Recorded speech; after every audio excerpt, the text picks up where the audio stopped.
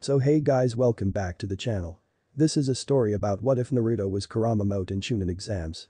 The movie. If you guys enjoy this, what if? Comment down below. And let me know before I start please do support for more awesome content. And leave a like and don't forget to subscribe to my channel. And also share this video with your friends. And check out the description. And check out my playlist. So let's start the video. Chapter 1. Being whole. Naruto rubbed his aching head as he came, climbing to his feet shakily. What happened? He grunted in pain as his head stung. Then the memory came back to him, distorted by a distinct crimson haze. Um, the grass shinobi mused quietly, Naruto in her grasp. It seems the Kyuubi brat is still alive. She then opened his orange jacket and rolled up his shirt. The grass Kunoichi was amused at what she saw, on the boy's stomach was an intricate seal on the boy's stomach, so this is the seal. The Kusagakure Kunoichi moved her right hand behind herself, a mini purple fire lighting up on each fingertip. Naruto thrashed in her grasp, trying desperately to free himself. The ninja's amazingly long tongue, however, would not relinquish him from its grasp. Hey. He shouted, wriggling as much as the foreign appendage would allow. Let me. Go. The super powerful grass ninja, who was actually Orochimaru in disguise, thrust his flaming fingers into Naruto's unprotected abdomen, crying, Gogyo Fuin. Naruto's face contorted into a silent scream as the Hebi Sennin's agile digits dug into his stomach, clenching around the soft flesh.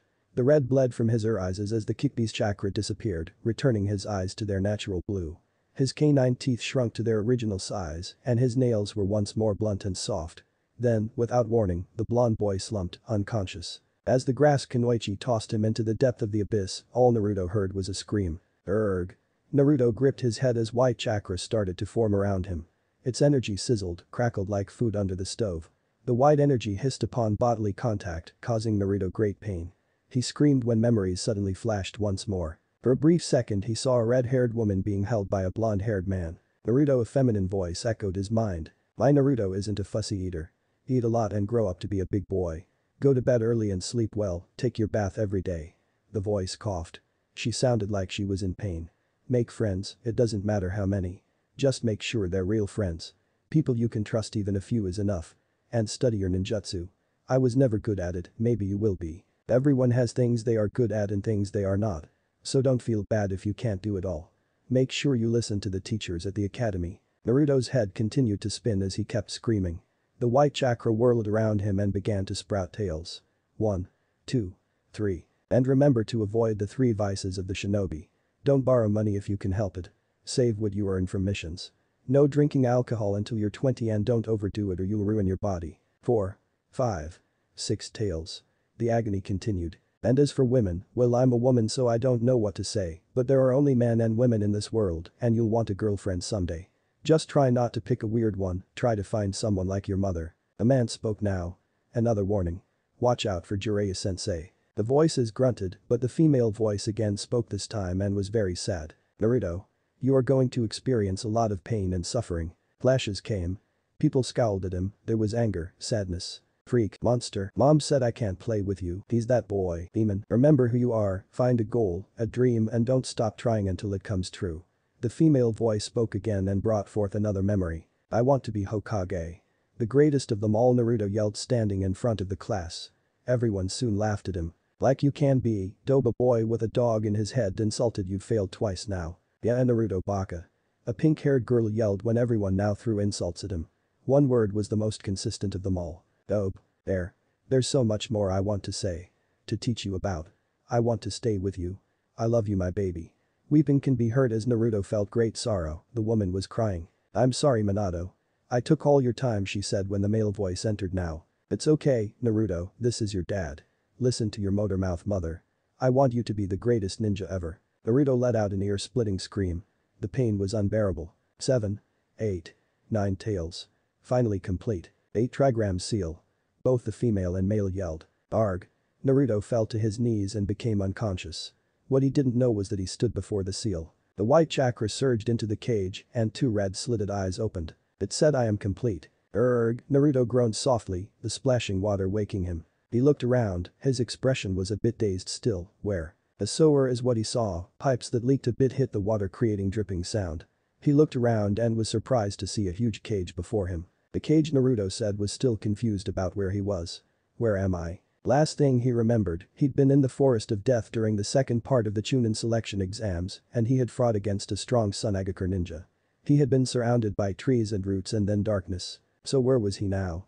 The only place that had sowers was the sowers he used to venture to when he was little. This is no ordinary sower and this cage, the blonde thought as he looked at the cage, a cage.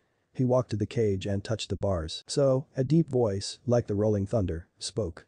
Nearly jumping out of his skin, he suddenly froze, coming face to face with a crimson fox, you're finally here. Its fur was like fire, wild and uncontrolled.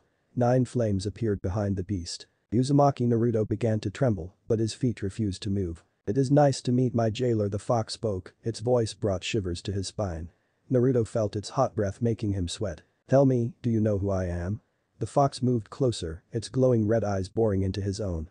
Can you say it with that tiny mouth of yours? Hey Kyuubi Naruto stammered this was true fear he felt. The fox chuckled coo, coo coo coo. Naruto took a step back when suddenly claws attacked the bars. The massive claws stopped Naruto in his tracks as they tore his clothes, like knives tearing through his skin. The Uzumaki screamed in pain. With eyes closed and fear overcoming him, he screamed your name is Kurama. Kyuubi's eyes went wide in great surprise when suddenly light escaped the seal and a ball smacked the blonde Uzumaki on the head. Naruto fell backwards. He groaned when he felt something on his lap. He looked and saw a beautiful glowing orb. Kyuubi chuckled you are not stupid after all. It seemed that the brat too went through the process. W. What do you want and why am I here? Naruto suddenly heard a huge back can be heard as fires came rushing towards him but enwrapped the bars of the seal. I am the Kyuubi and you are in the seal the fox spoke its eyes studying the blonde like a specimen under the microscope. Seal? Naruto moved away from the fox fearing he would lash out at him.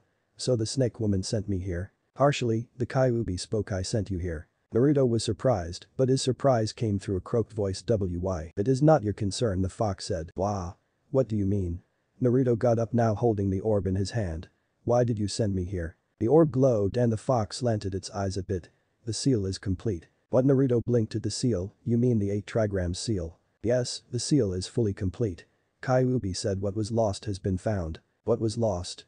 Naruto said, you mean you lost something Kyuubi chuckled, its damn chuckle always making him shiver. Indeed, it smirked.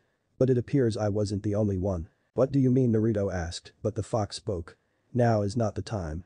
Wake up. Eyes wide open Naruto woke with a gasp, his head aching and his stomach sore. It felt as though he'd been run through with a katana to the heart. Getting up he heard he looked around to see Team 10, 7 and another team. You're awake Naruto, Choji spoke, getting his attention as did everyone. Naruto Baka.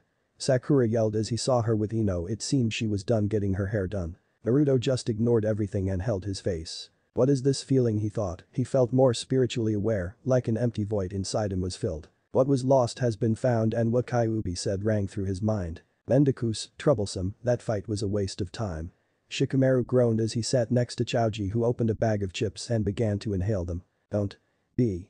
Like. That. Shikamaru. We won. Choji offered positively between bites. Yeah, you're right Choji. It's just too troublesome to think about, Shikamaru replied as he leaned back to look at the clouds. Neji stood off to the side as he watched Tenten wake their teammate Lee up while keeping a discreet watch on Uchiha Sasuke.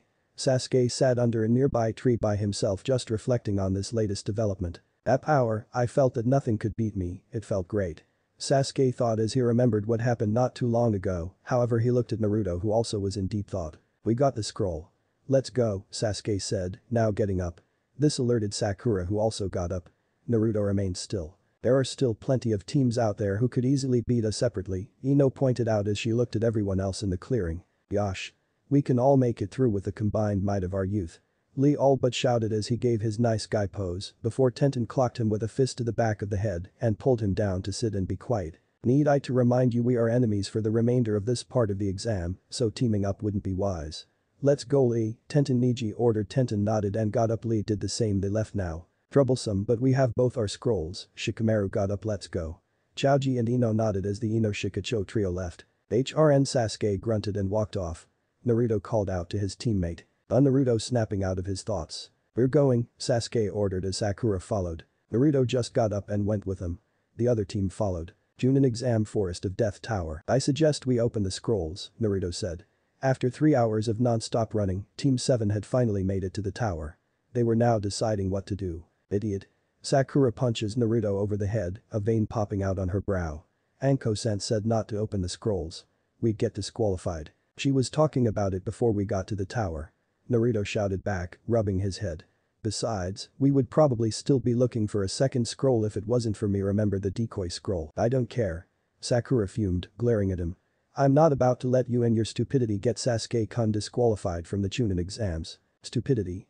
It's common sense. Naruto argued, blue eyes burning. We're in the tower now. The only explanation is that the scrolls have something to do with our qualification into the next part of the exams. Silence ensued as both Sasuke and Sakura were greatly surprised.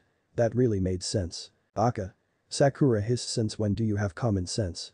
I won't allow you to mess this up. Then what do you propose? He said seriously. Come on tell us. Sasuke looked at her, and Sakura now was intimidated a bit as she was put into a spot. Well. I, we just move forward, she sputtered, having no idea. Where are we in the tower, Naruto asked. Where do we go? We just move forward. Sakura snapped at him. Geez. Naruto flung his hands up in exasperation, rolling his eyes. For the smartest girl in the academy you sure are pretty dumb. What did you say? Sakura's voice rose. I dare you to say that to my face. You heard, Naruto yelled back looking at Sakura like she was the stupidest woman in the world, Baka. How dare you? Sakura was about to hit Naruto again when Sasuke spoke. Hey, guys, both of them froze as Sasuke looked at them with his serious face. I think we should open the scrolls. Naruto now sighed as Sakura squealed and droned about how rider Sasuke-kun was and about how he always had the best ideas. Wasn't it his idea? Yeah Naruto Baka. A pink-haired girl yelled when everyone now threw insults at him. One word was the most consistent of them all. Sakura-chan. Naruto froze with his head down, the shadows covering his eyes. Bakaha he said to himself eerily Sakura. Why did I even like her anyway? It didn't make sense. Come on, Baka. Sakura pulled him by the sleeve of his jacket, shoving the heaven scroll into his stomach forcefully. Help me open the scrolls. Grudgingly peeling open the scroll given to him, he stared at its contents. Several characters were written down, focused around single kanji in the center, the scrolls began to bring out smoke. Sakura let go of the scroll Sakura quickly listened oblivious of the way Naruto called her name. The scrolls were hurled at the floor as it rolled away from them, the smoke rose to cover the as the smoke began to clear, a shape could be seen within the dispersing cloud. Team 7 tensed, but was surprised at who it was. Iruka-sensei. Sakura yelled. The person that came was the academy teacher, Umino Iruka. He grinned at them, waving in a friendly manner, hey, guys. It's been a while, huh? Iruka. Sensei Naruto said in a quiet voice. Memories flashed. That out Naruto Iruka was scowling you have been disrupting the class. But I didn't do anything.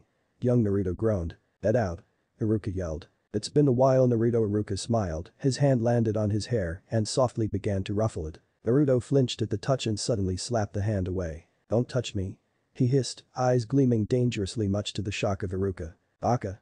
Sakura came and bonked his head don't do that to your sensei. Naruto had his head down. He couldn't understand where these memories were coming from or why he was acting the way he was. I am complete. But it appears I wasn't the only one. Kyuubi knew something. Naruto, Sakura yelled getting him out of his thoughts. Ah he smiled scratching the back of his head exactly the way he used to do sorry Iruka-sensei. Iruka was deep in thought. He was confused. This wasn't the Naruto he knew. Sensei. Can you explain our next task? Sasuke spoke. Oh, right, Iruka rubbed the back of his neck. I am here to tell you all that you have passed the second exam. Team 7 was surprised. Really? Sakura asked. Yes, Iruka smiled. Now it is the third exam. You guys don't overdo it okay he looked at Naruto especially you Naruto. Don't worry about me, it's not your job, it's mine he said suddenly surprising the teacher. He grinned, rubbing his neck sheepishly, yeah, I guess so, huh? Iruka was beginning to worry. What happened to Naruto? Let's go, Sasuke said walking off. Yeah. Sakura yelled following Naruto went after them until Iruka stopped him with a hand on his shoulder. Naruto. Did something happen in the forest? He asked, a bit worried. With his back turned to his sensei, he shrugged the hand off his shoulder. He walked off completely ignoring a shocked Iruka. All Iruka heard was a dead voice laced with traces of sadness and confusion. I am. Complete. Chapter 2. Dobe no more. The Hokage looked over the assembled genin, resisting the overwhelming compulsion to smile when he saw Naruto among them. 21 had made it, the majority of them from his village. They were all rookies, and another three were a team that was only about a year old. It warmed his heart to see such strength and courage in one so young. But the Sandaime stood a group of Chunin, Jonin. Protruding from the front wall was a pair of stone hands forming the seal for Ram. Anko smirked at them from where she stood, congratulations on passing. Hokage Sama will now explain the third test, so listen carefully. Sarutobi looked at the candidates and was impressed with his ninjas, he coughed and then said well done everyone for passing this portion of the exams. I will explain to you why you are here and what you shall be doing, but before I explain the third and final test for the day. Do you know the reason why the Chunin exams are held? The Genins looked confused as they listened. Gaara just watched emotionlessly and Naruto watched with a serious expression. The Chunin exams are not here for a shinobi to go up just in rank. The truth is it's a replacement for war among allied countries, the Genins were getting more confused as Sarutobi spoke. A village's strength is determined by the strength of its shinobi. By holding the Chunin exams, you have the opportunity to stand out and show feudal lords what you can do. Also, the strength you show will attract new clients. He was about to continue the third exam when Hayate interrupted as he coughed Hokage-sama, may I? Sarutobi nodded. After all, you are in charge of the third test. The chronic coughing caught the Genin's attention. Was he sick? My name is Jack Mahade and I'm the proctor of the third exams. He coughed again and said the third test is to cut down the number of candidates as too many have passed. So we are going to do preliminary matches. This shocked everyone as they thought it was unfair. The feudal lords will be attending the final exams and we need the strongest ninjas available when they arrive. So this test will bring forth those who are the strongest between you all, Hayate answered their questions before they had to ask. So we. Gaara was about to speak, but Naruto finished fighting for him. The Temari and Kankuro looked at him in shock. He interrupted Gaara. Everyone's eyes fell onto Naruto, but he ignored all of them, choosing instead to meet Sandaime's gaze. Sarutobi eyed Naruto carefully. Hayate nodded. So before I start does anyone want to quit now? Silence ensued. Naruto noticed Sakura and Sasuke were speaking silently and listened in. I'm fine Sakura Sasuke said dangerously I won't quit. But that mark made her worried. Mark Naruto thought, taking note. Just worry about yourself. Sakura had no choice but to obey. Anyone else want to quit? Hayate asked again. Sakura looked at Sasuke and softened. She relented. Sorry I quit. Someone smiled. Kabuto-san. Sakura spoke in shock. Kabuto looked at Sakura and smiled. I'm injured all over. So you see I'm not fit to fight. He smiled at them but looked at Naruto. When their eyes met, Naruto's eyes narrowed as Kabuto walked off. The Jounins and the Hokage noticed how Naruto looked and pondered what changed in him. Alright the rules are as follows. As the referee you listen to me. If I say stop you stop. If you don't do that then you fail. Fights will be one-on-one -on -one, and the winner will proceed to the final. Your opponents will be chosen at random and the match will end when an opponent dies, loses consciousness or gives up. If I see that a match is unable to continue I will also end the match. Alright now let's begin the first round.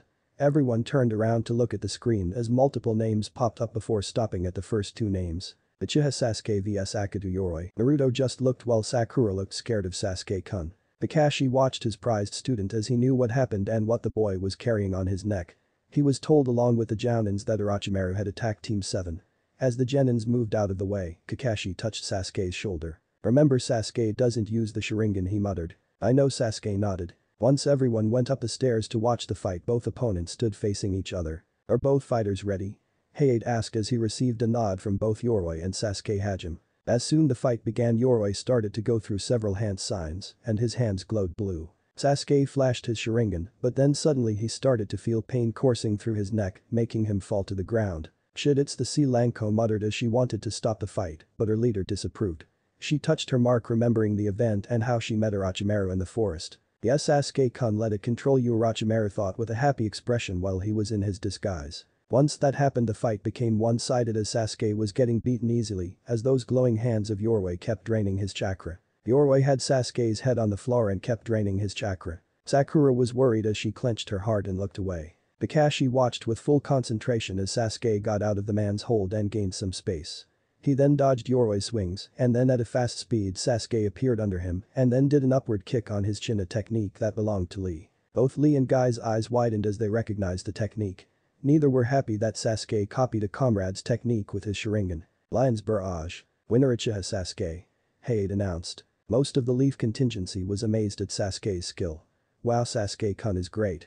Ino commended happily, while Sakura sighed in delight. Kakashi was impressed while Asuma nodded.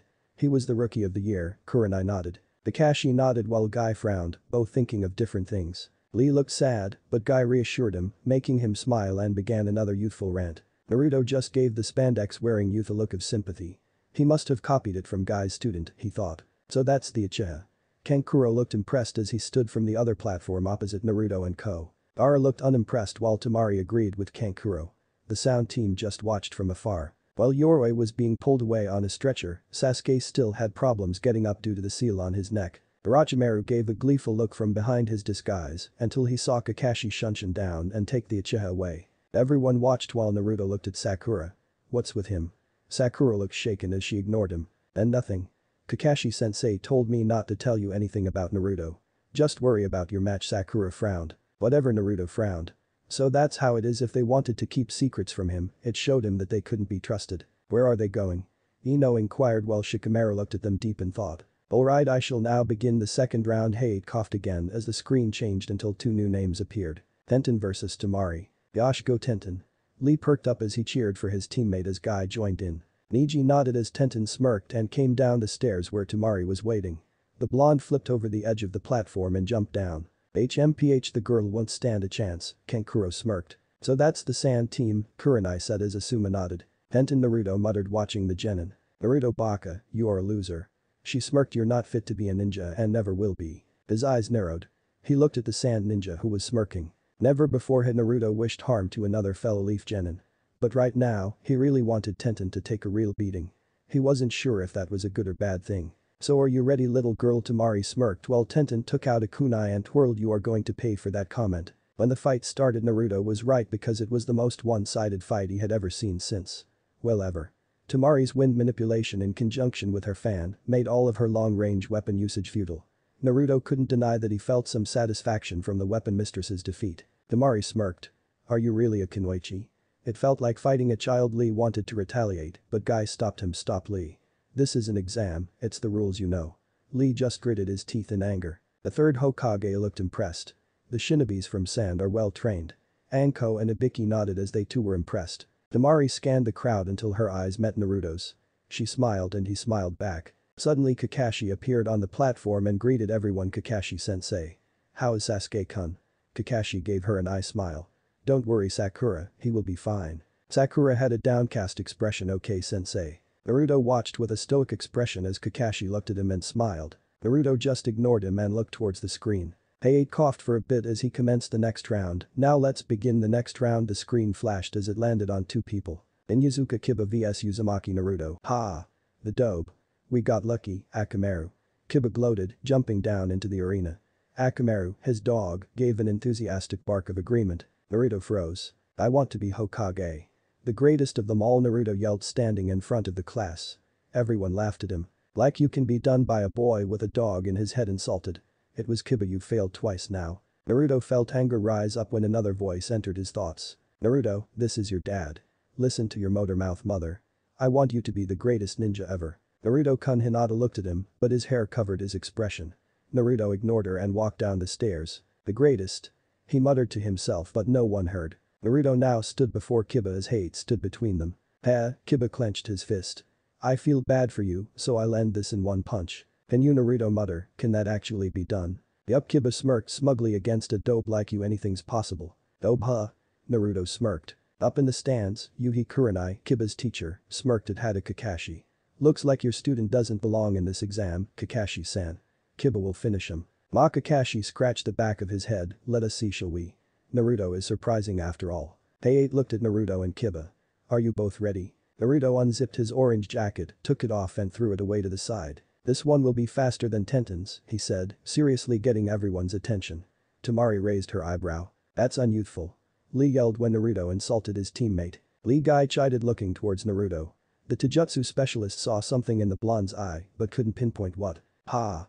Kiba smirked I won't even need Akamaru to beat you. Naruto didn't respond. Inuzuka Kiba, genin rank ninja, and the heir of the Inuzuka clan known for their nin dogs, Naruto thought his eyes narrowed. Begin. Hey began. And with that, Kiba charged in for a head-on assault, fist cocking backwards. Meaning without their dogs as Kiba came closer and closer, time seemed to move slower and slower for Naruto. They are nothing.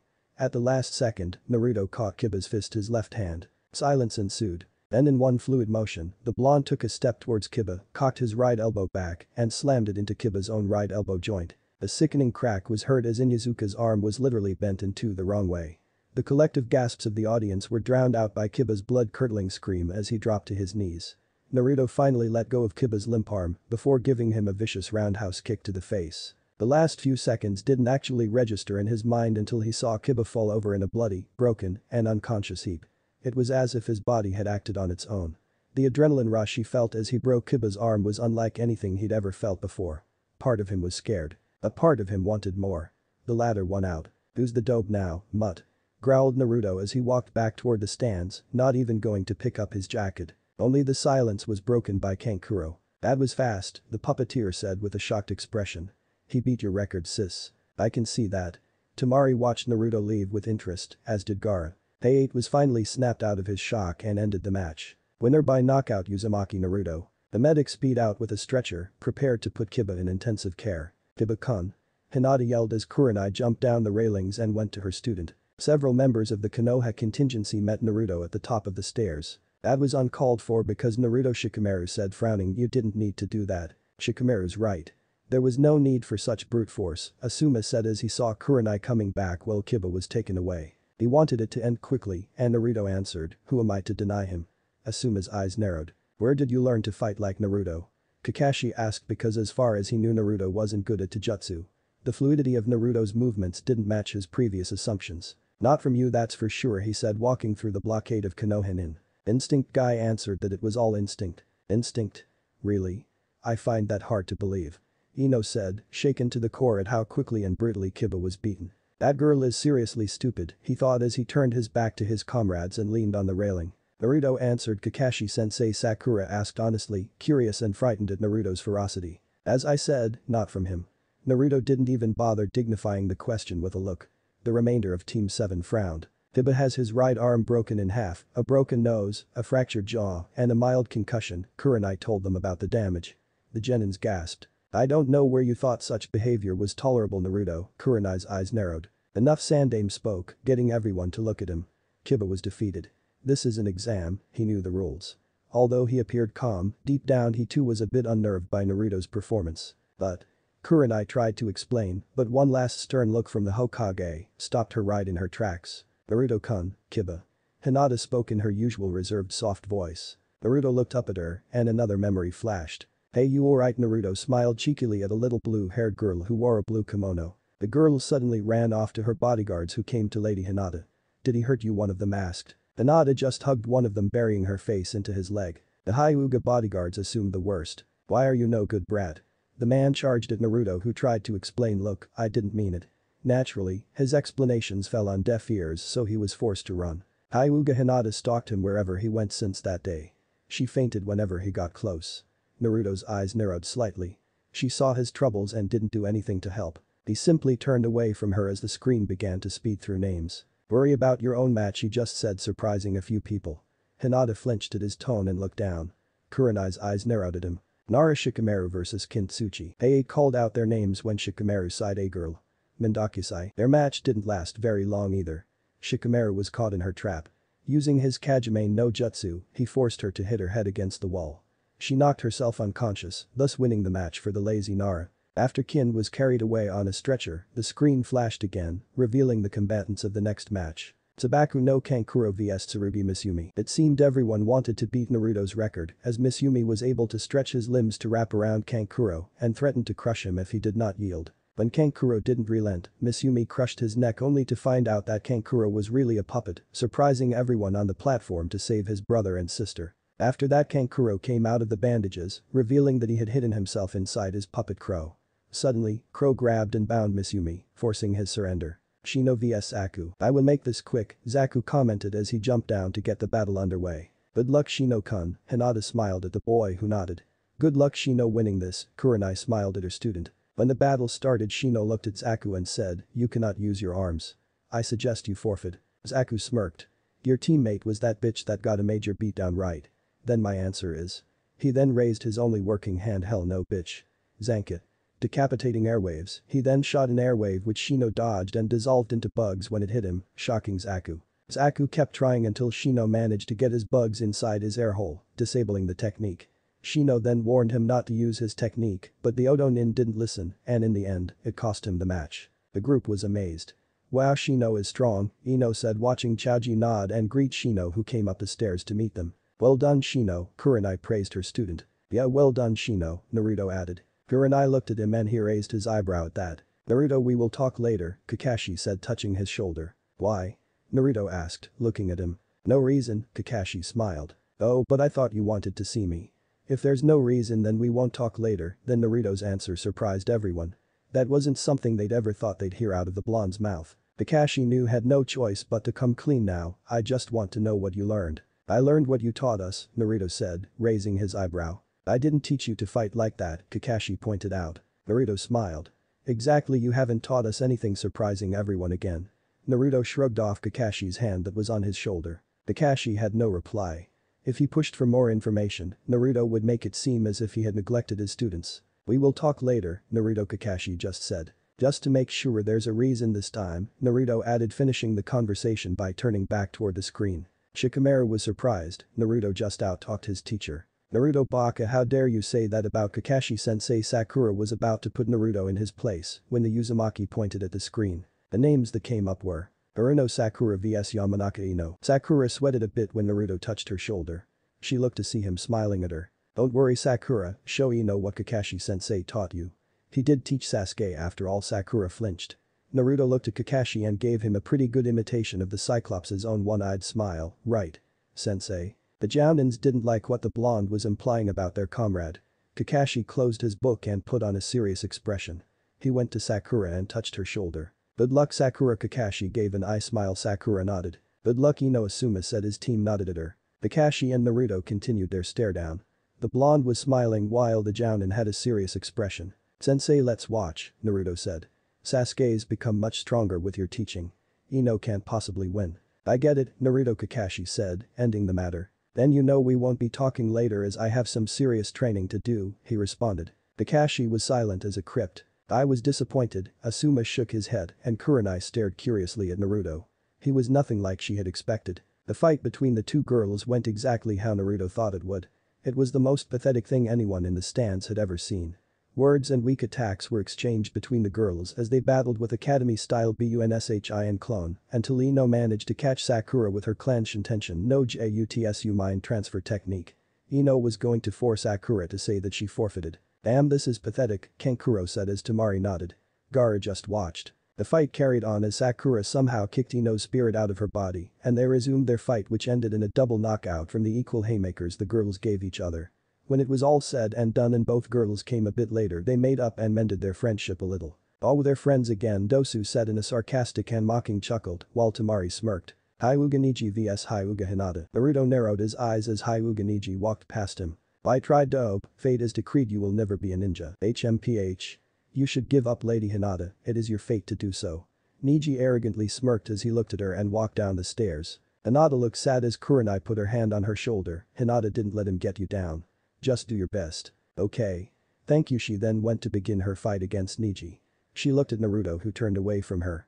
She was determined not to let him down I won't let you down Naruto-kun. To everyone's surprise, Hinata was able to fight Neji on equal footing for the first few moments of the match. Kurenai looked at Naruto because she knew Hinata's newfound confidence was all thanks to him. But this new confidence wasn't enough in the end as Neji simply overpowered her with his superior Juken, ending the match in his favor. Sabaku no Gaara vs Rock Lee. Yosh. It's my turn. Lee exclaimed, proud, making his teacher scream in glee. Oh, my student. Guy gave a thumbs up and Lee jumped down to fight Gaara who was waiting patiently. This was by far the most competitive match so far. Gaara's sand defense seemed pretty much impenetrable until Lee took off his weights. When Lee released 5 out of the 8 Hachimon gates, his speed was absolutely outrageous. I can't believe someone can move that fast. Naruto thought in awe. Naruto realized that if he faced Gaara or even Lee as he was now, he would get creamed. Damn it what was I doing all this time? He thought. Lee trained until he dropped for years while he was busy playing pranks, chasing after a pink banshee and foolishly listening to his sensei. However, Lee's body couldn't withstand the pressure of the Hachimon gates for very long. Gaara's second sand armor simply outlasted Lee's body. The reverse lotus was the last straw. When Lee fell over in pain, Gaara used the opportunity to attack Lee with his sand. The sand latched onto his arm and leg. Gaara was about to finish him off, but Guy stopped him before Gaara could complete his sand burial technique. Man that was amazing. Naruto looked at Neji. You have an amazing teacher. Want to swap? No, Neji just replied looking stoic. Why not? Naruto pointed at Kakashi. He's the copy ninja. He will not benefit me, Neji just said. quite frankly, he didn't want to talk with this dope. Oh my god Kakashi, Naruto looked shocked at his sensei he just called you useless. You're not useless because you'll help me in my training, right? No one said anything. Naruto smirked, I want to see how he's going to get out of this one. Makakashi gave an eye smile later okay. Naruto groaned, channeling his kill me orange personality, but. Sensei, that's what you always say. Sakura and Sasuke have gotten stronger, why not me? Sakura was confused by the lack of suffix on her name. Kakashi's single eye went wide a bit. They both wondered the same thing. What happened to you, Naruto? You humans are funny, Kyuubi chuckled as he watched everything. Naruto froze. What is the fox planning? You know what, forget it, I'm done with your excuses. Naruto dismissed Kakashi. You were never there for me and you never will. Kakashi's eyes widened at that. He thought of more than just his failures as Team 7's Jimin. He thought of his failures to protect his sensei's legacy. Sensei, I'm sorry. He looked down in shame. Naruto.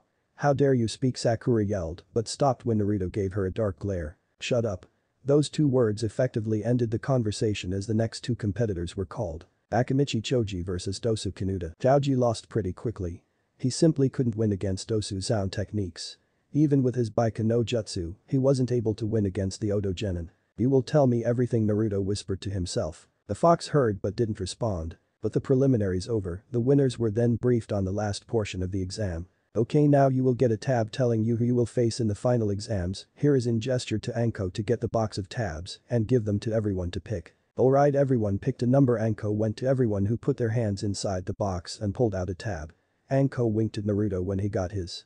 The Uzumaki raised his eyebrow at the eccentric woman. What are your numbers?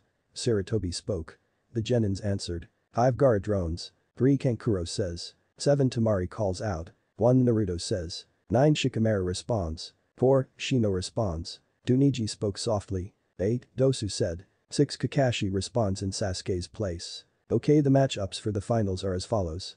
First match Uzumaki Naruto vs Hyuga Neji, second match Sabaku no Kankuro vs Aburame Shino, third match Uchiha Sasuke vs Sabaku no Gaara, fourth match Sabaku no Temari vs Dosu Kinuta finally Nara Shikamaru faces the fourth match victor, Hayate called out. That concludes the second phase of the Chunin exams.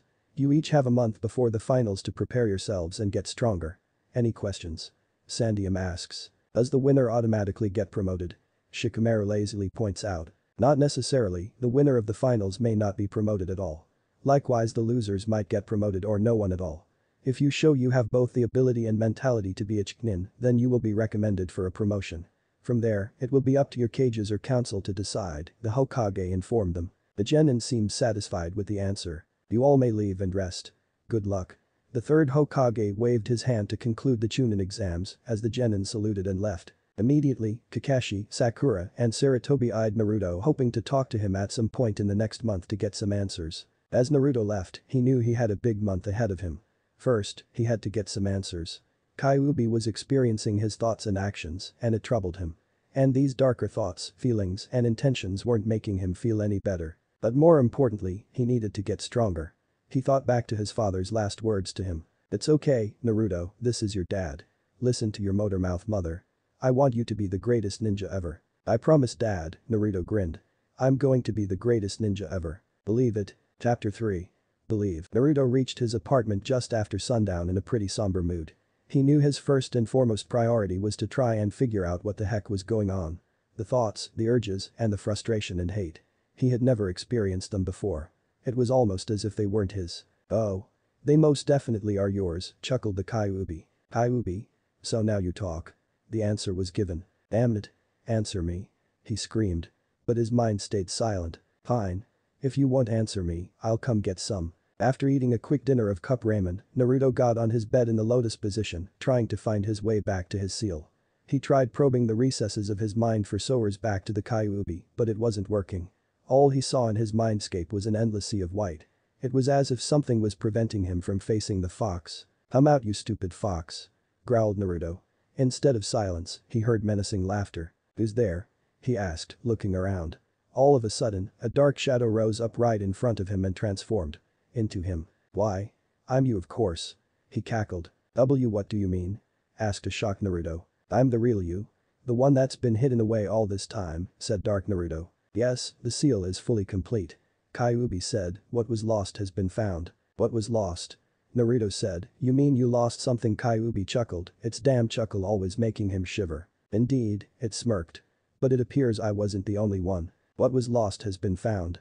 He mumbled. You're my darker half. You're the reason why I'm having these thoughts. No, I am the real you. You're nothing more than a mask trying to hide your sadness, frustration, and anger, laughed Dark Naruto. And then he charged. Before Naruto could snap out of his shock, he got a mean right hook to the face knocking him to the floor. Pathetic. You let all those villagers walk all over you. They hate you, he said. Freak, monster, mom said I can't play with you, he's that boy, demon, they want to see you suffer. They want to see you fail. He continued. I want to be Hokage. The greatest of them all.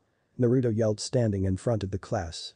Everyone soon laughed at him. Like you can be, Dobe boy with a dog in his head insulted you failed twice now. Yeah Naruto baka. A pink-haired girl yelled when everyone now threw insults at him. One word was the most consistent of them all. No one cared. No one loved you. But you don't need them. All you need is me. Join me and we'll get our revenge, he said, extending his hand out. Maybe he's right. No one's ever cared for me. No one's ever loved me.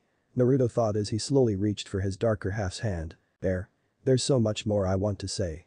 To teach you about. I want to stay with you. I love you my baby. I'm sorry Minato.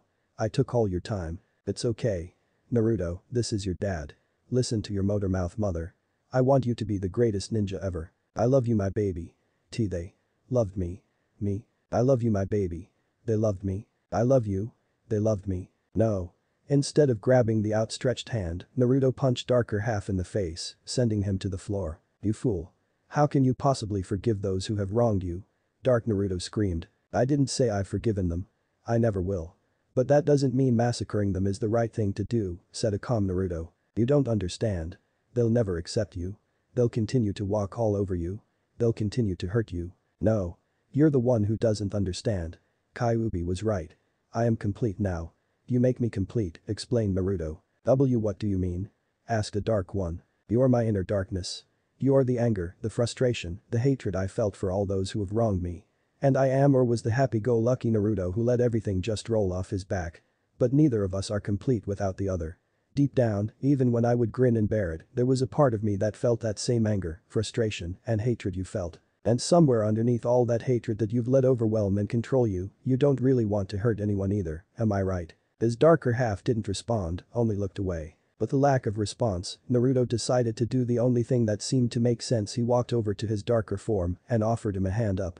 How do I know you won't just forgive and forget like you used to?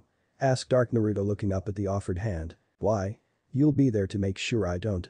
Said Naruto in a more exuberant voice than was necessary. Ah you're right I can't trust you to do this on your own, so I'll have to be there to make sure you don't screw this up, chuckled the dark Naruto as he reached for his light side's hand. Besides, I think we would be pretty baddest together. Damn straight. And at this Naruto both yin and yang grinned, sealing the handshake. Soon, Naruto's darker form disintegrated and was absorbed by his yang self. When the emerging was over, an odd sense of calm washed over him. He suddenly felt stronger. He suddenly felt faster. He suddenly felt more at ease than he'd ever felt in his entire life. More importantly, for the first time in his life, he felt complete. Before Naruto could gather his bearings, the endless white became a lush meadow full of life. A meadow really? I didn't think the inside of my head would be so weird. He thought. He wasn't the only one. You certainly have some weird things happening in that head of yours don't ya Naruto-kun? Asked a feminine voice behind him. Naruto turned around to see a beautiful red-haired woman with blue eyes in a long pale green dress. She walked hand in hand with a tall blonde-haired man wearing a standard Konohans uniform underneath a long white coat decorated with flame-like motifs on the edges. Wait. Long white coat decorated with flame-like motifs. He thought. Only one person was ever known to wear such a coat. Yondaime Ho he started. I bet he gets that from you Kushina, the yellow flash joked. What was that, Minato-kun? Care to explain what you mean by that? The now dubbed Kushina said in a menacing tone with a visible twitch in her eyes. She even brought her fist up to his face. I'm sorry Minato. I took all your time she said when the male voice entered now. It's okay, Naruto, this is your dad. Listen to your motor mouth mother. I want you to be the greatest ninja ever. Yondaime. My father. He thought. Nothing. Nothing at all. I didn't mean anything by it. Yondaime pleaded, holding his arms over his head, trying to shield himself from the beating he was surely going to receive. Redeeds and their tempers. Sheesh. WY. Naruto mumbled. This was beginning to become too much for him to handle. He tried desperately to hold back tears. This got the couple's attention. Would you do it? Why did you seal the Kyuubi in your own son? He screamed. His parents looked down in shame. All the hate. All the loneliness. All the suffering. How could you do that to me? This time the tears couldn't be stopped. Silence reigned. For what seemed like hours, no one knew what to say. Naruto, how old are you now? asked Minato. Twelve going on thirteen, he said, trying to wipe away some of the waterworks. Minato sighed, not even 13, and already shouldering the burden of the world. He couldn't help but feel that stab of pain watching his son cry in front of him. We know that after all that has happened to you, we don't deserve to be called your parents, Kushina began, our greatest regret was passing on this burden without being there for you to shoulder it. Again, there was silence. Although, it was a little less awkward and depressing than last time. What made you think I could handle it? He asked, remembering their last words to him. Because you're our son, they answered in unison. It's only natural for the parents to believe that their children will surpass them. Continued his father with a smile. Ha. You have some high expectations dad, chuckled Naruto. I know. But I know you'll surpass even me one day, his father said with the utmost conviction. How can you be so sure? He asked. Just call it a hunch, Minato smiled. And never doubt a mother's intuition. His mother exclaimed as if that defeated all possible negatives. Somehow, Naruto couldn't help but smile at his mother's enthusiasm. Naruto. There are a few things we need to tell you, his father said in a serious tone. First, your mother was the previous host of the Kyuubi. On the night of your birth, your mother and I were attacked seconds after your birth. That man's name was Madara Uchiha. And so Minato recounted the events of that fateful night. I see. I'll need Kyuubi's strength one day to stop whatever he plans to accomplish, Naruto summarized. Yes. Kushina and I sealed some of our chakra in the seal before we passed away in order to help you on that goal. My chakra was to be awakened should you prematurely start losing your mind from the Kyuubi's power. And your mother would be there when you would fight the Kyuubi for control of his chakra, said his father. But with Kyuubi's yin chakra returning and you now knowing its name, neither of us need to fulfill our roles anymore, his mother finished. So you're going to just leave me? But I have so much to ask you. How did you guys meet? How'd you fall in love? Would you name me Naruto? He asked. This would be his only time meeting with his parents. He couldn't just let them leave so soon. Ah. That last one's easy. We named you after the hero from Jiraiya sensei's first book. We hoped that you would one day be a great ninja like the one from the book, chuckled Minato. Jiraiya sensei? I thought you told me to stay away from him, mused Naruto. As you should. He's a pervert. Kushina huffed. A p pervert. Yeah. He tried to peek at your mother and me during the process of creating you, his father said clearly embarrassed at the turn the conversation had taken. The process of creating me? You. Uh, Naruto shivered at the thought of his parents doing the nasty. As for the first two, your father and I went to the academy together. One my first day there, the class was going around talking about our goals. Both of us said we wanted to be Hokage. Of course, Minato looked like a total flake and was when he was younger, so no one took him seriously, smiled Kushina. An indignant cry of hey. Was heard from the Yondaime, but was promptly ignored. But one day, some Kumo ninja kidnapped me in order to use my special chakra chains to gain control of the Kyuubi. On the way to Kumo, I secretly plucked and left strands of my red hair to mark the trail, hoping someone would find me. As fate would have it, your father found the trail saying how he admired my hair, even though I hated it. I guess you could say it was the red thread of fate that brought Konoha's yellow flash and red hot-blooded habanero together, she finished. Hmm. I always knew there was a reason why I liked orange. I guess subconsciously I was carrying on the dream you guys passed on to me, mused Naruto to himself. Naruto, you should know that we'll never actually leave you, his father said, coming closer to him. We'll always be right here with you, he finished by touching the spot on Naruto's chest where his heart was. We'll always be there guiding you, helping you, and watching, said his mother, bringing her face down to meet him. I can already see it in your eyes, Naruto-kun. You are already strong.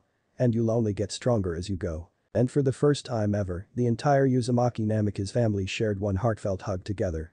No one present could hold back the waterworks. A few minutes later, it was time to go. Naruto, always knowing that we loved you so very much, cried Kushina planting a soft kiss on his right cheek. And remember that no matter what we'll always believe in you and be proud of you son, finished Minato ruffling Naruto's hair. A few seconds later, Minato, Kushina, and the meadow disappeared back into the endless sea of white. They believed in me.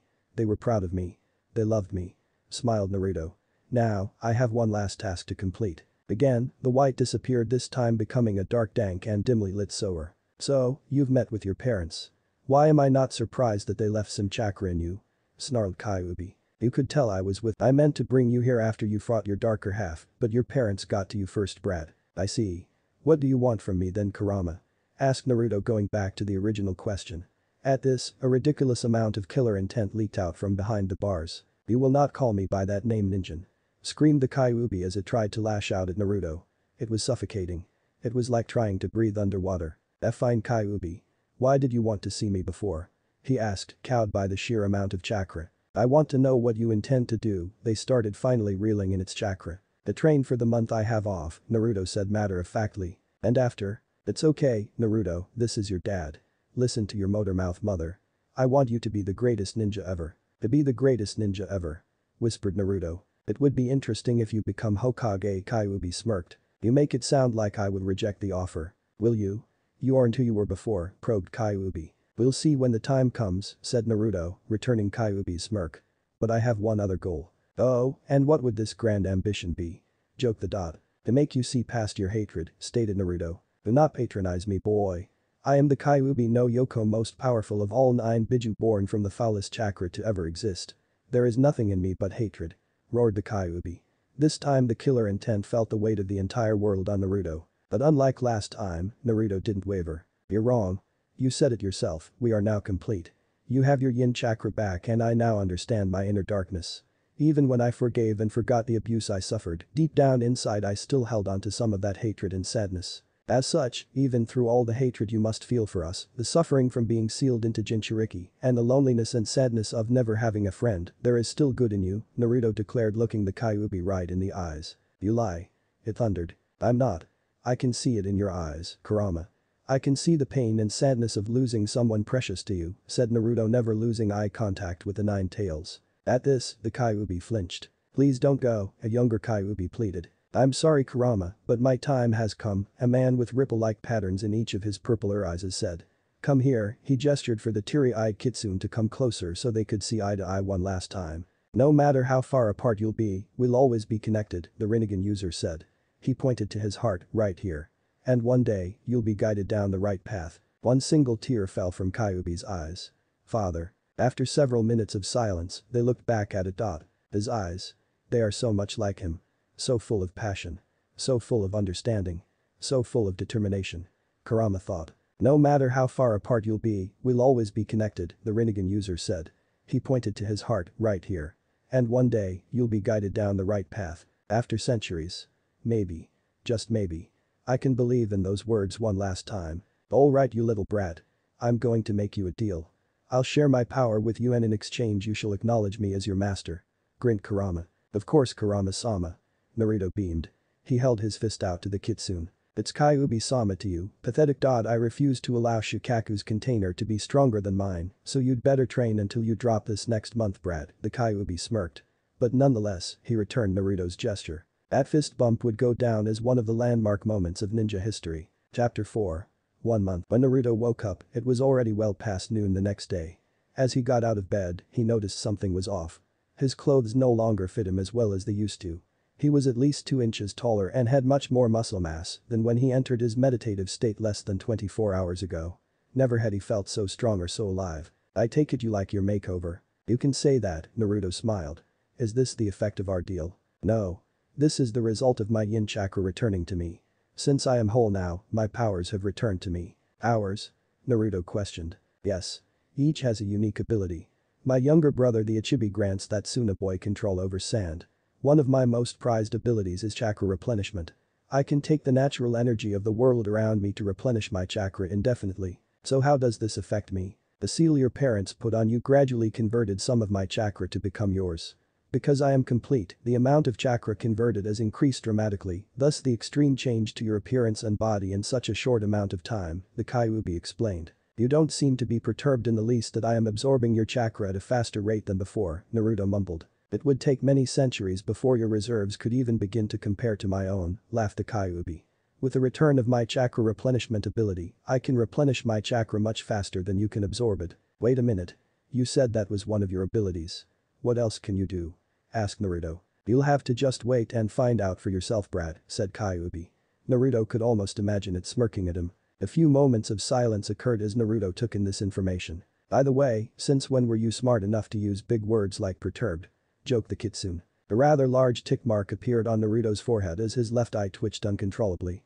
Mutterings of stupid fox and thinking the sun shines out of his ass were heard as Naruto left to get some ramen. Lunch was a rather pleasant experience.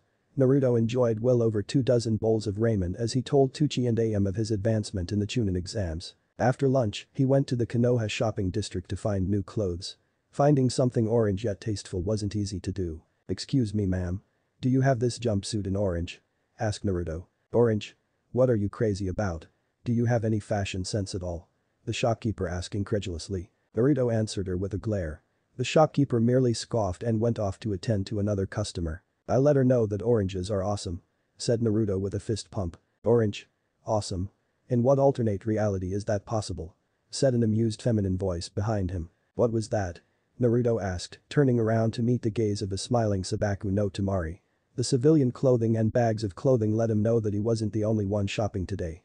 Naruto couldn't help but stare at the difference in Temari's appearance from civilian clothing to ninja gear. She is a rather fine specimen to look at, isn't she Brad? Much better than that other teammate of yours, said a certain devious fox. A rather large blush appeared on Naruto's face. Shut up Hiro Kitsune. He screamed in his head. In no way shape or form will orange ever be fashionable, Temari teased, snapping him out of his stupor. Ha!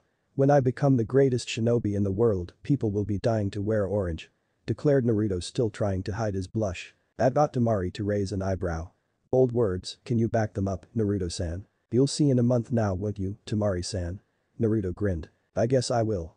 I'll see in a month then Naruto, stated Temari walking out of the shop. Of course, Temari-san, Naruto chuckled. Oh and drop the suffixes. They don't really suit me, she said, turning back around to face him. Alright.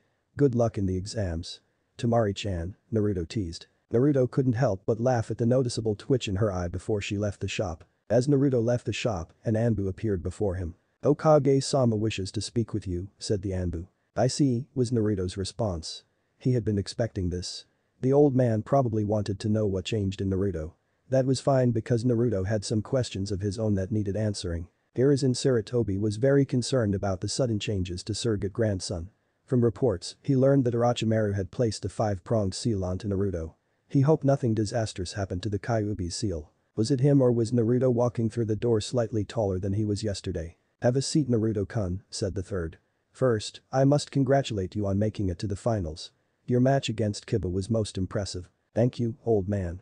But let me guess, the real reason you want to see me is to talk about my recent changes, isn't it? asked Naruto. Yes, I wish to inquire about your more aggressive nature recently, the Hokage stated calmly. Though, on the inside, he made a note about how Naruto was far more direct and to the point than before. I finally got tired of everyone treating me like I was a demon, Naruto said in an even tone. I'm sorry Naruto-kun, the aged Hokage said, bowing his head in shame. Why do people hate me old man, why? Young Naruto cried. I'm sorry Naruto-kun, it would have been better if the third hugged the child who cried in his arms. That's what you always say to me. Naruto roared suddenly. He was huffing now just.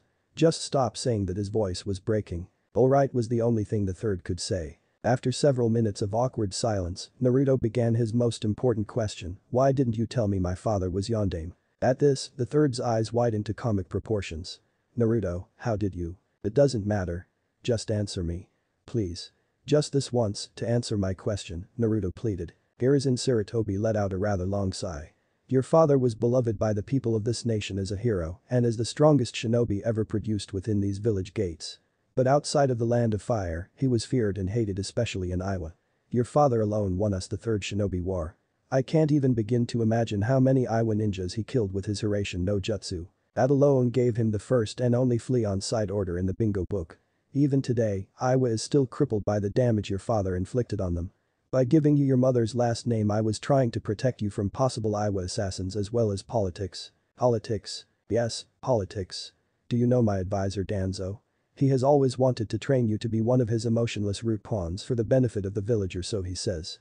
Being the son of a former Hokage and the Jinchuriki of the Kyuubi would make you an amazing weapon to have in his back pocket both militarily and politically, answered the third. I see, and what about the villagers? Was there nothing you could do about them? Naruto asked. I know you don't want to hear this, but I'm sorry. There was no way I could stop all the ignorance and abuse of the civilians without revealing your identity.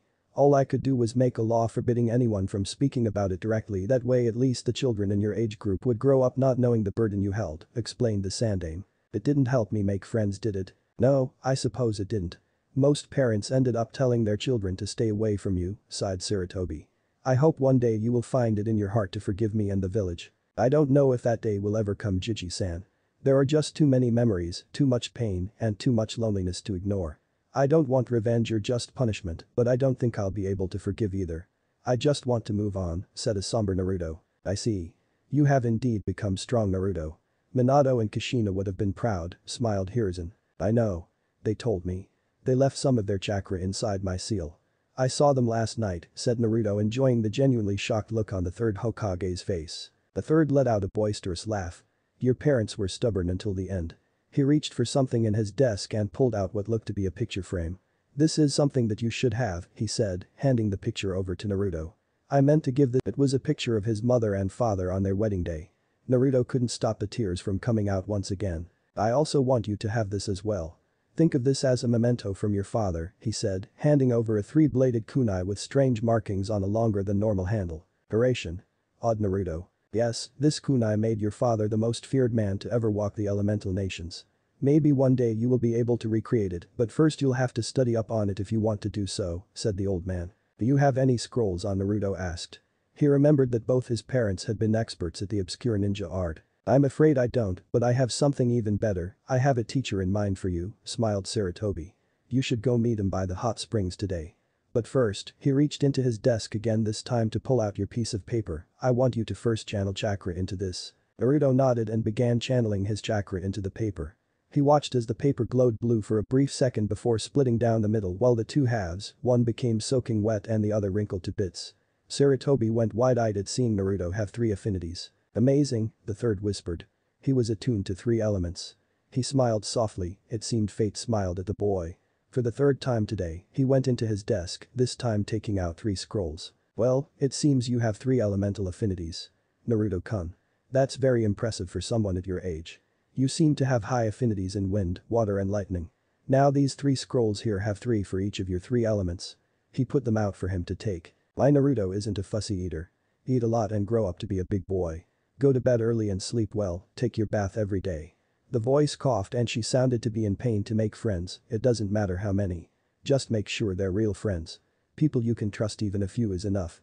And study your ninjutsu. I was never good at it, maybe you will be. Ninjutsu? Take it my boy, the third smiled. Th. Thank you, Naruto bowed a bit. It's what you deserve, Naruto-kun. Train and get stronger, the old man smiled as Naruto put them in his pouch. I promise. Old man I won't let you down.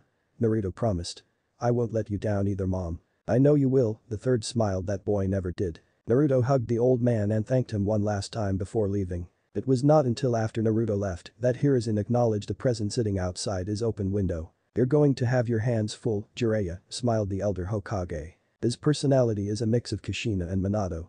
Hopefully he didn't inherit his mother's temper, joked the toad sage. His potential is indescribable. Three elemental affinities and the Kyuubi alone would make him a force to be reckoned with. Of course, he'll need a lot more chakra control than he has now. Then I'm going to give him his birthright. If he can master that then his chakra control problems should disappear, stated Jiraiya. That's going to raise some eyebrows a young boy that looks like a younger Yondaime using one of his signature techniques. I will be up in arms, said Sarutobi with a touch of concern. Then I'll just have to make sure he's capable of defending himself by the end of the month then, won't I? Laughed Jiraiya. Of course, I'll have to do a checkup on that seal first to make sure the snake didn't damage it. Maybe Minato's and Kushina's presence changed the seal some. A third nodded, be sure that you do. After all that he's gone through, I would love nothing more than for Naruto to show the village what a splendid ninja he can become. The toad sage simply nodded and left in a swirl of leaves. The third looked up at the portrait of Yondaime. He will grow strong Minato. I can already see it in his eye, he's going to surpass you one day, I'll make sure of it. He declared. Needless to say, Naruto was absolutely giddy about the possibility of learning so many from the scrolls in his hands. He briskly walked back to his apartment trying to get ready to meet his new sensei for the month at the hot springs. Wait a minute. Hot springs. Why would my sensei be there? He thought. His train of thought was broken when he noticed his silver-haired Jonin sensei leaning against the railing of his apartment. Hello, Kakashi sensei. No porno book today? No, not today. Although, there should be a new edition out next week. No, I'm here to talk to you today, said a surprisingly serious Kakashi. Oh, and what would this be about sensei? Asked Naruto with a raised eyebrow. Kakashi let out a sigh. This was going to be long and hard to explain. Naruto, I want you to know how sorry I am. I've let you down in more ways than just as your sensei, he said before pausing. I know I wasn't the best sensei to Team 7. I taught you guys teamwork, but nothing to better ourselves individually. As a result, Sakura barely put up a fight against Ino. Sasuke simply fell back on his clan techniques and Sharingan to help him pull through. You, on the other hand, relied solely on instincts to win your match against Kiba. You showed strength no one else thought you had. Now by the looks of those scrolls, it seems like you are learning elemental for your affinities. Naruto, I know that I can't take credit for it, but I'm proud of the ninja you've become. I don't know if anyone's ever said this to you, but many times you can know how strong someone is simply by looking them in the eyes. And in your eyes, I see someone who's been able to overcome the hardship he's dealt with his entire life and resolved to become stronger. Your parents would be so proud. I know they've told me, smirked at Naruto. At Kakashi's shocked expression, Naruto idly wondered if everyone's reaction he told this information to would be as funny as Kakashi's and the old man's. How? How did? They left some of their chakra in my seal, Naruto said, giving him the same explanation he gave the Hokage. At this, Kakashi had to chuckle and shake his head before he adopted a more downcast expression. I don't know if anyone's ever told you this, but I was on your father's genin team. Your father was a great man, he was like a second father to me when my own took his own life, and your mother became something of an older sister to me as well. One of my greatest regrets in my life was not being able to shield you his son from the hate and abuse you took at the hand of the villagers. When I was a part of the Anbu, I would often guard you from ninja or villagers that would try to harm you. But I couldn't always protect you due to my other duties as an Anbu operative that would take me out of the village, and I couldn't adopt you because of how suspicious it would be for the Yondaime's last living student to adopt a small child that looks exactly like him. I know you are tired of hearing it, but I'm truly sorry Naruto both for failing you as a sensei and as an older brother, finished Kakashi. An older brother? Questioned Naruto with a raised eyebrow. Yes. Your father was like a father to me as well, so I guess I can call you my younger brother, one-eyed Kakashi. I already talked to the old man. I understand the situation you two were placed in because of my father's prowess as a ninja. Had you adopted me, Iwa would have sent their entire Anbu team to try and assassinate me, starting Naruto. And as for your failures as a sensei, how about you remedy that now? I could use some advice learning my wind, lightning, and water affinities. Grinned Naruto. Three affinities huh? You are definitely Konoha's most surprising ninja, chuckled Kakashi. You know, the kage bushin you are so fond of using can definitely help you out in your elemental training. Did you know that any experience you gained by your clones is returned to you? The total amount of experience the user gains is multiplied by the total number of clones being used to be trained. At this, Naruto's eyes widened at the implications of this new information. Oh, that will definitely speed things up, said the voice in his head. Now as for your affinities, I don't know any Futon Jutsu, but I've copied a few Suiton Jutsu, and Raiton is my main affinity. I'll definitely send over a few scrolls of Suiton Jutsu whenever your sensei says you're ready to learn them. As for Raiton, I've decided to teach my first original technique. Kakashi's eyes gleamed. I'm going to teach you Chidori. Later that day, Naruto found himself at the Konoha hot springs. Again, he wondered why he was here. Perhaps, it was to use the hot springs water to learn the water walking exercise Kakashi had told him about. His musing was interrupted when he heard a rather perverse giggle one that he often heard from his new friends when he read his trashy porno books. Following the sound, he saw a rather tall man with spiky white hair and a large scroll on his back bent down behind the fence of women's hot springs scribbling down notes. Wow. This guy is a total perv, muttered Naruto. Be careful. Appearances can be deceiving, said the demon fox. It seemed to be talking a lot more recently. Hey you. Why are you? Naruto shouted, only to be stopped by a hand on his mouth. SHHHHHHH. Be quiet kid. Are you trying to get us in trouble? The pervert asked in a whisper. Who are you and why are you peeking in the women's bath? Asked Naruto, finally breaking free of the man's grasp. Why I'm doing research for my book series. He exclaimed as a familiar book magically appeared in his hand. So you're that pervert that writes those trashy porno books? Accused Naruto. They are not some trashy porno books. They are works of literary art. And I'm not a pervert. I am Jiraiya the super pervert. He declared happily. Naruto's sweat dropped at the last part of his rant. Jiraiya-sensei. I thought you told me to stay away from him, mused Naruto. As you should. He's a pervert. Kushina huffed. A p-pervert. Yeah. He tried to peek at your mother and me during the process of creating you, his father said clearly embarrassed at the turn the conversation had taken. So this was my dad sensei. I hope he didn't corrupt my dad. Or me for that matter Naruto thought. So you're Jiraiya. Naruto said walking closer to the man. Ah. So you've heard the tales of the gallant Jirai Jiraiya began to brag until Naruto gave him a rather hard kick in the man's own. This left him on the ground moaning and groaning in pain. Somewhere in the village of Konohagakure, Sarutobi Hiruzen and Hatake Kakashi shivered in fear and moved to protect their family jewels. That was for peeking on my parents during their alone time, said Naruto walking away. About three minutes later as Naruto was walking back toward his apartment when Jiraiya finally caught up to him.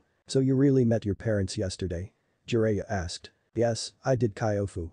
My father wanted me to stay away from you so you don't corrupt me, he smirked. Jiraiya narrowed his eyes and muttered something about a disrespectful blonde dot. They shared a moment of silence until Jiraiya spoke again. So you're wondering why I left you alone, right? Naruto simply nodded. I don't know if you know this, but I run Konoha's entire spy network. I'm the one who works to make sure that nothing threatens Konoha. It would draw too much attention if a Sannin suddenly adopted a child that looked like his previous apprentice. And I can't handle espionage missions while taking care of a small child. Is that why you're back? To stop your Sannin teammate from getting the Sharingan? Naruto questioned. Perceptive aren't you? Yes, part of the reason I'm here is to make sure whatever my snake of a teammate is planning fails. The other part of the reason I'm here is to see what's going on with my godson after all these years, to train him so he can protect himself, and to give him part of his legacy, Jiraiya grinned. That last part caught Naruto's interest. Legacy. Yes, I'm going to give you the toad summoning contract and teach you one of your father's signature techniques, Jiraiya started. The Rasengan, he finished creating a swirling ball of blue chakra in his hand. I can tell you also want to do some elemental training as well, correct? He asked. Yeah. I'm going to abuse the hell out of the kage Bushin to speed up the process, Naruto grinned. So, you know the secret of the kage Bushin. That would definitely speed things along. But can you really handle it? The amount of chakra needed for that sort of training is pretty high, the toad sage asked. I think the fur ball in my gut can handle it, Naruto stated. If you're going to use my chakra, you'd better make sure you actually do get stronger. I will not get shown up by the Ichibi, said the Kyuubi. And I'm not just some fur ball, brat. So, you're going to use the Kyuubi's chakra? Is that wise? Asked a concerned Jiraiya. Yeah. We have come to an understanding of sorts. Apparently, as long as I refer to him as Kyuubi-sama, he'll share his chakra with me. We even fist bumped on it, Naruto tried not to laugh as Jiraiya's eyes bugged out. Well, if you are going to be using its chakra, you just might be able to master all three of your affinities by the end of this month. You also want to learn some Fuinjutsu as well right? Asked Jiraiya. At Naruto's nod, Jiraiya continued, okay. Here's what we'll do. Every day you will create 200 kage Bushins for elemental training, starting with wind, since that was the first element that showed up and an extra 20 to learn and practice Fuinjutsu from one of my own kage Bushin.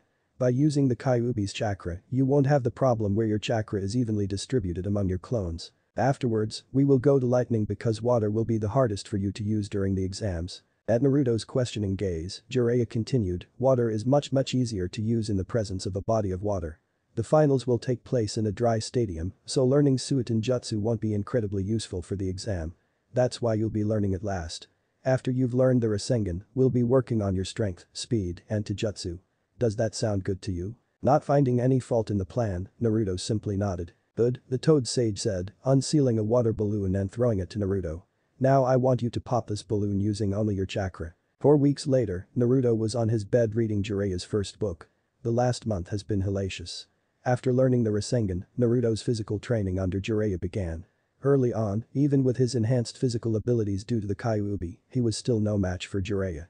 But through the use of weights and gravity seals, Naruto's strength and speed increased dramatically. He had mastered nature manipulation for both his wind and lightning elements. He could now manifest his wind chakra into his Taijutsu and use the Chidori he even found a way around the tunnel vision problem with the Chidori. But he did run into some problems. His progress with Fuinjutsu was slow moving as well as his water manipulation. As Jiraiya had said, it was extremely hard to manipulate water without a body of water already present. Also, because he lived in the land of fire, there was a distinct lack of wind and lightning jutsus to learn. As a result, he had to resort to trying to create his own jutsu, but that too was also slow moving though he had been able to create a few through using known jutsu for inspiration. Also, Naruto learned from Jiraiya that wind manipulation was several times stronger when used in conjunction with a weapon like Temari and her fan. But given that he only had one month, he couldn't possibly learn how to use any weapon with enough proficiency to use in the finals. Despite all that, Naruto, Jiraiya, and even the Kyuubi were confident that none of the prospective genin would be able to hold a candle to him. Jiraiya had also drawn up some chakra suppressing seals, just in case Gaara's little friend wanted to come out and play. According to Jiraiya's spy network, there were rumors of dealings between Oto and Suna. The fact that Orochimaru had shown up at the second part of the exam and that Suna's Jinchuriki was a part of the Chunin exam finals made their plan very clear. War was coming. If worse came to worst, Naruto would have to unveil some of his more powerful jutsu to stop the invasion. Since that was the case, Naruto made it his goal to end all of his matches as quickly and efficiently as possible. Hey, Ero Sennin. Can you give me a copy of your first book? Naruto asked. Don't call me that but I'm so happy that you're finally becoming a man. Here's a first edition autographed copy of Icha Icha Paradise. Jiraiya cried in the anime tears of joy. Not your first Icha Icha book, you perv. I meant your first ever book the one where my parents named me, Naruto finished in a quiet voice. Oh, I see. Alright, I think I still have my original manuscript for that one. I'm going to give you the last two days before the final so you can rest. You can read it then while I help the old man prepare for Suna and Oto, Jiraiya grinned. Naruto read the title of Jiraiya's first book. The Tale of the Utterly Gutsy Ninja, huh? Soon, Konoha will learn the tale of the Ultra Baddest Ninja, he smirked, turning to the first page. There were mutterings in his head from a certain demon fox about it being more like the tale of the utterly stupid brat, but since he didn't ask for that certain demon fox's opinion, they were promptly ignored. Chapter 5. The legend begins. The day of the Chunin exam started out as a normal day in Konoha. That is if you didn't notice the Anbu in the background preparing for the invasion. In the last two days, the third was able to inform all the trusted Anbu and Jonins in the village to prepare for the invasion, as well as secretly prepare all the civilian shelters. Jiraiya was outside of the village working on a lead that he hoped would finally put Orochimaru in his place. But he assured everyone he would be back in time to help with the battle. At the actual Chunin stadium, the crowd was abuzz with excitement. The Chunin candidates themselves varied in emotion. Temari and Kankuro were anxious about the upcoming invasion. Their brother Gaara was excited by the possibility of blood. Shino, Shikamaru and Neji watched the others with indifference. At the moment, the final three contestants were missing. Everyone expected Sasuke to be fashionably late how can you not, considering who his sensei was. The surprise was Naruto. Everyone thought the loud-mouth orange brat would be the first to show up. In the Kage box, the Kazekage expressed concern over the Uchiha. Hokage Dono it seems like the Uchiha is missing, Orochimaru stated. Oh, I'm sure all the candidates will show up in due time. After all, they don't want to be disqualified from these exams now do they? Perhaps we should give the Uchiha extra time should he need it, the Kazekage suggested. You seem rather infatuated with one of my genin Kazekage Dono, the third gave the Orochimaru in disguise a curious look. So many people came here today to see him compete. It would be a shame for him to be disqualified, he explained. I see. But it's still my call to make. If he's late, he'll be disqualified. Besides, his match isn't until much later, so I doubt he'll be late, said Sandaime. You were never very subtle Orochimaru, he thought to himself. Five minutes before the start of the first match, the two Konoha Sharingan users showed up via Leaf Shunshin. Kakashi-sensei your Sakura screamed from the stands. Early? She asked, confused by the odd occurrence. Many of the other Jonin sitting next to her were also confused. Kakashi's early? Kurenai asked. She then put her hands together to try to dispel the Genjutsu. It didn't work. Well at least he's still reading Icha Icha, so I guess that's still normal, right? Asuma sweat dropped. Sasuke-kun looks so cool. Ino shouted blushing. Well, it seems like certain people are happy that you've arrived, huh Sasuke? Kakashi teased his face in his book. The Uchiha chose to ignore the joke and instead search out his blonde teammate who strangely wasn't here. Kakashi, looks like you've had quite the effect on the dope, Sasuke smirked. Kakashi simply waved off the jibe at his punctuality with a one-eyed smile, oh, he'll be here. He probably wants to make an entrance. Sounds like the dope wants to show Sasuke began until he heard a crackle of lightning. Off. He smirked.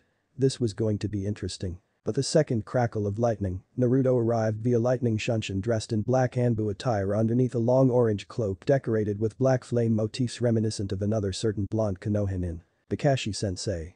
You're early. Naruto's eyes bugged out as he pointed a shaking finger at his older brother figure. Kakashi simply waved at Naruto as he continued to read his prized Icha Icha. Oh hello Naruto, I told Sasuke here that you'd be on time. Naruto then looked to Sasuke for answers with a finger still pointed at Kakashi. The Uchiha simply shrugged. That new outfit better not be all for show because I expect to meet you in the finals, Sasuke said. Oh, I'll be there. I hope you can handle a little Tanuki, Naruto grinned. All Naruto got in response was a grunt. Everyone in the stadium besides Kakashi, Sasuke, and Sandaime was shocked. That was Naruto. When did Naruto get it? Hot.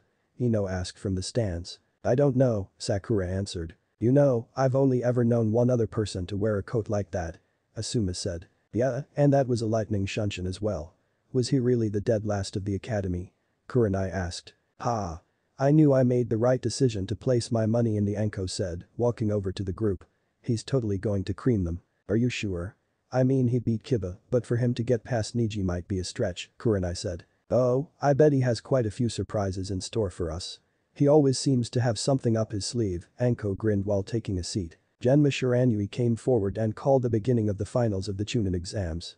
Uzumaki Naruto vs Hyuga Neji will now begin. All other participants please move to the viewing box to await your match. Sasuke and Naruto nodded to each other before Sasuke walked away. Kakashi simply shunshined up to the stands and took a seat near his fellow jonin. Kakashi-sensei. Sakura screamed, happy to see her sensei after a month's absence. Hello, Sakura. How have you been? Kakashi asked with a one-eyed smile. I've been good. How was your training with Sasuke-kun and Naruto? She asked. Sasuke is as ready as he can possibly be for his match against Gaara, the Jonin said in a cheerful tone. As for Naruto, I can't tell the true extent of his skills because I didn't train him, he said. But I can say with confidence that he won't have a problem making Chunin in this exam. This surprised everyone except Anko who was now more confident than ever in her bet. But how can he improve so much in just one month? Kurenai asked. Let's just say that Naruto has more potential than anyone in this generation. And he's finally realized it, Kakashi said in a rather calm tone. But he was never any good at the academy. He was a dead last. How could he have more potential than Sasuke-kun? Ino asked. This time Asuma answered. They were certain. Circumstances that prevented Naruto from succeeding in the academy. All the Jonins immediately knew that he was referring to the hate he received for being the Kyuubi's host. What circumstances? Sakura asked. It's Naruto's secret to tell, Kakashi answered. If you want to know, you'll have to ask him. Do you really think Naruto will beat everyone that easily? Kurenai asked again. Oh, I have no doubt that he will. If Naruto really wanted to go all out, he'd be able to beat me as well, Kakashi said as he took out Icha Icha tactics. What? You can't be serious Kakashi. You're the strongest jonin in this village. Naruto can't be that strong. Kurenai said in disbelief. Oh, I'm very serious, he calmly stated with his head in his book. Everyone was now very interested in what Naruto could do. Back at the battlefield, Neji arrogantly stared at Naruto thinking this was the same dead last he had heard about. Naruto on the other hand stared at Neji impassively. You should give up now. It is your fate to lose to me today, Neji preached. Naruto simply raised his right eyebrow. I know about your dream to be Hokage. You are a fool to believe a dead last like you can become Hokage, Neji sneered. Naruto lowered his right eyebrow. Only to raise his left. Hajime. Genma shouted. The second the match began, Naruto took one step towards Neji and disappeared into thin air. Startled, Neji activated his Byakugan just in time to see Naruto come at him head-on with a roundhouse kick. At the last second, Neji had to block the kick with his left forearm. The second the kick made contact, the bandages on his forearm exploded and blood gushed out. The silence in the stadium allowed Neji's scream to echo. That was wind manipulation. Asuma screamed, dropping the cigarette from his mouth. What? Ino and Sakura asked simultaneously. Wind manipulation works by making your chakra as thin and sharp as possible. By channeling wind chakra into his kick, Naruto was able to turn Neji's arm into a bloody mess. Kakashi, how was Naruto able to learn to manifest his wind chakra in such a way? Most Futon users are never able to do such a thing, a disbelieving Asuma asked. But you'll have to ask Naruto-sensei, Kakashi simply answered with his head in his Icha Icha book. What I want to know is how he was able to move so fast. It was like he teleported right in front of Neji, Kurenai mused. That would be one of the ones he created. He calls it Shunpo, flash step. He channels a large amount of chakra on the soles of his feet. So whenever he takes a step and pushes off on the soles of his feet, he can basically jump to a location, Kakashi explained. That's amazing. How much chakra does the jump require? Anko asked. Naruto estimates every 5 meters traveled costs about as much chakra as a kage bushin, Kakashi answered. Wow, that much chakra. It's amazing that he can create such a thing, Kurenai said. Wow, Naruto's so strong now. Sakura mumbled thinking about how weak she was compared to her teammates. Oh, he hasn't even begun to show anything yet, Kakashi mused. But we probably won't see any more of this match because Neji's lost an arm already. For the first time in that match, Naruto said, unless fate can heal your arm, I think you've lost here Neji. How can you be so strong? You were the worst student in your class. Neji screamed, still holding his bleeding arm. There's no such thing as fate Neji. We decide our own destinies. I used to be a dead last knucklehead that couldn't even do a simple bushin. But one thing I always had was a dream to be Hokage. Everyone in my class laughed at me, everyone scorned me, and everyone ridiculed me. but I never gave up. To me it was a dream worth chasing after, a dream worth striving for, a dream worth fighting for. Now, I stand before you as the strongest genin in this tournament. He took a step forward. Now, I stand before you no longer the dead last everyone thought I'd be. Another step. Now, I stand before you as someone who spit in the face of fate. And then he disappeared. Naruto appeared in front of Neji and launched him into the air with a spinning heel kick. The crowd watched in awed silence as Neji's unmoving body was launched several feet into the air and dropped back down to the ground with dull thud. Naruto walked over to Neji's unmoving body and sat down next to his head. You've been trying to fight fate as well haven't you Neji? I know about the caged bird seal. One day, you'll be able to defy your fate as well you just have to keep fighting. Getting that stick out of your ass won't hurt either, he joked. Shosha, Uzumaki Naruto. There were several seconds of stunned silence as the crowd tried to comprehend what had just occurred. Slowly, the applause started in the general vicinity of Anko, Kakashi, and the other Jonin senseis. What happened to that noisy orange knucklehead a month ago? Kankuro asked. That was what the majority of the prospective Chunin wanted to know. It seems he has gotten much stronger, Shino said. Man.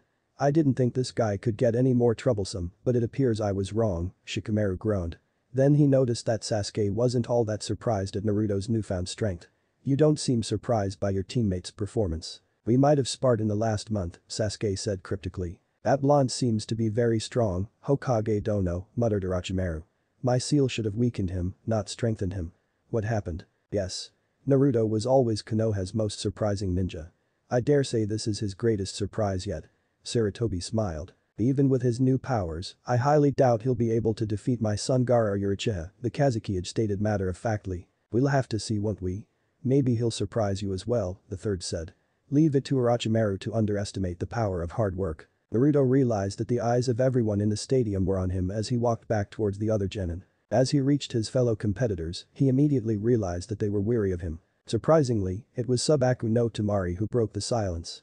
I see the month of training paid off. Orange isn't as much of a fashion disaster anymore is it? Naruto jokes. No, it's still ugly, she smirked. Well, I still have a few more matches to change your mind, don't I? Naruto returned her smirk. If Naruto's new powers confused people, his familiarity with Sabaku no Temari left everyone absolutely dumbfounded. Kankuro's eyes bugged out as he stared stupidly at his older sister and the Leaf Genin. Naruto noticed Sasuke staring at him with a raised eyebrow. What, team? Uchiha simply nodded towards the sand Kunoichi silently asking what was going on between them. I'll tell you later, Naruto said.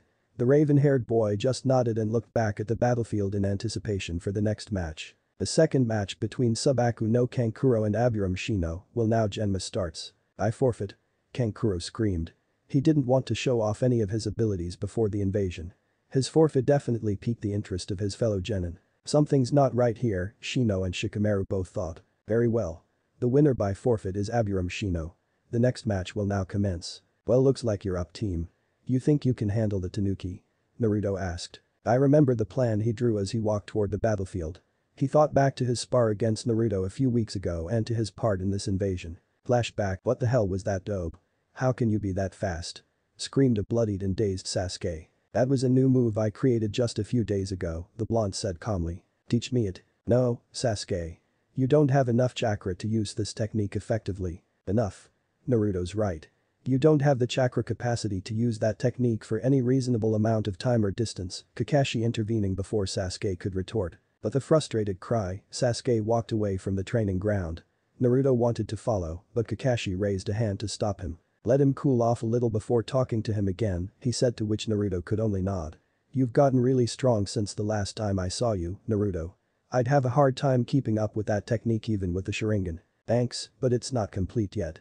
I've been experimenting and I think I can go faster if I channel wind chakra instead of just regular chakra, Naruto stated. Just be careful, wind is known to be a very dangerous element to play around with.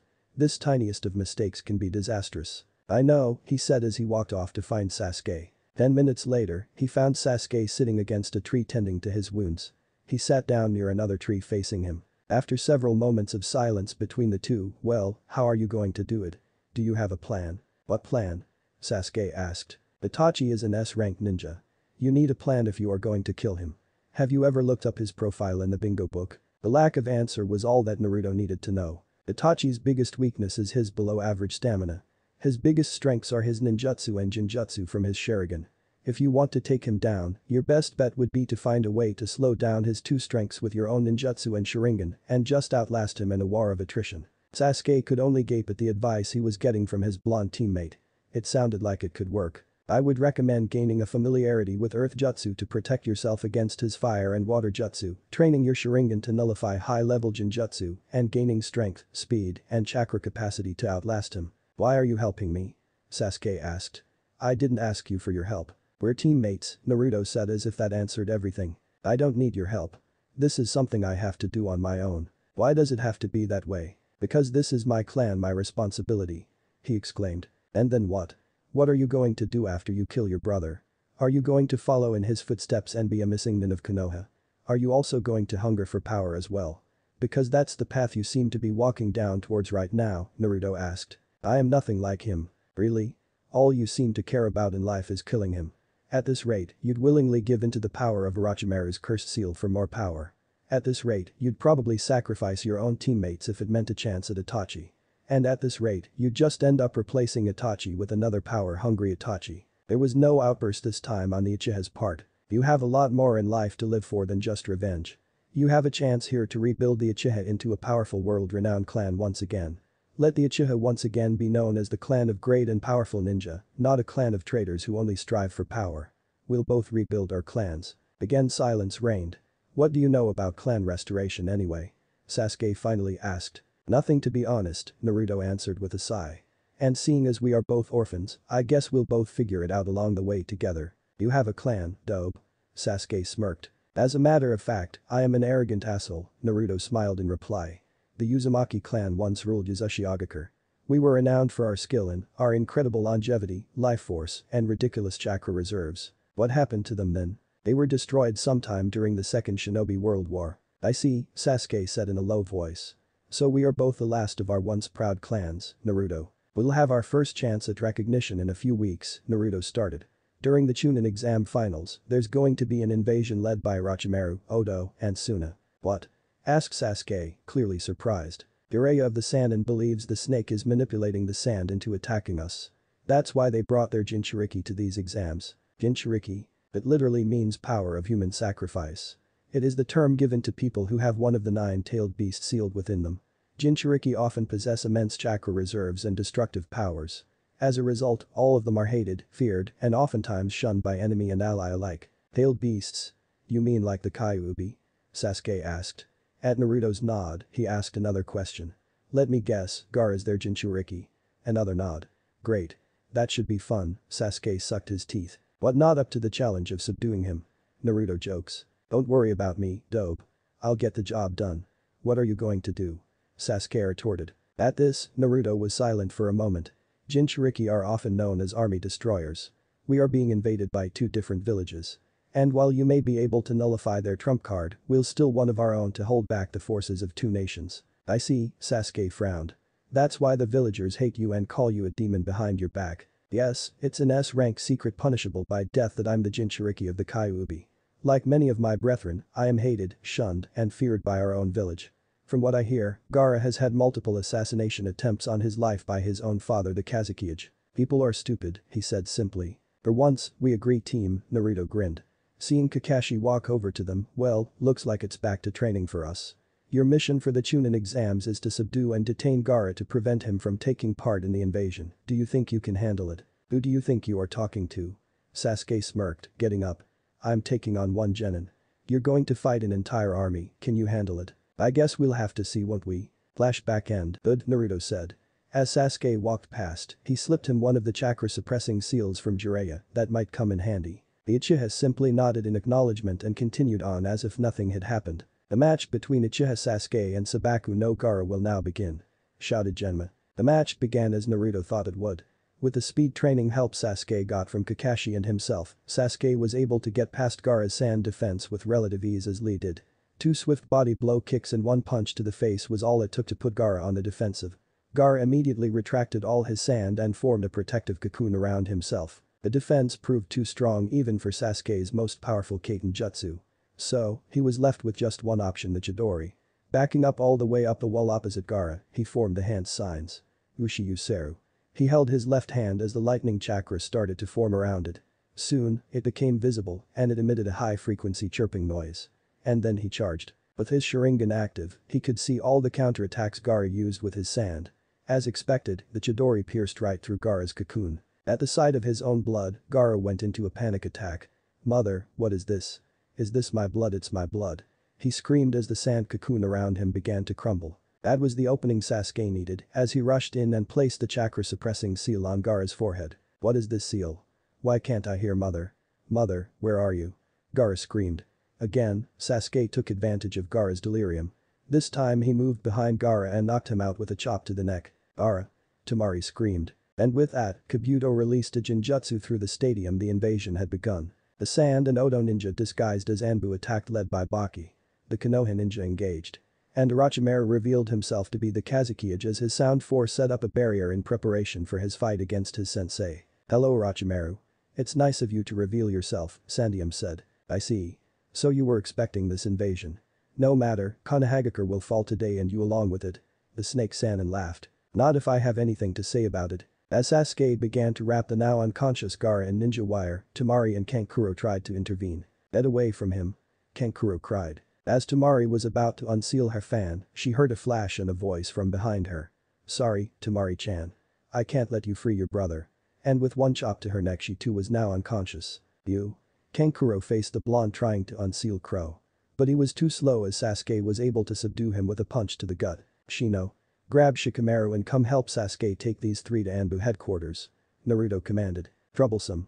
I was hoping to pretend like I was taken out by the Genjutsu, said Shikamaru. But he and Shino nonetheless came to help. As the three Konoha genin were about to move out, they were surrounded by several sand jonin. You're not going anywhere, said Baki. You three go. I'll take things off here, Naruto said, releasing all his weights and gravity seals. Shikamaru raised his eyebrow at that. Are you sure you can handle this Naruto? At this, another presence appeared with one hand on Naruto's shoulder. He'll be fine. I'm here now, said the perverted toad sage. It is of the utmost importance that Gaara does not get free. Do you understand me? The Uchiha, the Nara, and the Aburame nodded and sped off. I see you're right on time, Naruto jokes. Was your mission successful? It was. The snake's in for a nasty surprise, Jiraiya grinned. Once I'm done here, I'll help get rid of those snakes and… No. I'll take care of the snakes in the Oto army. You make sure Jiji ends the slimy snake once for all, Naruto decreed. Jiraiya raised an eyebrow, are you sure? You only have three minutes at most. It'll have to be enough, Naruto evenly responded. Alright. I'll cover you while you get ready. Just be careful.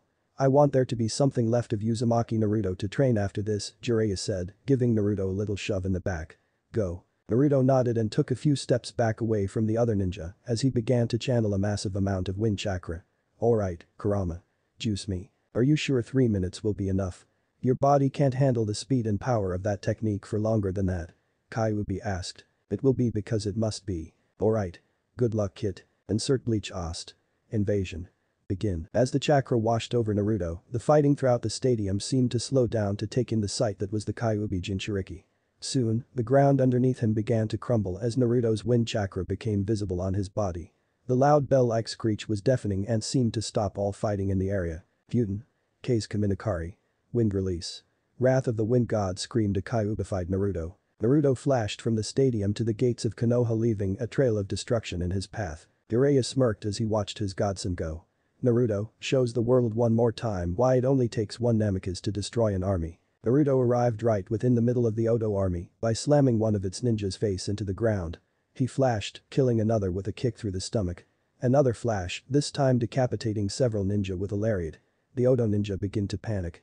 Their comrades were being methodically cut down and there was nothing they could do about it. All they could do was watch as the blur of white and orange decimated them. Seconds later, the body count reached several dozen.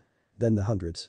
Two minutes and 12 seconds later, the Oto army was no more. But the Oto army gone, the Konoha forces would be able to hold off the Suna ninja.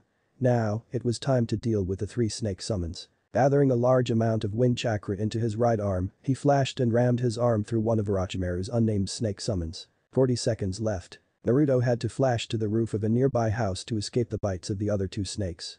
He was beginning to feel the toll his jutsu was having on his body. His 12-year-old body was just not strong enough to handle the speed that the jutsu allowed him to move at and definitely not strong enough to handle the pressure of sustaining the massive amount of wind chakra cloaking him. 25 seconds left. Once again, the snakes tried to strike Naruto. This time, he was prepared. Taking in a breath of air, he performed three quick hand seals. Futon.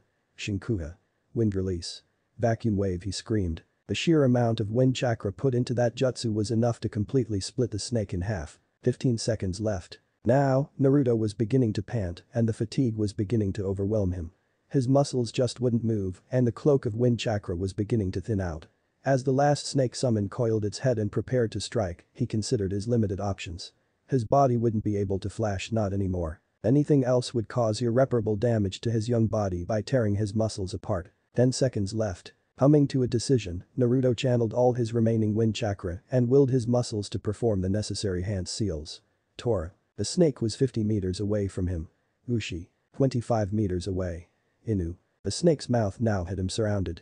You. The snake clamped down onto Naruto. Me. Futon. Daitoppa. Wind release. Great breakthrough he exclaimed. Wind chakra bursts out from Naruto. Almost instantly, the snake's head exploded from the pressure.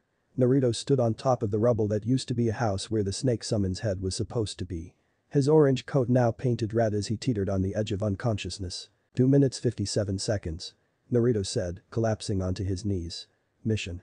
Complete, he smiled letting the darkness claim him. Bleach Ost. Invasion. End. Jiraiya smiled as he saw the last of the snake summons fall to his godson. He's going to surpass all of us one day soon, Minato. I hope you're proud of him. I know I am. But Naruto single-handedly taking out the Oto army and Orochimaru's snake summons, the rest of Konoha's forces should be able to hold the defensive line against the invading sand. Now, for the final loose end. Creating a kage bushin to collect his godson, he shunshined to the barrier the Sound 4 had set up for Orochimaru. Several Anbu arrived to greet him on the rooftop. Jiraiya-sama, the four Oto ninja, created a barrier that prevented us from helping Hokage-sama. Anyone who tries to enter is immediately engulfed in flames. The ninja themselves are protected by another barrier behind them. I see. Interesting. As he examined the barrier. Each member takes a corner and powers a portion of the shield. But if we were to incapacitate just one of the four, the barrier would immediately crumble, he mused. Sensei can take care of himself against the snake. Orochimaru's own arrogance will be the end of him, he smiled. I want all of you to be prepared to apprehend those four when Orochimaru makes a break for it. But Jiraiya-sama, the Hokage and Anbu started. We'll be fine, Jiraiya replied calmly. I have a special surprise for the snake. It seems Konoha still stands strong, my student, remarked the elderly Hokage. It does not matter. I will still kill you today. Even if my fire is extinguished today, the will of fire will still burn strong. That was one thing you've never learned, and that was why I could never have chosen you as my successor. Silence. This is your end sensei. Kuchiyose. Edo tensei. Screamed the snake Sannin. At the clap of his hands, three coffins appeared marked 1, 2, and 4 respectively. Immediately, Hiruzen knew what his student was planning. Orochimaru. You dare desecrate the past Kages of this village. Ah. So, you know about this dot then you already know that you have no chance against me now, grinned the snake as Shodaime and Nidaime walked out of their coffins. It seemed Minato's sacrifice to the Shinigami made him ineligible for subjugation under Edo Tensei. Hello Sarutobi. You've gotten quite old, remarked Hashirama. It seems we've been summoned through use of my Edo Tensei. Such insolence. Said Tobirama. Never in my years had I ever thought we would be forced to do battle. Please forgive me, Sarutobi frowned. Yes sensei. With their help, my revenge will be complete, Orochimaru laughed as he placed the kunai talismans inside the reanimated Hokages. This is the end for you Sarutobi-sen. His rant was interrupted by a punch in the face from the Shodaime and a kick in the stomach from the Nidaime. Right outside the barrier, Jiraiya had the biggest shit-eating grin to ever exist on his face. How dare you? With those talismans you should be under my control. Cried Orochimaru. It appears someone got to our bodies first and prevented you from controlling us, smirked Tobirama. Now, you shall pay for what you've done. Mokuton Hijutsu. Jukai Kotan. Wood release secret technique. Nativity of a world of trees cried Hashirama as wood began to grow on top of the roof. This is bad.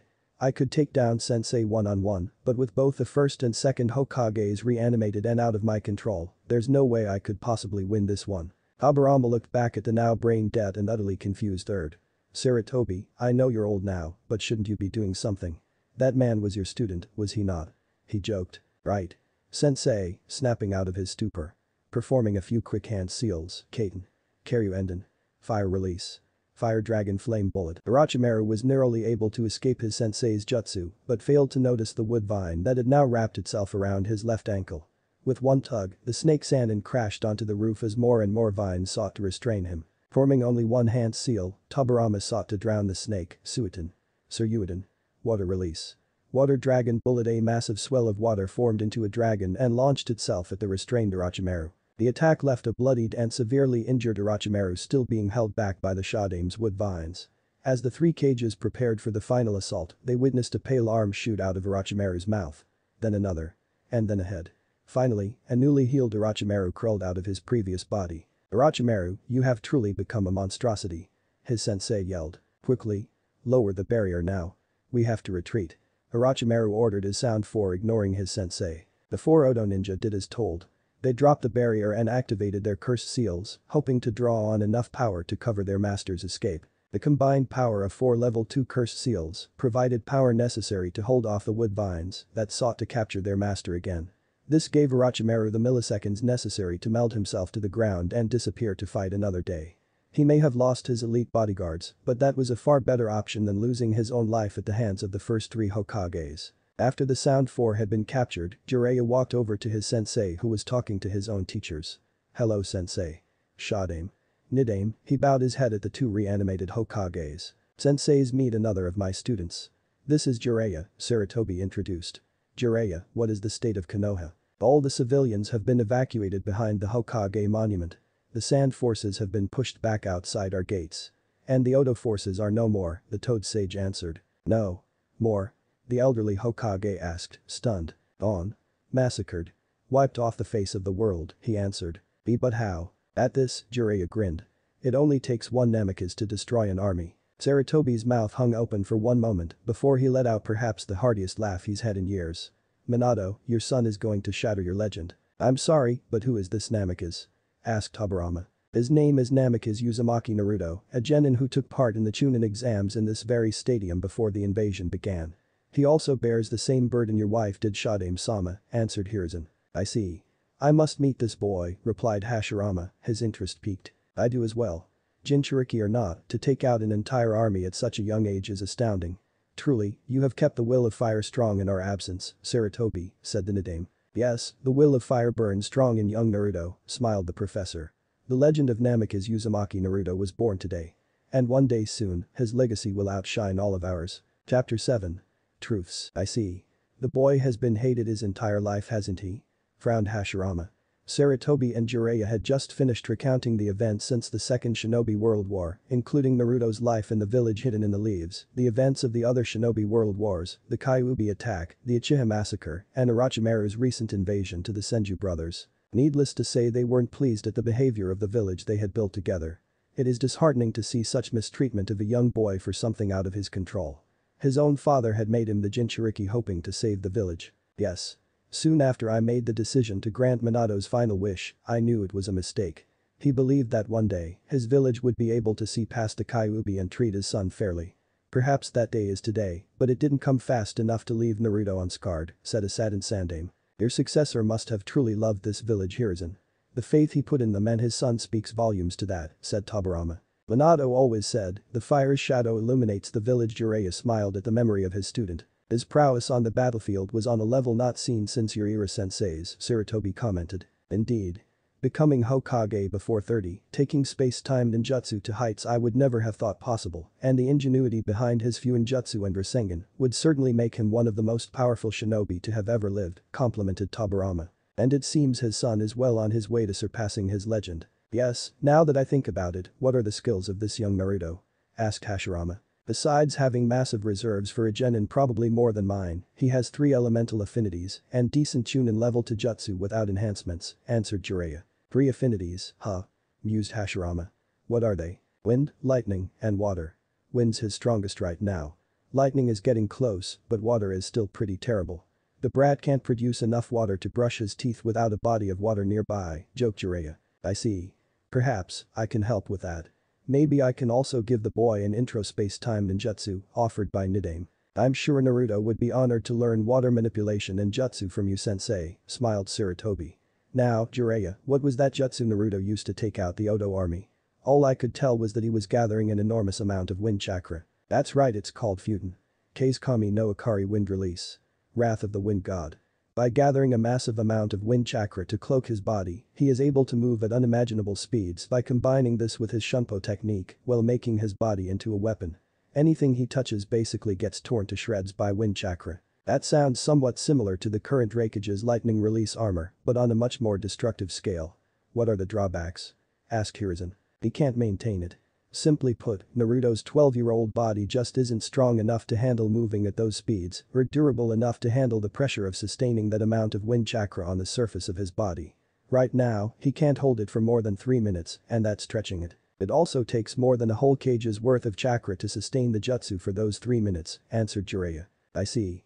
The amount of nature manipulation and chakra necessary easily makes it an S-rank jutsu.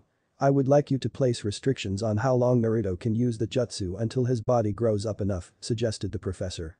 Jiraiya nodded in agreement. So young and he's already such a technique. And he still hasn't mastered water or the Kyuubi's powers yet. Truly, his potential is frightening, remarked Hashirama. With my brother helping him with water and space-time ninjutsu, perhaps I can help train his Biju powers. Now that I think about it, how long are we going to be able to stay in these bodies, brother? Because we are in control of our own bodies, we can dispel ourselves anytime we wish. I don't know about you, but I'd like to train the next carrier to the will of fire before passing on again, the younger of the Senju brothers answered. I agree as well, brother. The brighter the future is for this boy, the brighter the future will be for our village. Perhaps, it's time we meet the boy in question, suggested Hashirama. He should be waking up soon. My clone checked out his injuries. He had no physical injuries, just severe cases of muscle fatigue and chakra exhaustion. The muscle fatigue will likely keep him bedridden for a few days, but the chakra exhaustion should be cured by now, thanks to his tenant, Jiraiya said. Very well then, let us all go meet our hero, smiled Sarutobi.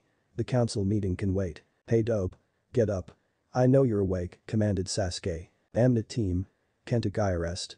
I'm so tired I can't even move my head to look at you, responded Naruto from his hospital bed. Why are you here anyway? I thought I'd tell you my mission was a success. Gaara is being held at the Anbu Center right now sleeping. According to his siblings, he hasn't slept in years, replied the Uchiha. He'll probably be out for a few days to make up for the insomnia. I see. It's probably the fault of a crappy seal. Suna's not exactly known for its Fuinjutsu. Maybe Jiraiya can fix it for him when Suna comes to sign a peace treaty, wondered Naruto. So care to explain to me how you managed to wipe an entire army off the face of the world and only come out of it with muscle fatigue and chakra exhaustion, he interrogated. Maybe I don't wanna, you jerk, the blonde grinned. But after a momentary stare down between the two, he relented, wind nature manipulation on a massive scale and a few dozen shunpos. Well, that explains the white and orange flash all the reports are talking about. How'd you learn both wind and lightning manipulation in one month? Sasuke asked, genuinely curious. Kage Bushin, I get the memories of each clone after it dispels. If seven clones train for one day, it's the equivalent of training for a week. Sasuke's mouth gaped a little. You think I can learn that? I'd estimate each clone would cost as much chakra as 2 to 3 katon. Kakaku Fire Release. Great Fireball Jutsus. PSH. I wish I had an unlimited amount of chakra stored in my stomach, the Uchiha grumbled. You're right. I don't have all-seeing eyes that can detect ninjutsu, that see movement in slow motion, and can copy to jutsu styles, hand signs, and ninjutsu. Oh, lucky me. Naruto wailed. HMPH. Shut up, dobe. After a few moments of silence, we'd better have gotten promoted. We both won our matches and played important parts in the invasion. Baby. Honestly, I couldn't care less about a promotion, I just want to get back to training. I still have so much to improve on. What else are you still working on? Water manipulation mostly. I can't do water jutsus at all unless I'm near a body of water. If I tried doing one at the Chunin exam stadium, I'd probably only get a puddle of water. Sasuke had to smirk at the last part. After thinking to himself, he reluctantly asked, since they were supposed to be helping me, got any tips for me? It felt so weird asking Naruto for help. There are plenty of skilled earth jutsu users in Konoha, starting with our very own sensei. Since he has the Sharingan as well, he'll probably have a unique way to help you along in that respect. You should ask Guy for weights to begin your Taijutsu training.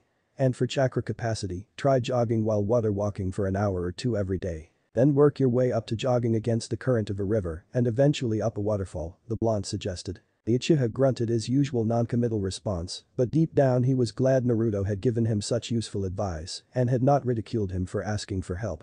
I'm going to go find Kakashi. Hopefully, he can get me started on Doton. Later, dobe. And you'd better get well soon. We still have to finish our fight. Yeah whatever, Teme Naruto groaned trying to fall back asleep. Ten minutes later, Naruto was woken up by a bonk on the head. The first thing he saw was Jiraiya standing over his bed with a grin on his face. What the hell is Ero Sennin? You little brat.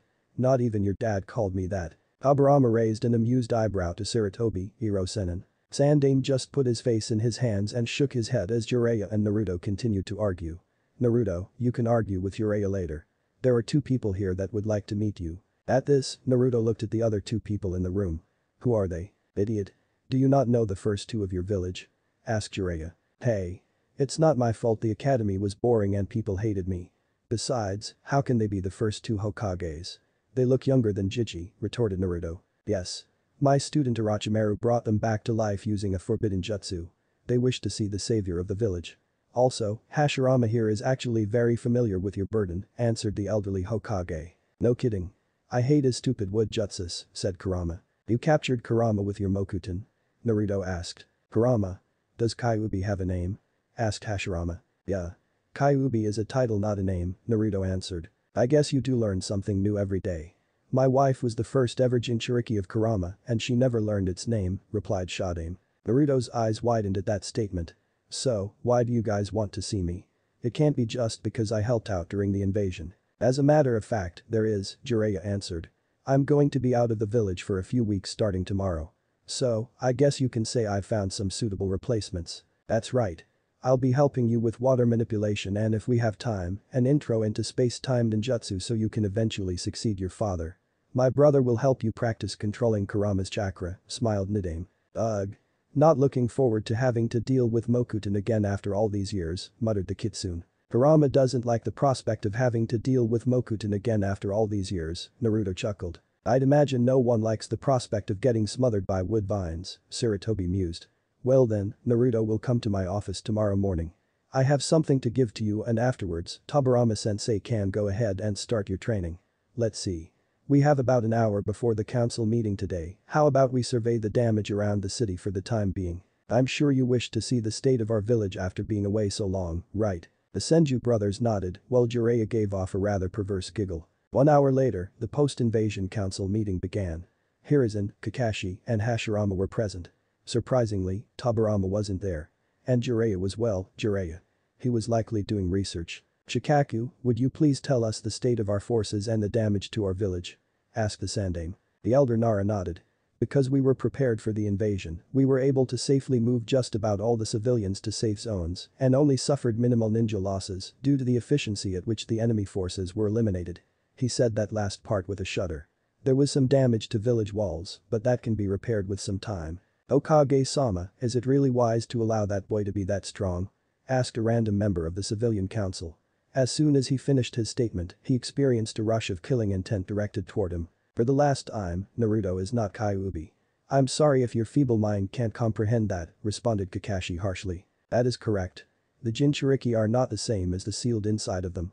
In fact, the first ever Jinchuriki of the Kyuubi was my wife, Uzumaki Mito. And I am certain she wasn't the Kyuubi reincarnated, Hashirama said, shocking everyone. The boy should be looked at as a hero. Less than an hour after being born into the world, he was tasked with holding back the strongest of all Dot. He didn't ask this burden, but he has dealt with it for his entire life and will continue to do so. Mito-sama was the first of the Kyuubi. Asked Koharu. How come we were never told of this? Yes, Mito sealed the Kyuubi inside of her after I released it from Madara's control, after my final battle with him, answered the first. The reason for not telling everyone was twofold. For safety reasons and the fact that many villagers would unjustly believe she was the Kyuubi. I believe I made the right decision if the treatment you all have shown the young boy is any indication. The startling revelation that the demon boy they had despised shared the same burden as their founder's wife weighed heavily on the minds of many members of the council. Moving on, I believe it's time for Chunin promotions. I move to nominate Uchiha Sasuke, Nara Shikamaru, and Aburame Shino for their successful mission in subduing the children of the former Kazekage and preventing them from participating in the invasion. I also nominate Uzumaki Naruto for his efforts in taking out the enemy forces and my former student summons. Are there any objections? Asked a third knowing no one would object to Naruto's promotion now with what his sensei had just revealed about the former Jinchurikis of Konoha. There was still some disagreement on the faces of some of the members of the council, but they couldn't voice them without looking petty and stupid. Seeing as there are no objections, I will award these promising genin later. For now, I assume many wish to know how our former Hokages have returned to life. Yes, how are you living again Shodaime Dono? Asked Danzo. It seems we were brought back to life through the use of my brother's Edo Tensei technique by Hiruzen's former student. It was through the work of another of Hiruzen's students that we were no longer under their control, answered Hashirama. Perhaps when my brother and Jiraiya arrive, we may get answers to how this all happened. After Orochimaru found out that bringing our former Hokages back to life was a bad idea, he was forced to retreat. He left behind his four elite bodyguards dubbed the Sound Four. All four are currently being interrogated by Ibiki and Anko for any useful information they may have on my wayward student's workings, answered Hiruzen. And the fate of the children of the Kazekage. Danzo pressed. It turns out my student was killed and has been masking the Kazekage for a while. As such, Suna has denied much of the responsibility for their invasion. After things calm down in Suna, they will send a delegation for negotiation. Before Danzo could respond, the door of the council room opened. And Tobirama walked into the council room dragging a bloodied, battered, and unconscious Jiraiya behind him. I was walking around town and was about to come to this meeting when I noticed your student being chased by several women that he was apparently peeping on in the hot springs, Sarutobi, Tobirama smiled. Ero Sennin indeed. At this, the professor gave a frustrated growl and banged his head on his desk. Of course Jiraiya had to get caught peeping at women with my sensei watching. Koharu, Homura, is that you? It's good to see you again, said Nidaime. Yes, likewise sensei, answered Homura. At this, Tobirama looked towards the last member of the Elder Council with a scrutinizing gaze. Danzo, is that you? What happened to your eye and arm? During the Second Shinobi World War, I was injured fighting against Iwa, he immediately answered. Then why is it that I can sense multiple Sharingan signatures from you? His eyes narrowed. Last I heard from Sarutobi, the only Sharingan left in the village belongs to one of the genin he just promoted and Hatake Kakashi. At this, Danzo's visible eye widened. Damn it, I forgot that Sensei was probably the best sensor ninja to ever exist. Danzo. What is the meaning of this? Screamed Hiruzen. Everything I do is for the good of the village, he answered. And with a wave of his hand, several unidentified Anbu appeared before him. It seems I'll have to move my headquarters. Mokuton. Moku Bindo would release. Would bind. As the wood technique moved toward the root Anbu, Danzo's bandages ripped as his wood cells came to protect him from the Shademon, knocking the other two elders from the table. What? Mokuton. Danzo, how could you betray Konoha like this? As I've said, everything I've done has been for the betterment of the Ville, Danzo insisted. Guchius. Gamaguchi Shibari summoning. Toadmouth bind. Jiraiya screamed and apparently recovered from his injuries at the hands of righteous feminine fury. There's no way out of this Danzo, surrender yourself. He said, taking out one of Danzo's root operatives. Never. Akiri lightning cutter. With Jiraiya, Sarutobi, and the first two Hokages distracting the root Anbu, the Team 7 Jonin was able to attack Danzo head-on. With one swift jab, he was able to cleave Danzo's Sharingan arm right off. Without his right Sharingan and wood release arm, he had nothing that could stop the Shodaime's Mokuton Jutsu from binding him. Take Danzo and his root ninja to Ibiki and remove his last Sharingan eye. Ordered the Sandaime. He will be executed for treason. Hiruzen don't you think this is a little rash? Asked Homura. No, I've had enough of Danzo's schemes. Years ago, I told him to disband Root but it appears he went behind my back then. And he had the audacity to experiment on himself with Sharingan eyes and Hashirama's cells. No, this isn't rash. I should have done this years ago. I believe this meeting is over, we have more important things to worry about, said a rather disturbed Jiraiya. The rest of the council could only nod and move to leave the room. Hours later, the Hokages, Jiraiya and Kakashi returned to the Sandaime's office to discuss the fate of one Danzo Shimura. Sarutobi, what are you going to do with Danzo? asked Tobirama. He has committed many treasonous deeds in the name of our village's safety. Will you execute him? I'm afraid I will have to do so and in a swift fashion, the aged Hokage said in a pained voice. The only way for Danzo to have gotten away with this level of treachery is to have several of his operatives in high places all over this village. I can't imagine Danzo or his root will be happy staying in prison. And even if he no longer has his Sharingan eyes that he stole from the dead Uchiha or the cells from Yondaime Sama, he is still a dangerous person to allow to live. He will attempt to break out in one way or another. And when he does so, he will attempt either a coup or will flee the village with his forces. Then it sounds like the best solution to this problem will be to eliminate him. How unfortunate. He was never this insubordinate when we were alive. I wonder what changed and caused him to do these acts, Hashirama thought out loud. I believe this all began when I was appointed as the Sandaime Hokage by you sensei, he looked towards the Nidaime. He thought of himself as my rival at everything. But when I was appointed to this position, I guess something broke inside of him and he has been after my job ever since. The fact that he never officially disbanded Root only proves that he planned to one day take the title of Hokage using underhanded tactics. Yes, the fact that he had his destroyed right eye replaced with a Mangekyo Sharingan is disturbing. Not many Uchiha awakened those cursed eyes. Do you know whose eyes he took? asked Nidaime. Yes. I know exactly whose eyes he took and for that reason, I personally had to destroy that particular eye. It once belonged to a young man named Shisui Uchiha, who was a prodigy that few rivaled. His Mangekyo has a frightening power known as Kotoamatsukami. This technique allows the user to enter a person's mind and manipulate them by giving them false experiences, making it seem as if they were doing things on their own free will, Saruto answered. It is not difficult to see why Danzo would covet that eye. That eye would explain how he could get away with his schemes for so long, spoke Jiraiya. It's truly a frightening power. And the fact that took them off the dead is inexcusable. It makes you wonder whether he had a hand in their attempted coup before young Itachi stepped in, the Sandaime wondered. Wait. The Uchiha planned a coup? Kakashi asked. Yes, the Uchiha planned a coup because of the way they were treated. Many were suspicious of them because only the Sharingan could control the Kyuubi. I tried to reason with them before it was too late, but my teammates and Danzo all thought it would be best to simply destroy the clan rather than let Konoha suffer from civil war. I imagine Danzo hoped the civil war would give him the chance to take the title of Hokage. He could discredit me by saying that I let things progress this far, and if he could quell the coup with his root, he'd be a shoe-in for Godaime. But Itachi cared far too much for this village to allow such a thing to happen. Instead, he took it upon himself to deal with his own clan, sparing only his own brother. I guess since he couldn't get the Uchiha coup to start, he decided to make the most of it by harvesting the eyes of the deceased, Kakashi continued. But that train of thought, it wouldn't be much of a stretch to claim that he also helped Orochimaru into this village. Someone had to help him get the DNA of Shodaime-sama and Nidaime-sama, Jiraiya added. And it was Orochimaru's plan originally to take you out sensei, meaning there would be a need for a new Hokage after the invasion ended. Sarutobi simply shook his head sadly. How could you have fallen so far Danzo? After doing these things, I believe the only option has to be to execute him quickly, since we don't know the extent of his control over Sarutobi. It's likely many of his operatives are planning his escape even now, Hashirama stated. Yes, Danzo Shimura shall be executed at dawn today, stated Sarutobi. But I wish to be there at his execution. As do I, said Tobirama. The next afternoon, we find our favorite orange-loving hero still asleep in his bed. By his side though was the shy Hyuga Hinata. She was in the hospital because some of her injuries were aggravated during the invasion. She was allowed to leave a few hours ago, but she had come across her crush's hospital room and had decided to stay with him until he woke up in order to express her gratitude for what he had done for Neji. Last night, her older cousin had come to apologize to her for what he had done.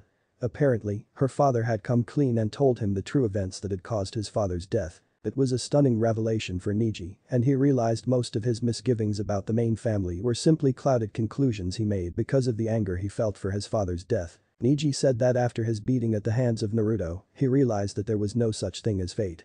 People made their own decisions in life as his own father had done. She in turn told him of her dream to become strong enough to claim the leadership of the clan and do away with the caged bird seal and reunite both parts of the family. Needless to say, Neji was shocked about her dream and was absolutely dumbfounded when she asked for his help in making this dream come true. But in the end, he had agreed and the two had never been on better terms with each other. Hinata was broken from her train of thought when she saw Sakura enter Naruto's room. The pink-haired girl had been mostly unharmed from the invasion. With Naruto taking care of the Oto army and the snake summons, she and many of the other genin had an easy time evacuating the civilians. Oh hello Hinata. What are you doing here? Sakura asked, noticing Hinata sitting by Naruto's hospital bed. I I I am here to TT thank NN Naruto-kun for HH helping my cousin Neji, she stuttered. Naruto helped Neji?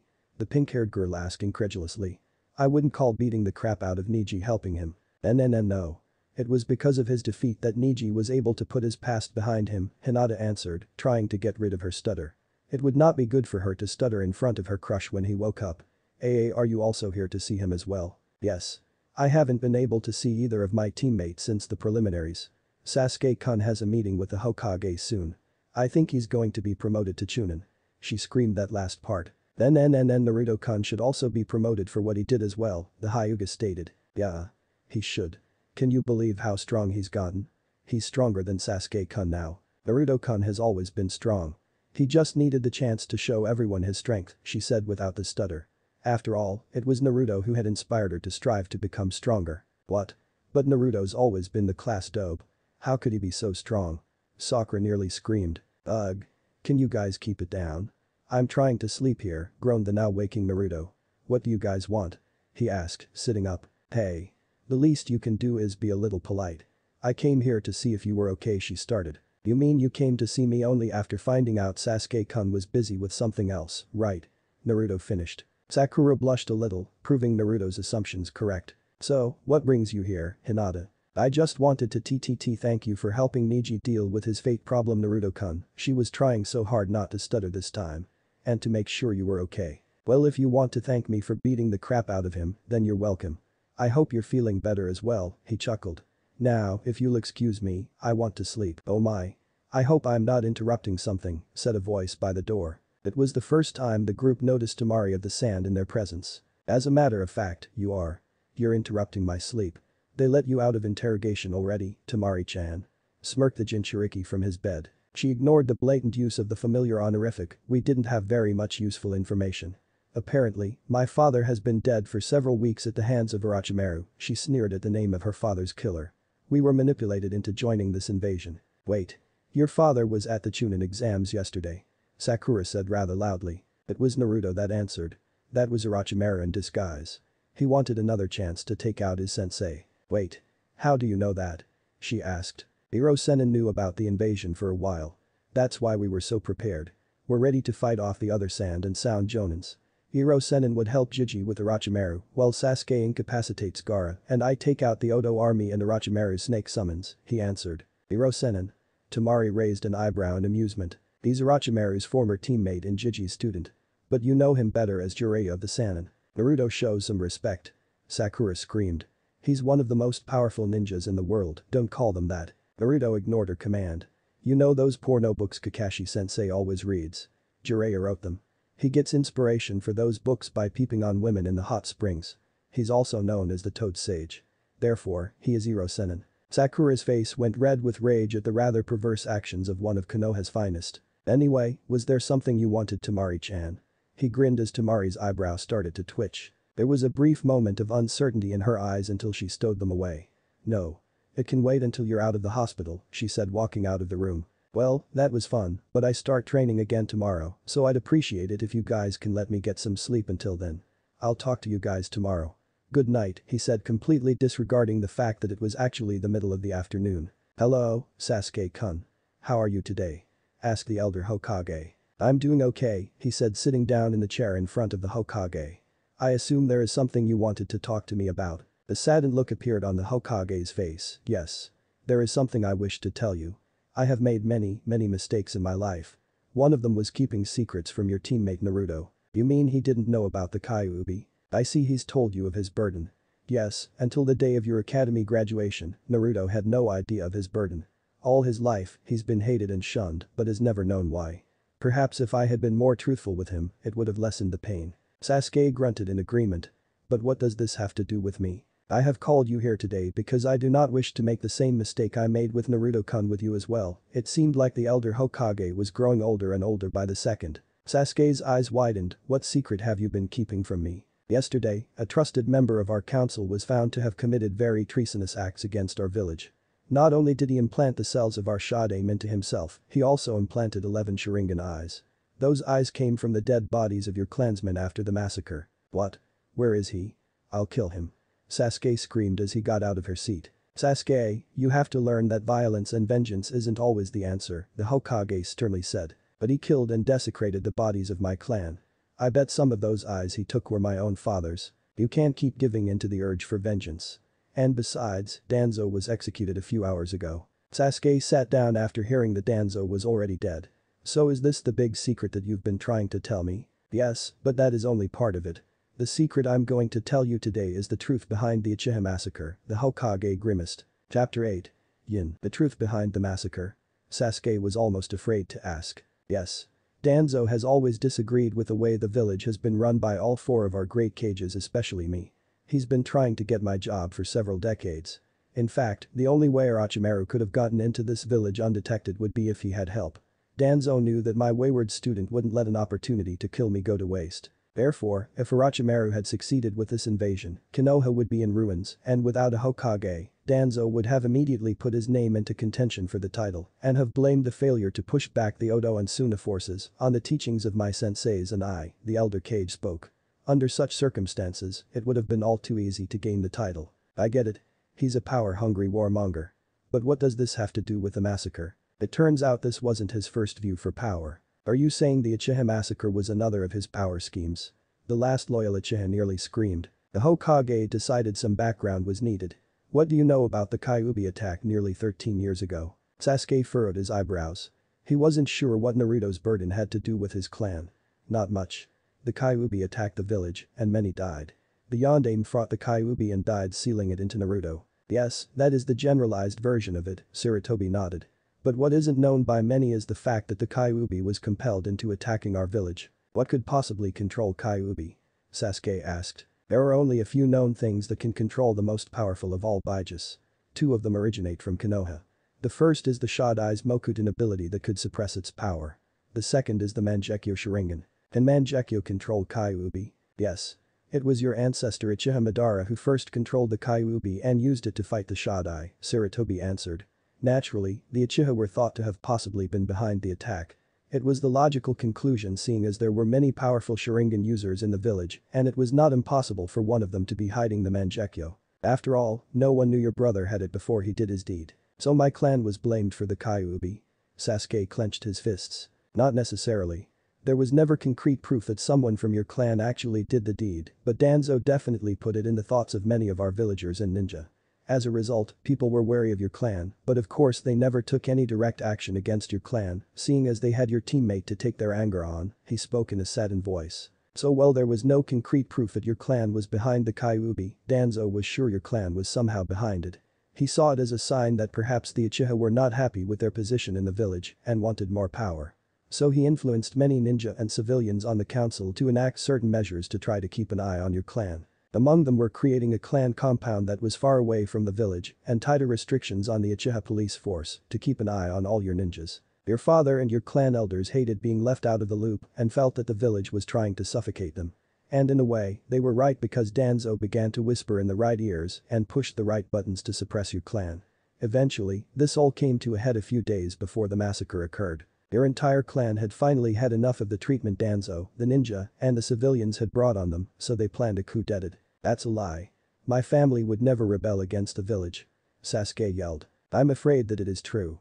In fact, it was likely Danzo's plan from the very beginning. In the background, he had always kept his root Anbu strong, even though I had long ago told him to disband his ninja. Should your clan have rebelled, the village would have been thrown into chaos and civil war. Using the fact that I allowed the civil war to occur, he would have sufficient reason to try and impeach me from my seat and using his root operatives, he would have been able to put down the coup and easily declare himself the fifth Hokage. But Itachi wouldn't let that happen. He knew that if your clan was allowed to go through with the coup, it would mean the start of the Fourth Shinobi World War. He knew that if Konoha the strongest of the five great villages dissolved into the civil war it would be an open invitation for the other four great villages to attack us. He wasn't going to let your clan start another world war for the sake of power. And he wasn't going to let your clan ruin their name in the name of a coup, so he did the only thing that could possibly preserve your clan's reputation without sending the world into chaos and death. He took matters into his own hands. Itachi killed our clan members because he didn't want our clan to cause a world war. Sasuke wasn't sure what he thought. and he didn't want the clan to forever be known as the clan that tried a coup and ended up destroying the entire shinobi world with it. He also knew that should the rebellion have gone off, Danzo would have easily been able to take over the Hokage title and lead the village into ruin. So in order to preserve his clan's reputation and to save the village, he sacrificed his own freedom and his own humanity to massacre his own clan, Sarutobi finished. By now, Sasuke was in tears. Then why did he leave me alive? Because he loved you more than anything else. No matter what, he couldn't allow himself to kill his own brother. So he resolved to give you everything so you could rebuild the Uchiha clan and save them from their dark past. He told you to hate him so you would have a reason to grow stronger. I believe this would have two purposes. First, it would allow him to atone for his sins against your clan. Only an Uchiha should have the ability to lay down the punishment upon the Uchiha clan killer. And second, it would provide you with a noble legacy to continue the Uchiha name under. By bringing him down, you would easily become one of the most celebrated heroes of Konoha. Itachi sought to bury the Uchiha clan's misdeeds under his supposed betrayal and your heroism. Right after he subjected you to Tsukiyomi, he came to me and begged me to watch over you, to never tell you the truth, and to protect you from Danzo. He knew that by ending the coup before it even began, he had destroyed Danzo's plans and as a result would draw his fury and ire. The only way to get back at Itachi now that he was a fugitive on the run was through you. But Itachi was mistaken as Danzo was able to salvage the situation by collecting all the Sharingan eyes from your dead clansmen, including the Mangekyo Sharingan eye of Itachi's best friend Shisui. It was a long time before anyone spoke again. Why did you decide to tell me? Itachi didn't want me to know so why tell me? The last Uchiha finally asked with tears in his eyes. I made the mistake of not telling Naruto his burden until it was too late. Doing this caused him to suffer far more than he needed to. I won't make that mistake again. I tell you this now because I hope to save both you and your brother pain. Your brother most likely wishes to die by your hand to atone for his sins. And I can't let you dream of killing your brother without knowing why he did what he did. You both have suffered far too much at the hands of Danzo for me to in good conscience let you continue to suffer. Is it true that you stopped an entire army on your own Naruto-kun? Ayame asked. Naruto had just been released from the hospital so naturally, he went to get some ramen in order to rid his taste buds of the taste of the evil evil hospital food. Yup. I'm awesome like that. Naruto grinned, finishing his sixth bowl of the food of the gods. And later today, I start training with Nidaime. Ayame had to giggle at that. Her little brother who had been hated throughout the village had finally begun to gain some recognition around town. I knew you had it in you. Indeed. You are something of an enigma, Uzumaki Naruto. A voice said entering the ramen stand sitting down next to Naruto. One bowl of miso ramen please. You know Temari-chan. You seem to be following me around quite a bit. Are you? Perhaps. Stalking me? Jinchuriki teased picking up his seventh bowl. Don't flatter yourself. I simply have some questions I need you to answer, the Suna princess answered without missing a beat. Neither said anything as they waited for Temari's order to arrive. Why? She finally asked. Naruto simply raised an eyebrow at her and waited for her to continue. I know what you did during the invasion. And I have a pretty good idea of how you attained such power. My question is why aren't you like my brother? Was it because you weren't hated? Was it because people liked you? Was it because people respected you? Why? She sounded almost desperate to know the answer. As I understood it, I lucked out quite a bit. Your brother's seal was rather faulty. It allowed his to influence him making him think that it was your mother. My seal was done by the Yondaime Hokage perhaps, the greatest seal master to ever exist, he spoke the last part with pride. He decided not to mention how his seal excluded Kurama's yin chakra at first. So, was it just the nature of the seals used? She asked. No, part of the reason why I didn't lose myself to the hate the villagers put on me was because I found people who truly cared for me, he said. He thought of his sacrifice to save his own life, Jiji, and even Iruka sensei. People who cared. Yeah. The one time I almost gave into my anger and hate, I remembered those who cared for me. Your brother needs to know that he still has you and your brother there for him. Temari's eyes widened at that. I know that you still care for him even if you are afraid of him. You can't give up on him. You need to talk to him and show him that you care. I know you think you've failed him and that's why you are compelled to ask me why I didn't turn out like him. Temari's silence was all Naruto needed to know that he had figured out her entire agenda. Once he wakes up from his nap, be there to explain everything to him, and if that should fail, send him to me. I'll set him straight, he grinned. I'm not going to say thank you especially not after you knocked me out during the invasion. In fact, you owe me a match, Mr. Kamikaze. Divine Wind, huh? Naruto smiled. Is that what my nickname is in the bingo books? Apparently, Oto has you down as Konoha's Kamikaze. They figured only through divine intervention could Oto have failed in that invasion. What about your Suna's bingo book? Well, seeing as we were deceived for a long time, we are probably going to renegotiate a treaty with your village. So, there's no need to put your name in ours. As for the other major villages, they probably won't even glance your way until you run into them. Why's that? Quite frankly, no one expects anything at all from a brand new village like Oto. They'll think it was rather foolish and ambitious of them to think they could topple Konoha especially if a genin took out the majority of the army. Kiri, Tsuchi, and Kumo will probably just scoff at the fact that you took out an army. They'll downplay it as Oto being as stupid for trying to invade Konoha and weak for failing so miserably. Furthermore, you didn't actually fight any of Suna's finest, so you'll get no respect from any of the major villages. Ouch. No love because I didn't take out any good ninja. Oh well, it's not like I need any more attention drawn to me. By the way, I'm a Chunin now. You got promoted. Temari raised an eyebrow. I don't see a flak jacket. I better have.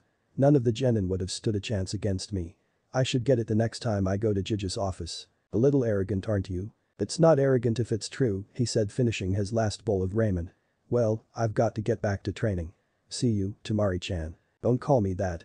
She cried watching her fellow blonde get off his seat and walk away without even glancing back at her.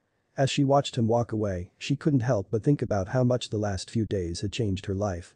Her village and another had tried to invade another. Her father had been manipulated, killed, and used. And her younger brother was sleeping for the first time in his life. She also thought about how one blonde knucklehead had, here you go young lady. The bill. The cheerful old ramen chef snapped her out of her thoughts. Thanks, she said, taking out her money until she noticed something peculiar about the offending piece of paper. Wait. How could one bowl of ramen cost this much? Oh. You were eating with Naruto-kun. Since he left first, I assumed he left you the bill to pay for, he simply said. He ate 23 bowls. Temari's eyes bugged out at that. How could he have eaten that many bowls? How could she not have noticed him eating that many bowls? And he left the bill for her? Naruto. She screamed. Naruto had to smirk. Kakashi had taught him the art of skipping out on the bill. As he saw the waterfall of training ground 16, he couldn't help but wonder what the Nidaime had in store for him. Hopefully, he could learn how to get a better grasp on water manipulation. As he walked over to the waterfall, he noticed that Nidaime was missing. In his place was his brother the Shodai. And next to him was an Anbu with brown hair. Um. I thought I was supposed to be training with your brother today. Naruto asked. Yes. Well, it turns out Hiruzen needed some help with the administration of the village. Things haven't been easy since it was found out that Danzo was a traitor. So either my brother or I would go help him, Shodai gave a nervous chuckle. You don't like politics do you? Naruto stated. And you simply left it all to him didn't you? The man who was thought to have been the greatest ninja to ever live simply bowed his head and sighed, my brother was always the no-nonsense type, serious type. Politics and administration was always right up his alley. So who is this guy? Oh, right. I haven't introduced you guys yet. This is Tenzo. He is going to help in your training with the Kyuubi, the Senju founder explained. He's going to help me. How? One of the reasons why Orochimaru ran from this village was because of some of the experiments he did on children. One of those experiments was implanting some of my cells into these kidnapped children, trying to get one or more of them to gain the power of Mokuton. Only one child survived, and this is him Tenzo. But for this mission and his hand in training you, he'll be known as Yamato. It's nice to finally meet you, Uzumaki-san, the mask Anbu introduced himself by taking his mask off. He offered his hand to Naruto. Accepting the offered hand, it's nice to meet you too. How is this going to work then? Well according to you, the Kyuubi is able to freely give you as much power as you need. So, we are going to let you try to draw on as much power from the Kyuubi as possible. The object of this exercise is to see how much of its chakra you can take on before losing control of yourself. When you lose control, Yamato and I will be there to suppress you, the Shodai stated. And you think this will eventually allow me to completely master Kurama's chakra? Naruto questioned. In theory it should. From Jiraiya's information on the current Jinchuriki, the more tails your Bijuu has the harder it'll be to control. Each tail basically represents a new level of control you'll have to attain. Usually, your Bijuu would fight you for control, but since that is not the case, that should make things slightly easier. Okay. Sounds good. Let's get started, Naruto said getting into the lotus position. Kurama, are you ready? I'm always ready, kid. I, myself, am interested to see how well you can control my power, Kurama stated. There won't be any surprises, right? Maybe. Naruto could practically feel the nine tails grinning. Naruto decided to ignore his partner's vague answer in favor of meditation. After several moments of concentration, a red cloak began to envelop Naruto. Behind him, one menacing tail started to form. That's right Naruto. Keep going. Try to draw on as much of his chakra while staying in control. Nodding, Naruto continued to draw on even more power. He reached down into his subconscious to get to Kurama's. When he brushed against Kurama's own mind, he felt an enormous rush of power and a second tail. Well, that wasn't so hard. That's it Naruto. Keep going, don't be afraid to go as far as you possibly can, the Shodai encouraged. Naruto simply nodded telling his senseis present that he was going to proceed. But actually making progress was very difficult. He wasn't sure why it was suddenly so much harder to get another tail. The first two tails had been relatively easy. He knew that each tail of control would be progressively more difficult, but that didn't explain why the third tail's difficulty level far exceeded that of the first two. Was there something special about the third tail? There probably was and Kurama was being all snotty and secretive about it. Naruto mentally gave a sigh as he continued to probe Kurama's chakra to gain access to the next level of control. Outside of his mind, both the Shodai and Yamato were beginning to worry. The first two tails had come to Naruto rather quickly which wasn't surprising since he and the Kyuubi were on pretty decent terms with each other, to say the least but this third tail was taking quite a while, which meant one thing. If Naruto were to attain this third tail of control, it would likely provide a rather large boost in power. So, both of them began to make preparations. Each summoning Mokuton vines around Naruto at the ready. It wasn't until minutes later that Naruto had finally been able to breach Kurama's consciousness and what he felt was indescribable. The rush of power was absolutely intoxicating. He had never felt anything like it. It felt as if he could do anything in the world. It was the Shodai's voice that brought him out of his hazy trance. Naruto. Naruto. You're losing control. Focus. Don't let the chakra control you. Control it instead. And he was indeed starting to lose control. As his third tail took shape, his chakra became far more volatile. The ground underneath him began to melt when it came in contact with Kurama's chakra. At this, Naruto reeled in his feeling of power. If getting to the third tail was hard, maintaining its power was damn near impossible. Holding such power back and trying to control it was probably the hardest thing Naruto had ever done. It was taking every last ounce of willpower he had to maintain and control. Eventually, Naruto was able to stabilize the third tail. Once he was able to hold all of it back, he felt incredibly calm and serene. It wasn't the adrenaline rush of being all-powerful, but it felt amazing nonetheless. That feeling of calm was the last thing he felt as he fell into unconsciousness. Hours later, Naruto woke completely exhausted and aching everywhere. It wasn't as bad as after the invasion, but it was still pretty bad. As he looked around, he noticed that the sun had begun to set and that he was leaning against the side of a rather large tree. Yamato and the Shodai probably propped him up on the tree to let him rest. Ah. It seems you've awoken. How are you feeling? Yamato asked. I'm okay for the most part. I'm pretty sore. Do you have any idea what happened when I went into three-tail form? It seems that the three-tail form possesses far greater power than the first two tail forms. Your chakra was rather tame during those two forms, but your third form was basically uncontrollable. Why, though, we have no idea, Senju answered. Well then, I'd better ask my tenant. You got anything to say about Kurama? The last part of it was directed toward his partner in crime. Use my chakra to do what your father copied from my Bijudama tailed beast bomb, was all he got as a reply. Copied from the Bijudama? The Rasengan? Why that one? It seemed Kurama was enjoying keeping secrets from him, so the only way to get answers would be to follow his instructions no matter how sure he was that it'd likely end up badly. Calling upon Kurama's chakra, he prepared one of his father's signature jutsu. He felt rather proud to be able to use such an infamous jutsu. As far as he knew, this still struck fear into the hearts of Iwa shinobi. Good thing Iwa was a little too arrogant to care that Oto had put him in their bingo book as an A rank genin. As the shining orb the Rasengan was known for started to form, he noticed something shocking. A normal Rasengan was a bright crystal clear blue. Using Kurama's chakra, it came out an angry blood red. When he first began learning the jutsu, he had to use a shadow clone to help him control its amazing destructive power. But over time, his chakra control had gotten far better allowing him to use the shining ball of destruction with only one hand. But in his hand at the current moment wasn't an ordinary ball of destruction, this one was several times more destructive and several times harder to control. Before Naruto could even react, his Kyuubi-empowered Rasengan blew up in his face.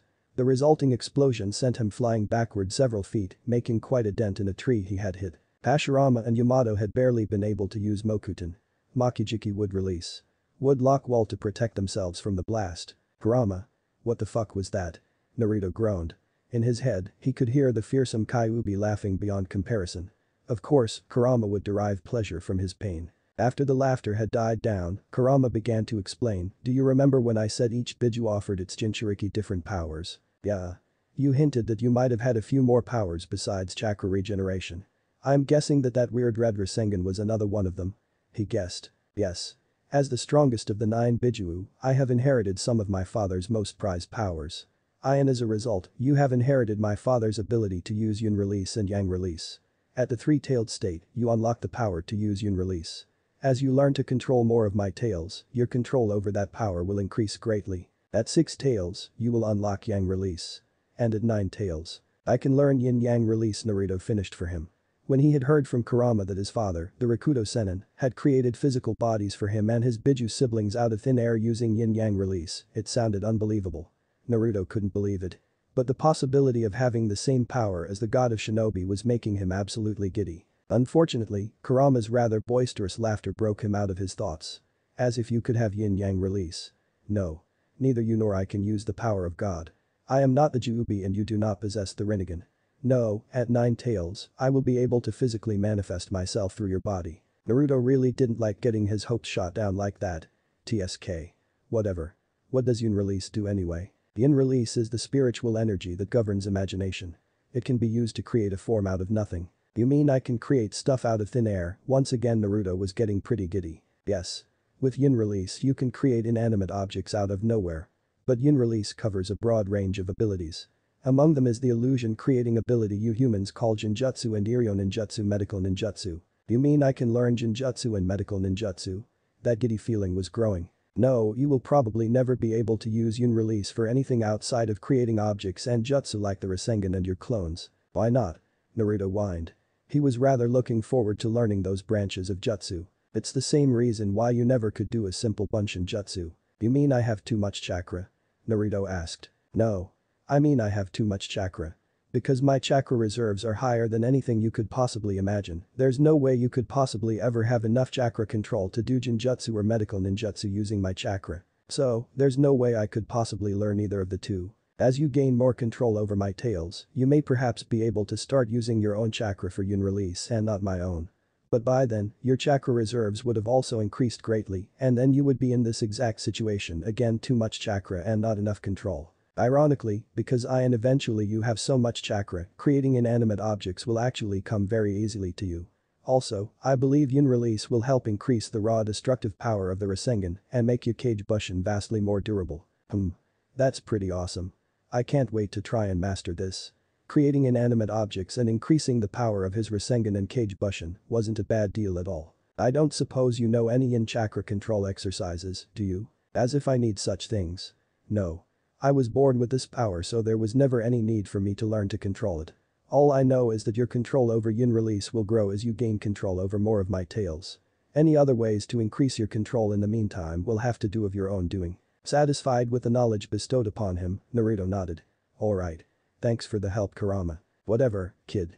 The powers I have gifted you are incredible, you'd better not waste them. After his conversation with Kurama, Naruto told the Shodai and Yamato about his newfound ability for yin release.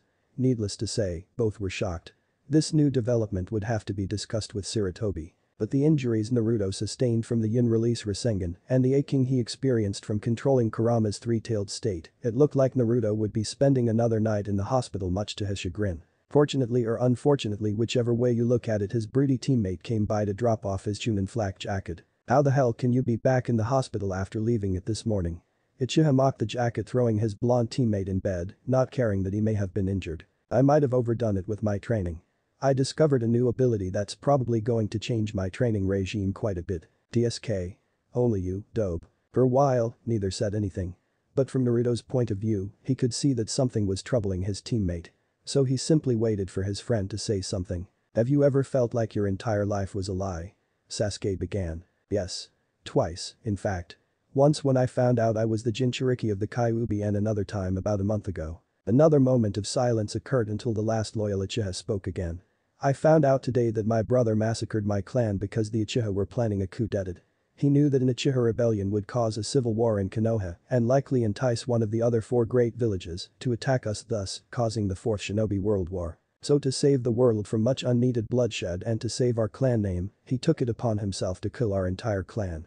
But no matter what happened, he couldn't kill me. Apparently, he loved me far too much to kill me. My brother now wants me to kill him so I can bring justice down upon the Uchiha killer. At this point, Naruto could see that Sasuke was very confused. Sasuke had trusted him with one of his greatest secrets, perhaps it was time to return the favor. My father is the Yondaime Hokage, Namikaze Minato, the same man that sealed the Kyuubi inside of me. Sasuke's eyes widened at that. That was not something he was expecting. When he thought about it though, it made sense why Naruto was chosen as the Jinchuriki and not someone else. Kami must really hate us. Perhaps. It was probably true. They both had terrible luck. So what are you going to do now? I don't honestly know. My life had purpose before. It was meant to kill Itachi so I could finally avenge my clan. Now, I don't know what it is that I want to do. Naruto could tell that he truly was lost. Perhaps, that was why Sasuke sought him out for suggestions. You won't know until you face your brother again, Naruto said with finality. Get stronger. Get strong enough so you can finally look in your brother's face as his equal. When you do face him, keep your mind open and listen to what he says, and just do whatever your heart says for you to do. Nothing needed to be said as the two newly minted Chunin looked back on how their lives had changed so much in the last month. They were interrupted by two rather loud feminine squeals. Sasuke-kun. Sakura and Ino both screamed, rushing into the room, nearly breaking the door down. Naruto had to smirk at Sasuke's situation. He could literally see a tick mark appearing on the Uchiha's forehead. The joys of fangirls. Sasuke-kun. I heard you got promoted to Chunin. I knew you could do it. You're totally the strongest Chunin in the world. Ino giggled. One month ago, Naruto would have taken exception with that comment. But now, he found himself rather amused by Ino's declaration. It was rather funny to see her delude herself. He chuckled to himself as he simply locked eyes with Sasuke and raised an eyebrow. Seeing Mount Sasuke erupt from irritation and anger was also amusing. Surprisingly, it was Sakura who was the voice of reason and defused the situation. Actually Ino, I think Naruto was the strongest genin at the exams. What? No way. Yeah, Naruto's definitely up there now. I saw how fast and strong he was when he beat Neji. But Sasuke-kun learned Kakashi's most prized technique. Chidori. That totally means Ino rambled. DSK. The dope also knows the technique, the Uchiha grunted. What? You know it too, Naruto? Ino asked incredulously. Finger-pointing abounded. How come you didn't use it then? Better yet, how did you learn it as well? Adobe knows it because Kakashi taught it to the both of us. And as for why he didn't use it. That's pretty obvious. He didn't need it, answered Sasuke. That was probably the most words he had ever spoken to Ino so far in his entire life. Also, only one of us in this room is in the bingo books as an A rank threat. This news positively shocked Ino. She couldn't believe it. Naruto the class dope was actually in the bingo books. She looked to Sakura for confirmation. The Pinkette gave her a tight nod, Naruto defeated the entire Oto army on his own Ino. In Oto's bingo book, they are calling him Konoha's Kamikaze or Divine Wind. She then looked at Naruto in hospital gown and all in awe. He even had a cool nickname as well. Naruto chuckled, put his hands behind his head, and leaned back on his bed. The story is that it is only through my divine intervention that the invasion failed. Although, it was rather arrogant for them to believe that their invasion was going to work anyway. Naruto simply gave into an amused smile as she squirmed under his gaze. For a while, no one said anything. Once again, it was Sakura who broke the silence. Naruto. If you don't mind me asking. How did you get so strong? Sakura asked in a timid voice. Naruto wasn't sure if he should answer that question. Just look at her and how she asked that question, it was quite clear that Sakura was feeling very self-conscious about her skills as a ninja. Both her teammates had far surpassed even her wildest imaginations. They had shown great performances at the Chunin exam finals and had done a great service to the village for their part in the invasion. All the while, she hadn't even made it out of the preliminaries and had served no purpose in the defense of Konoha other than helping move straggling civilians. Inadequate indeed. Naruto sighed. This wasn't going to be an easy conversation to have. The encounter with Orochimaru in the Forest of Death really changed my mindset of why I became a ninja. Tell me about Sakura. Why do you want to be a ninja? If it's to impress your precious Sasuke-kun, then you should probably quit now. The three of us nearly died in the forest of death, Sakura. If that doesn't teach you about the horrors and rigors of being a ninja, then I don't know what will. People die in this profession, Sakura. And if you ever hope to progress your career, you'll be expected to kill people as well. Hey. That's not fair. You can't just trample on Sakura's Ino tried to stand up for her friend. No. Naruto is right. If you don't have a good reason to be a ninja, then there's no way you can withstand the challenges that come with our lifestyle, the Uchiha interrupted. Oh yeah? What are your reasons for being a ninja? She demanded. It was rather surprising that she would yell at her precious Sasuke-kun like that, but the two new Chunin suspected it was because her reasons for being a ninja were at least in some parts similar to Sakura's. She probably didn't appreciate her reasons for being a ninja to be seen as foolish either. I'm a ninja because of what happened to my family, I strive to get stronger in order to finally find closure with what happened to my family, the Uchiha stated. I am a ninja because of the sacrifices made so I could be here today, Naruto thought back to his parents. And I strive to get stronger to make those who care about me proud. One day, I will surpass all the Hokages of this village, he said a little glassy-eyed. You don't want to be Hokage anymore? Sakura questioned. Naruto used to scream to the world that he wanted Hokage, but now, I don't know if I could ever be a Hokage for this village after everything that's happened to me in my life. We'll see in a few years, he answered. Sakura and Ino both looked shocked at how quickly and how much Naruto had changed. Naruto a month ago was a totally different person from the one sitting in front of them today. Perhaps, it was time they did some soul searching and changing as well. Soon, the nurse came to tell Naruto's guests that visiting hours were over. As each guest left the room they all pondered over the words spoken within that room. Ino and Sakura began to truly question their reasons and drive to be a ninja, while Sasuke thought about what he would say to his brother when they would meet again. Naruto, on the other hand, thought about why he was training so hard. He didn't want their sacrifice in vain, and he wanted to make them proud by surpassing all their expectations. Thinking back to today's development and the discovery of his new yin release power, he knew he probably should change his training regime. Water manipulation training would have to wait. Exploring the possibilities of yin release was a far more intriguing task than Suiton at the moment. Naruto thought back to the applications of Yin release from Kurama. If he was going to use Yin release to take the Rasengan to a new level and pay homage to his father, then he damn sure was going to pay homage to his mother as well. And I know exactly how to do it. He grinned. Chapter 9. Power. When Hiruzen and Tobirama were informed of Naruto's new ability they were naturally shocked. Yin release. The ability to materialize inanimate objects using only chakra and our own imagination. On top of that, Naruto found Yin release did some amazing things to the Rasengan, as well as his shadow clones. He found out that Yin release shadow clones could no longer be dispelled with a simple hit. It appeared that they now required a debilitating paralyzing or fatal blow to be dispelled. But that was nothing compared to what Yin release did to the Rasengan.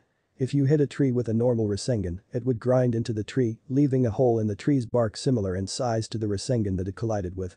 The Yin release Rasengan exploded on contact with the tree taking the tree out completely, leaving no traces of bark left. It basically annihilated the tree. Needless to say, Naruto was absolutely giddy with anticipation of the day where he could master the Inton. Rasengan Yin release. Rasengan. At the moment, Kurama's Yin chakra was just too chaotic for him to do that particular Rasengan with just one hand. So he had to go back to using a shadow clone to create it. While Naruto didn't like the idea of using shadow clones to use the Inton. Rasengan it would likely take up too much time on the battlefield the sheer destructive power of the technique was simply too much to ignore. To further his control of yin chakra, Naruto had been trying for weeks to create inanimate objects. It was much harder for Naruto to do than he previously thought. He found that smaller and precise objects were the hardest to create. His four-pronged metal star shurikens actually came out with rounded edges. Not the best tools on the battlefield. Contrast to that, he found that larger and less imprecise objects with uniform shape were the easiest to create. He could easily create large round boulders. Because Naruto was channeling so much of Kurama's chakra when practicing yin release, Yamato became his major training supervisor for the first few weeks after discovering yin release. It was more of a safety precaution than anything. Hashirama it appeared couldn't escape the political aspects of being resurrected and was forced to assist Tobirama and Hiruzen in their political maneuvers after Danzo was exposed as a traitor to the Leaf. He hoped that he would be able to elevate his control over yin chakra enough that he could fulfill his plans to honor his mother Kurama didn't like what Naruto had planned to honor his mother with good reason.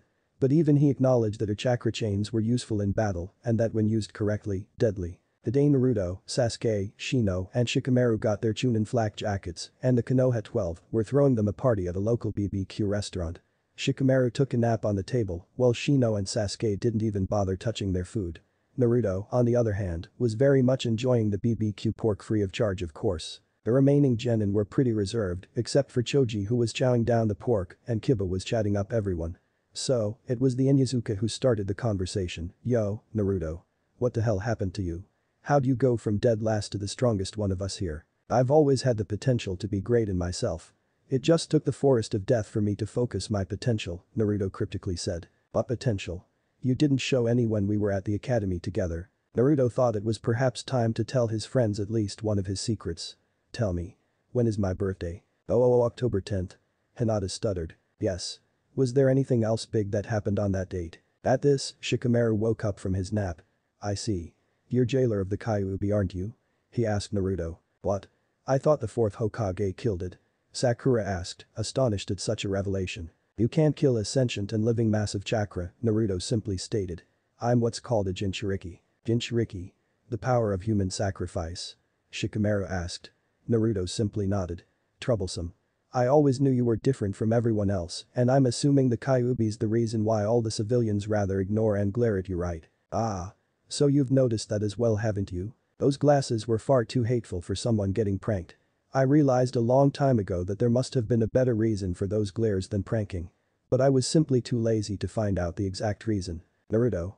Is that why you don't want to be Hokage anymore?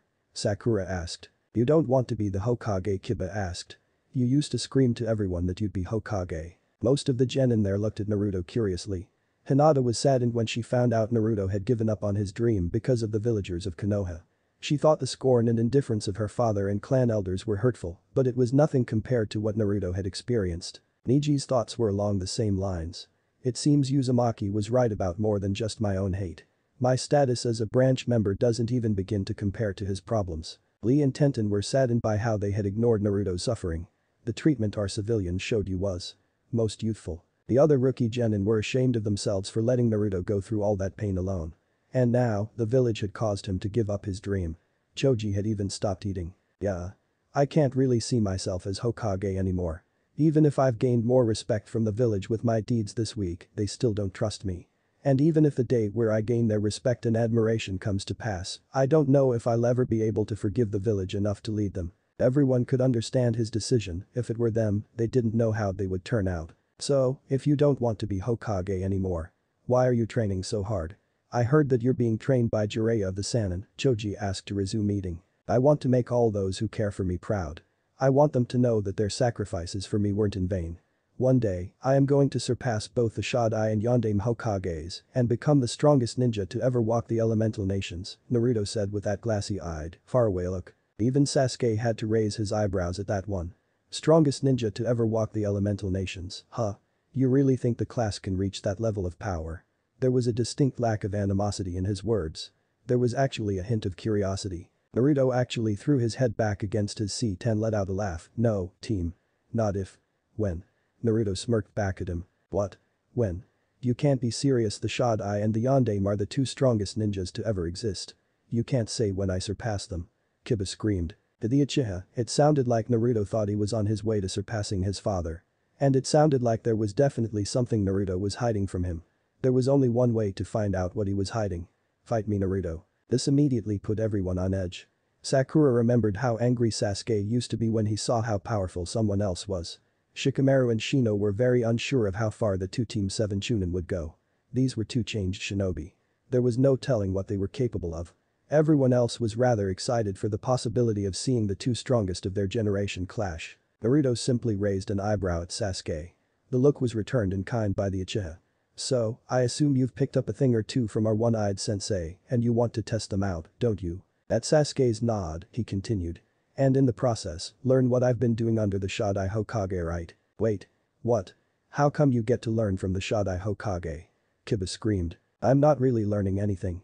The Shodai is simply helping me learn to control the Kyuubi's power. I don't really gain any special powers from the Kyuubi. All I'm really doing is augmenting my current powers.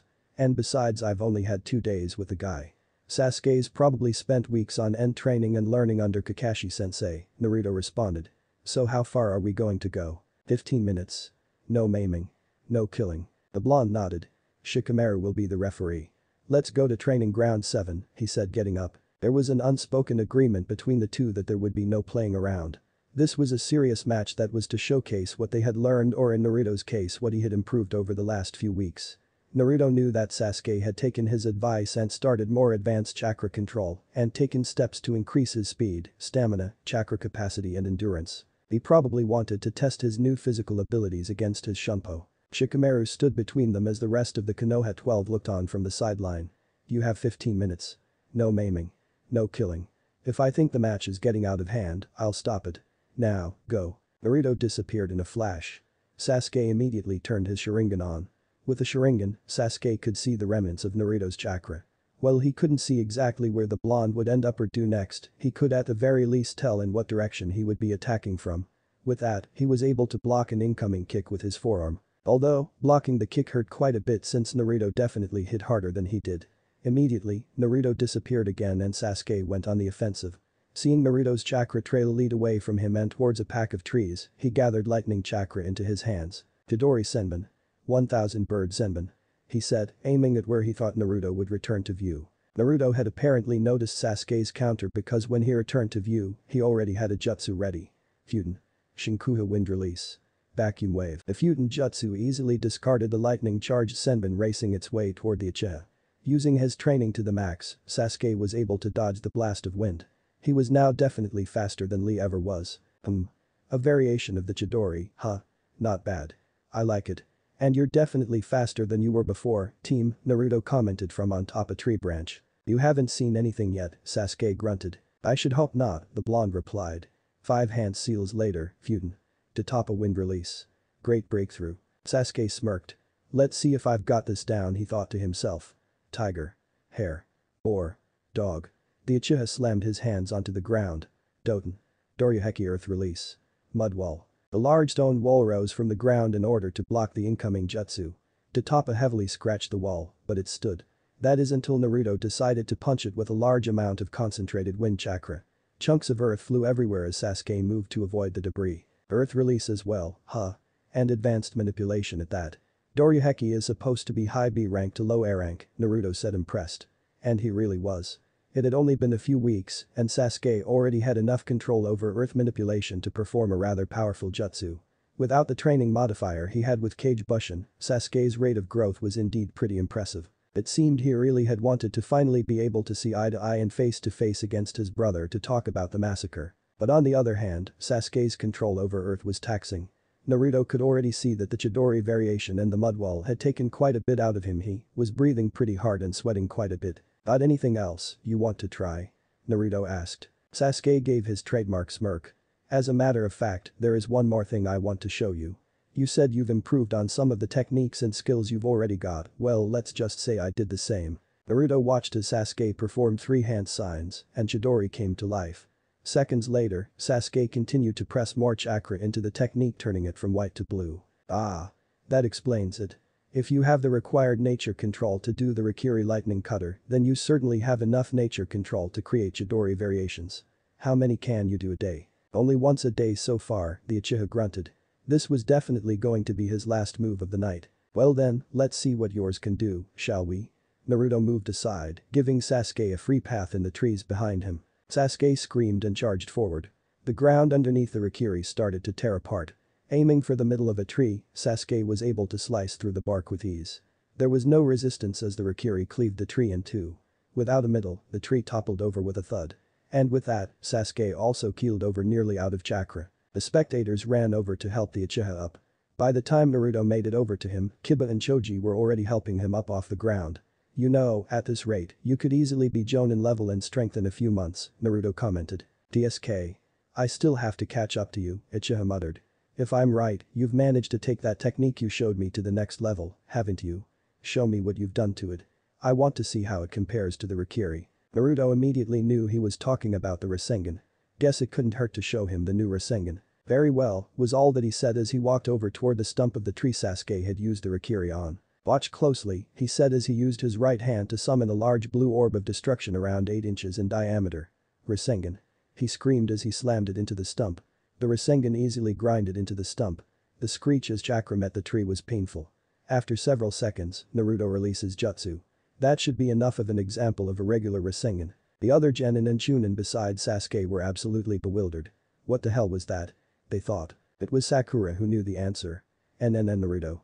Isn't the Rasengan? That's Yondaime's prize technique. Naruto smirked, yes. The Rasengan and the Hiraishin are Yondaime's prize techniques. Ero Sennin taught me that one. Ero Sennin? Choji asked. Jiraiya of the Sannin also known as the world's largest pervert. He writes the smut books Kakashi sensei always reads.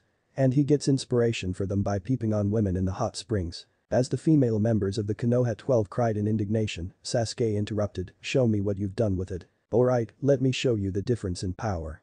Naruto walked up to a different tree and summoned a Kage Bushin.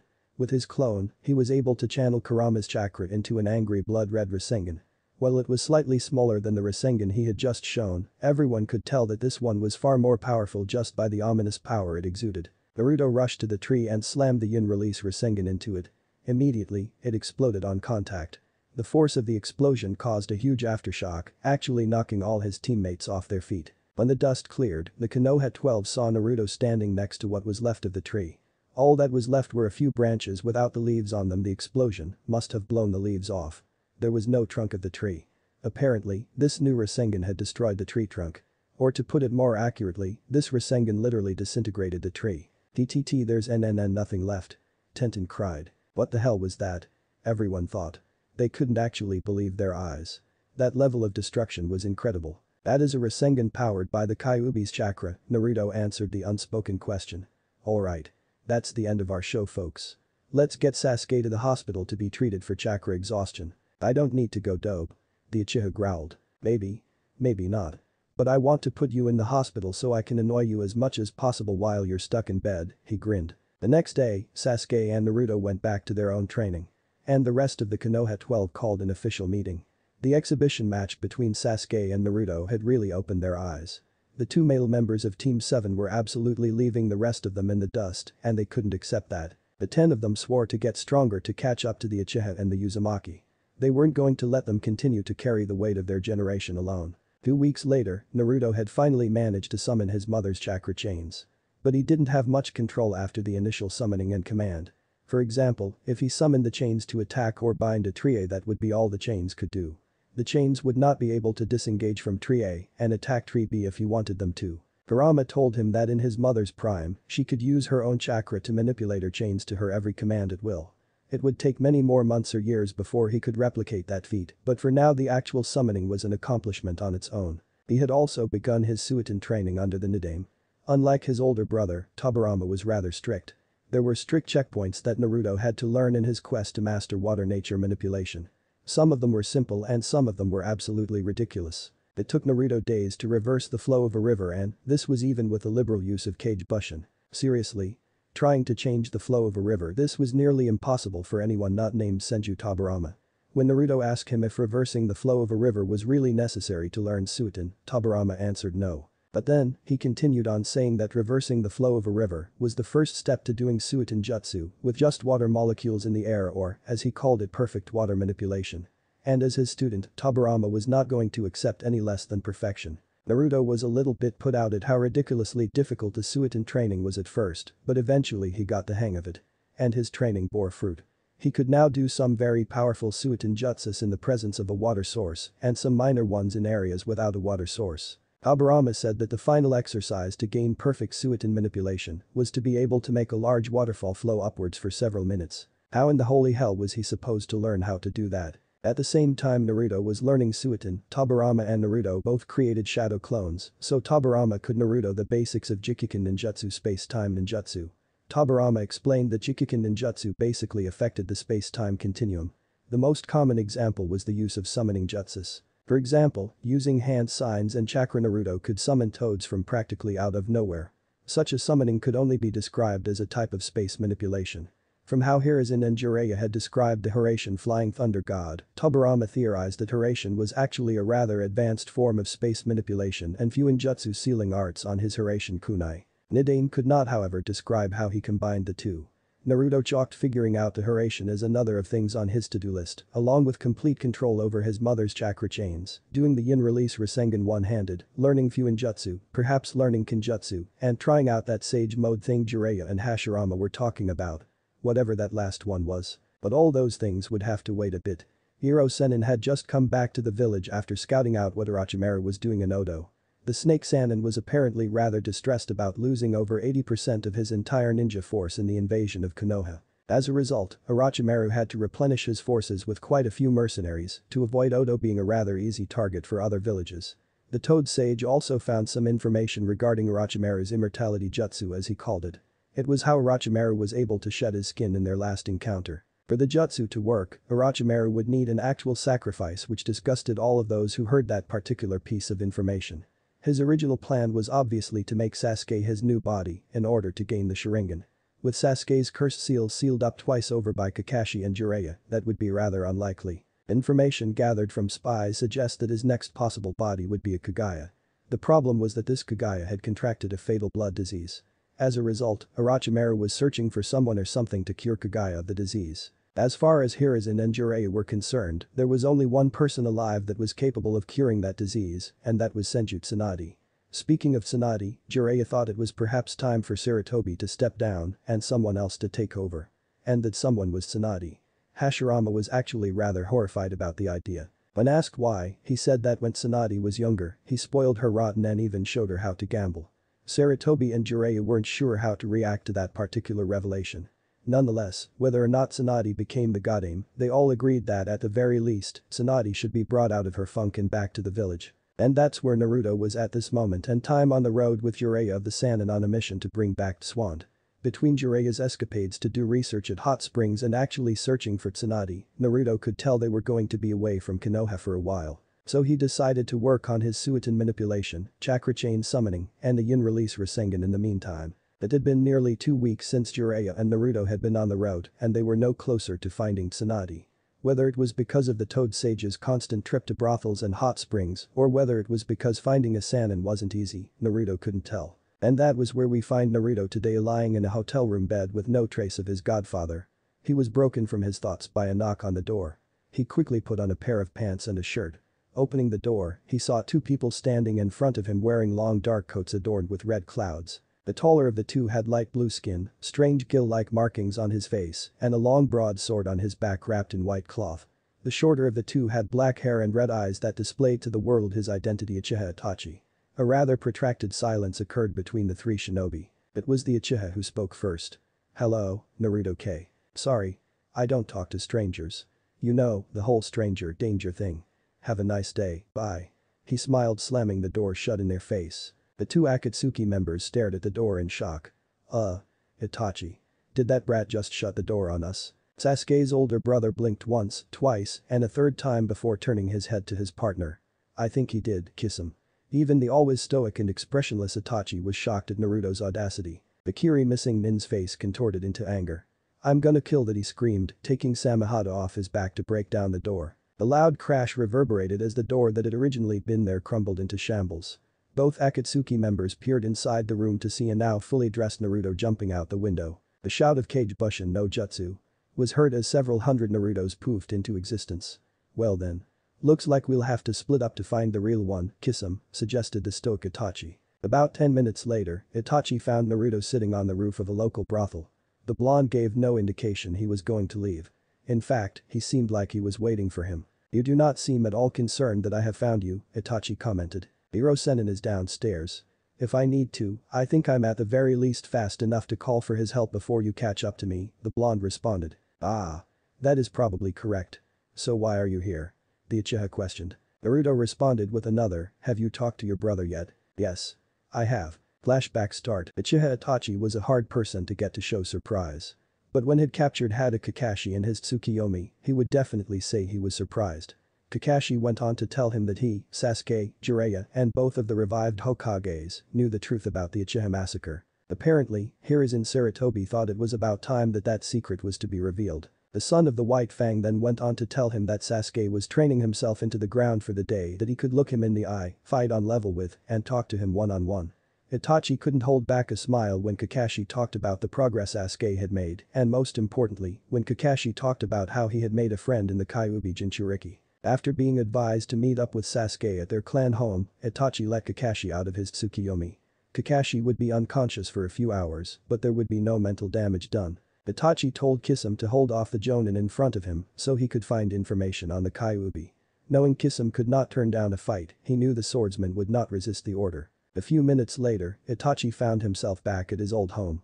Walking inside the walls, he saw his brother lying on the ground unconscious. It was very evident that he was training hard.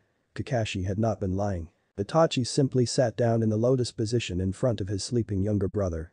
Not long after, his younger brother awoke to see his older brother sitting in front of him. Ugh. Kakashi was right. I should slow down on the training a little bit. I'm seeing things, he groaned thinking his older brother was an illusion. No dot I am very real, Itachi said with a slight hint of amusement. Immediately, Sasuke was on his feet in a defensive posture. The two Uchiha brothers stared at each other for a few seconds unmoving until Sasuke's shoulder dropped a little. Did you really kill everyone because we were going to have a coup d'etat? He asked. So, the Sandaime did tell you the truth. Why did he tell you? I asked him to never do so. He said that he had already made the mistake of keeping Naruto's secret from him, causing him more pain and suffering. He said he didn't want to make the same mistake with me. He didn't want to see me actually complete the quest to kill you and then regret it later. He also felt that you had suffered enough and didn't want you to continue to sacrifice yourself for Konoha in this manner. And with Danzo now dead, there was no need to keep me out of the loop. At that, Itachi had gone quiet. Itachi knew how much he had sacrificed for his brother and for Konoha, but none of it bothered him at all. He actually felt as if his brother and Konoha gave him the courage and strength to go through with the sacrifice. It was his best friend Shisui who taught him that the true mark of a shinobi was to protect his village from the shadows as he was doing so now. My friend Naruto told me that I should get stronger. He told me that I should get strong enough to look you in the eye to talk to you as an equal. It is only then that I would be able to decide what to do with my life, Sasuke said, breaking Itachi out of his thoughts. Your friend is very wise. Sasuke nodded, I may not be strong enough to face you one-on-one, -on -one, but I still want to know. I still want to hear your side of the story. Very well. After our parents and the council decided to rebel, my friend Shisui and I needed to do something. We were planning to talk our clan out of it using Shisui's Mangekyo, but Danzo somehow got his hands on Shisui's eye. Apparently, Danzo wanted us to rebel. He was most likely going to use our rebellion to usurp Sandaime Sama for the Hokage seat. And if our rebellion were to happen, it would have dire consequences for our clan, our village, and most likely the entire shinobi world. Without a way to stop our clan from destroying the lives of so many innocent people around the world, Shisui entrusted me with his last Mangekyou eye and the task of saving both the Uchiha clan name and Konoha. And I did the only thing possible. I took it upon myself to quell the rebellion before it began, thus becoming the greatest Uchiha traitor to the village after Madara himself. My plan was for you to one day become strong enough to defeat me so that you could revive our clan and become Konoha's greatest heroes in the process thus letting the story of our rebellion die with me. Neither brother said anything for the longest time. They watched as the wind around them picked up and moved leaves around. Ever since the night of the massacre, my life's ambition was to avenge the deaths of our clansmen. Do you still wish to do so? Itachi asked. I don't know to be honest. About a month ago, Naruto beat me to the ground and then asked me what I planned on doing after I killed you. And I had no answer for him. Now, after learning the truth of why you killed our clan, I don't even know if I want to kill you anymore. I feel like my life has been a lie for so long now. My life used to have purpose, but now it doesn't anymore. Your friend is very wise. He above all would know how it felt to be lied to your entire life. DSK. He used to be the class Dobe, but our run-in with Orochimaru really changed him. He told me up until that moment, he never really acknowledged the fact that he was the Jinchuriki of the Kyuubi. He didn't want to be known as a human sacrifice. But once he got over that, he was able to harness the Kyuubi to become stronger. Much stronger. Yes, I have heard about him being the A-rank genin in Oda's bingo books. Quite an accomplishment for someone his age. You two seem close, the older brother observed. We simply found common ground on the fact that Kami hates us and has cursed our lives, the younger brother replied curtly. Itachi gave a slight smile at that for a split second before his face turned serious and stoic again. You should know that the organization I am currently a part of is after Naruto and the other Jinchuriki. What? Why? Sasuke screamed getting up. I do not know the reason, but it can't be a good one. The Akatsuki as we are called are composed of highly skilled S-rank missing nin like myself. Orochimaru used to be part of this organization as well. And its leader claims to be our ancestor Uchiha Madara. Shouldn't he be dead? Sasuke questioned. Yes, that is why I believe that he is lying about being Madara. But that does make him any less threatening. This Madara or Tobi as his aliases these days was the reason behind the Kyuubi attack all those years ago. The Sandaime told me that some shinobi thought that an Uchiha with a Mangekyo was behind the attack. It seems like they were right, yes. Tobi's Mangekyo provides him with incredible Jikukan ninjutsu abilities as well as the ability to control the Kyuubi. You don't sound like you like what he's planning. I do not. After I killed our clansman, he was the first one to offer me a place in the Akatsuki. For that sake of the village, I couldn't let the chance to spy on such an organization go to waste, so I took it. So what are you going to do now? I don't know. I was planning on gathering as much information about the Akatsuki, its members, and its purpose while I bided my time for you to become strong enough to kill me. What are you going to do, yourself Sasuke? Naruto's going to need all the information you can provide us if your organization is coming after him. As long as you keep providing that information, I really can't find a reason to kill you. Until then, I'm going to get stronger. Strong enough to beat not only you, but also this Tobi. And I guess I'll have to learn some politics as well. Sandaime told me that once I become a Jonin, I'll be able to take up the Uchiha seat on the Shinobi Council. I don't really want to deal with that stuff, but I guess I don't have a choice in the matter. Itachi smiled. His brother was going down the right path. But there was one thing that Sasuke needed to see. Sasuke.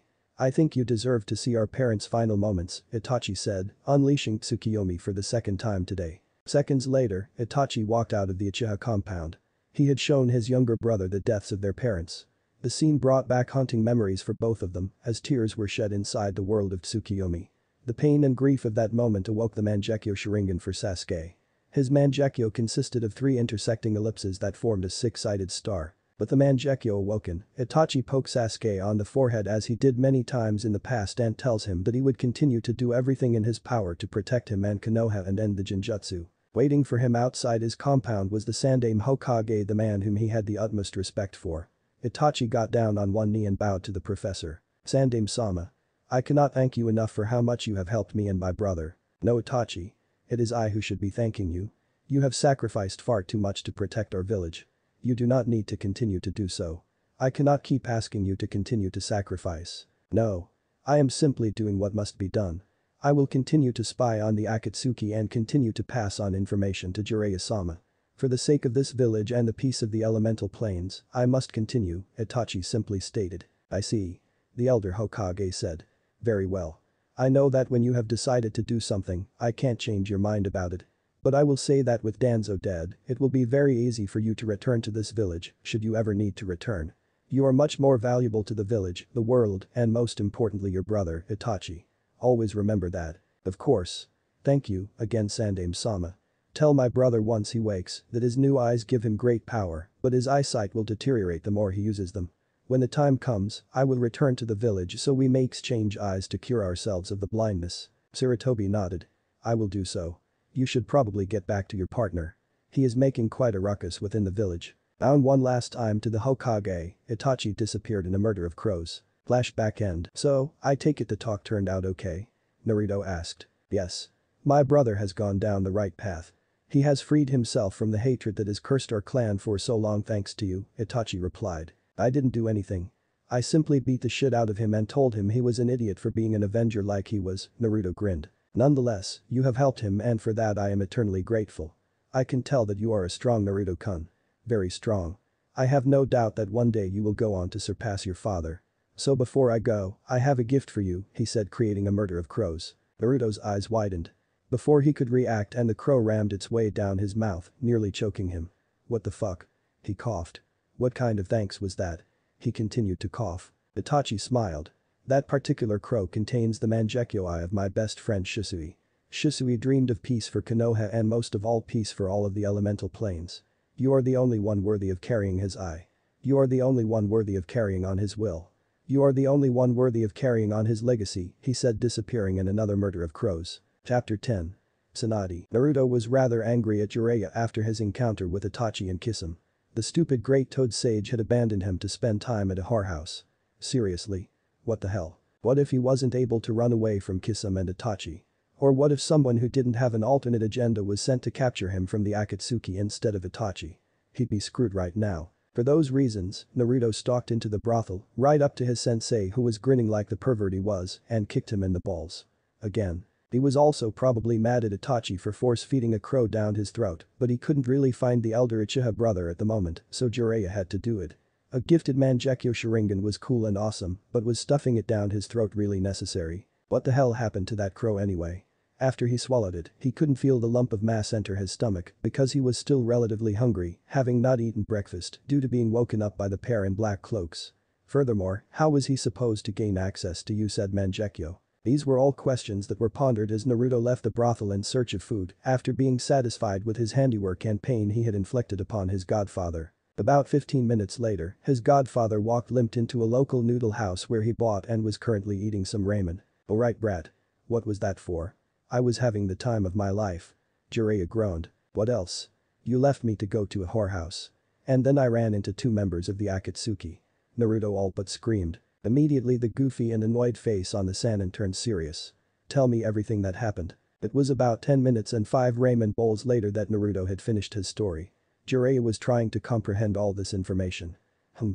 I didn't expect this. But at least, we have a spy on the inside now. And what was this about planting a Mangekyo Sharingan inside you? Yeah. Apparently, he stuffed some guy named Uchiha Shisui's inside me. Something about how I was the only one he could entrust it to, Naruto said in between slurps of ramen. This got Jiraiya's attention. Are you sure he said Uchiha Shisui's Mangekyo? Yeah. Why? Was this Shisui guy really famous? I don't remember hearing much about him from anywhere. Uchiha Shisui was the second best Uchiha prodigy of the last few generations right behind Itachi his best friend. Not many know this, but Shisui's Mangekyo was perhaps the most prized Mangekyo to ever exist. This particular Mangekyo possessed an incredible genjutsu known as Kotoamatsukami Distinguished Heavenly Gods. This genjutsu actually alters the memories of the victim and compels them to think that the actions they are performing under the genjutsu are their own. Naruto's eyes widened at this. And now I have his Mangekyo lying in wait somewhere inside my body. The jerk didn't even have the common courtesy to tell me how to use it. He just forced a raven down my throat and disappeared. So you don't know how to use it, huh? That sucks, Jiraiya mumbled. You could use any help you can get. Naruto nodded in agreement before bringing up the other point of inquiry. And what the hell were we doing at a whorehouse anyway? Ha. You wouldn't understand. The pleasures of the female form elude you my young apprentice. Shut up you stupid pervert. I don't want to hear this from you. Do you not understand what could have happened if I hadn't been able to run away from the Akatsuki? Or what would have happened had it not been Itachi who was my hunter? DCH. Relax. You got out of it alright. Besides, that whorehouse as you call it also happens to be part of my spy network. That brothel is part of your spy network? Naruto asked incredulously. Jiraiya puffed out his chest, as a matter of fact, never mind. I don't want to know, Naruto shook his head in disgust. Did this trip to your spy network produce any leads? Jiraiya turned serious. Yes. It seems we were correct. Orochimaru is searching for Tsunade as well. My sources say that he is headed to Tenzaku town. That's also the last place Tsunade was spotted. We had better start there. A day's travel later, Jiraiya and Naruto found themselves in the rather shady town of Tenzaku a rural paradise for gamblers and drunks. We should find a place to eat and then get settled in before searching for Tsunade, Jiraiya stated. Naruto agreed with the logic. As luck would have it, the bar they decided to eat in contained two people of interest sitting in a booth in the back of the bar. Along with a pig. The first was a woman of average height with shoulder-length black hair with black eyes, holding a squealing pig to her body. If Jiraiya's information was right, this was Shizune. The second woman was fairly tall. She had straight blonde hair tied into two short bangs, framing both sides of her face. Her most distinguishable feature was her rather large bust that seemed to scream for people to stare. And she didn't look a day over 25. The confused Naruto stared at his godfather with questioning eyes. Weren't Tsunade and he supposed to be the same age? He thought. His godfather ignored the unspoken question and instead let out a loud laugh, ha ha ha ha. Tsuhime. By now, he had drawn the attention of everyone in the bar. Tsuhime. It's been too long. The Toad Sage was absolutely giddy to see his teammate again. The Senju did not share his excitement. Jiraiya. What do you want? This can't be good. I've had enough reunions for one day. So, you've seen our wayward teammate, have you? What did he want? Jiraiya scooted into the seat next to Shizune pouring a cup of sake for himself. I don't see how that's any of your business. Now, what do you want? It can't be a coincidence that I see both of you in one day. So, spill, she demanded. Always right to the point, huh? Well, our sensei is getting up there in years and he needs someone to replace him. It's been decided that you would be best for the Hokage position, Jiraiya stated. By this time Naruto had made his way over to their booth. Absolutely not. Who the hell would want that job? Only idiots take up that job. Protecting the village. Everyone who takes it dies a premature and futile death. The last part caught Naruto's attention. What did you just say? He growled. Who's the squirt anyway Jiraiya? Tsunade completely ignored him. This is Uzumaki Naruto. He's my newest apprentice, Jiraiya grinned. He's going to be my greatest apprentice yet. Ha. That's what you said about your last one. And look what happened to him. Took the Hokage seat and died by the time he was 25. Pathetic. Tsunade said completely unaware of Naruto's reaction. She simply raised her jug of sake to pour into her cup only to find her cup smashed by a fist. What was that for you brat? And there was that famous temper Tsunade was known for. I don't care what you think of the village. And I couldn't care less what you think about the Hokage seat. But I will not stand idly by and let you mock my father's sacrifice. Oh, and what are you going to do about it? She mocked. We're taking this outside, Naruto said walking towards the door. DSK. Alright. I guess it's time someone beat some respect into you, Tsunade followed him out. Shizune, who had been quiet for the entire time, spoke up. Jiraiya-sama, aren't you going to stop this? Your apprentice is going to get seriously hurt. She asked, pleading for help. Jiraiya shook his head. Let's see where this goes, he said getting up. You're way out of your league kid. You have no idea who you are fighting, Tsunade stated. I know exactly what I'm doing, you old hag. The tick mark appeared on the Senju princess's head. She looked about ready to burst until she took a few deep breaths. Calming down, she simply raised one finger. One finger. That's all I'll need to beat some respect into you, Tsunade stated. And if I win, I get all your money. Whatever. Your loss, Naruto didn't particularly care for her overconfidence. He was going to show her that underestimating him would bring dire consequences. And with that, he used Shunpo Flash Step to get behind the female Sannin. Caught off guard, she was barely able to stop a kick aimed at her right flank with her forearm. She then brought forth the one finger she had pointed out to him in an attempt to flick him as if he were an annoying bug. With that one finger, she was able to send him flying several feet backwards. It seemed like Naruto wasn't ready to fight a Sannin. Nonetheless, Tsunade was impressed with his skills. You're a pretty fast kid. What are you, Jonin? No. I'm a recently promoted Chunin, Naruto said from his place on the ground. Hmm. You are pretty strong for someone your age, but your arrogance is going to kill you one day. You aren't ready to fight someone on my level, so give up. I know I'm not ready to fight someone like you or the pervy sage, but I'm not going to let you tarnish the names of the Hokages. Why? You want the title yourself. Tsunade mocked. To her surprise, Naruto shook his head, no. I don't want the title. I just respect the people who have held it. You of all people should understand. Your grandfather and granduncle brought peace to the land of fire by building Konoha. Then there's your own sensei. He trained you. Taught you. He held Konoha strong through two shinobi world wars. Naruto screamed before calming down and talked about the last of the four great Hokages. And then there's my own father. He loved my mother. He loved Konoha. And he loved me.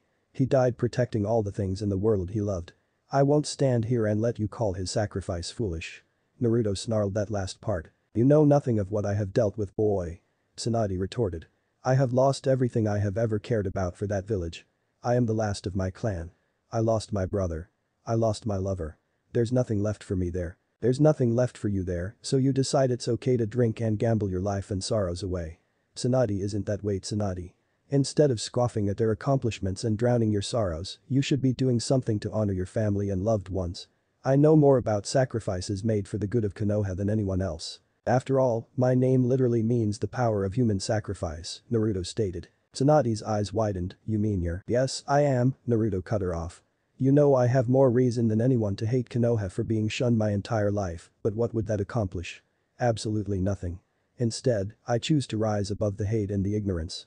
I choose to continue living with the hopes of my parents alive within me. And I choose to strengthen myself so that one day I can protect those precious to me as my parents did in their final moments. For several moments, no one spoke. It wasn't every day someone spoke so passionately about their goals in life. Jiraiya. We should leave. She's a lost cause. If she's going to continue to dwell on her past, then let's leave her to it. I'm going back to the hotel room, Naruto declared as he eased himself out of his fighting stance and flashed away towards his hotel room. It was two hours later that Jiraiya found Tsunade alone in the same bar booth he had found her earlier. Her eyes were red with unshed tears. It seemed Naruto's words struck home. I hope you don't mind the company Tsuhime, he said bringing over a jug of sake. We got a lot to talk about. Where do you want to start? Who is the kid? There aren't a lot of people with the Uzumaki name anymore. Tsunade trailed off. Well, as he so eloquently put it, his father's the fourth, Jiraiya stated matter-of-factly. Tsunade narrowed her eyes. You said his family name was Uzumaki though. From his mother, Uzumaki Kushina. A faint smile appeared on the Senju princess's face. I remember her. She used to be such a tomboy. She had a terrible temper, beating up all the boys who teased her. Her son is different. He's got the best of both his mother and father.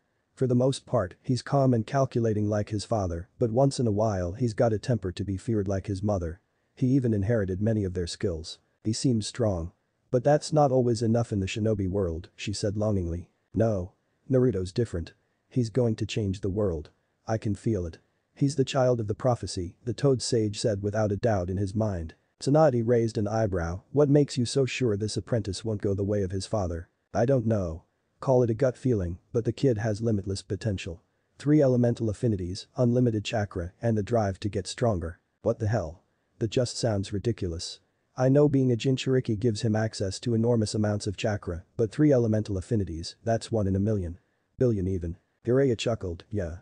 Well, he's got them. Wind and lightning from his father and water from his mother. But that still doesn't make sense. Sure elemental affinities are generally passed down from parents to children, but there should be no way he inherited all three of them. One or two of the affinities should have overpowered the others and won out. What do you mean? Jiraiya asked. Elemental affinities are genetically passed on.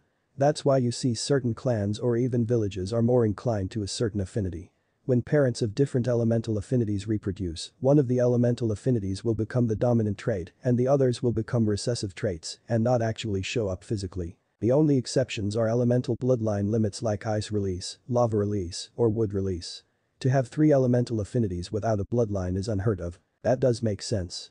Naruto's affinity for wind is much stronger than either his affinity for lightning or water. Perhaps, this all happened because he does have a bloodline of sorts. You think that the Kyuubi had something to do with it?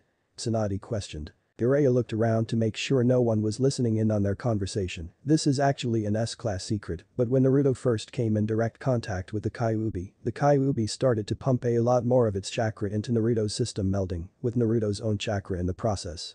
One of the side effects of this is that Naruto has awakened the ability to use Yin release. Yin release that's preposterous.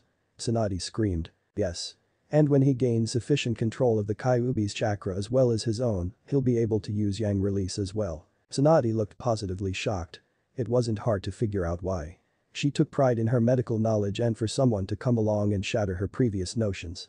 After a few moments, she collected herself. You're not going to tell me he can use yin yang release as well, are you? She joked. No. The Kyuubi said that he'd need the Rinnegan to use yin yang release, Jiraiya started with a pained look on his face. That particular Dojutsu always brought back unsavory memories for him.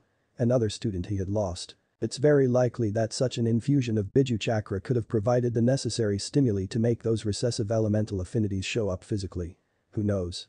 He might even develop an elemental bloodline limit down the line, Tsunade mused. Maybe he can actually surpass your grandfather one day Tsuhaime, Jiraiya grinned. The SH.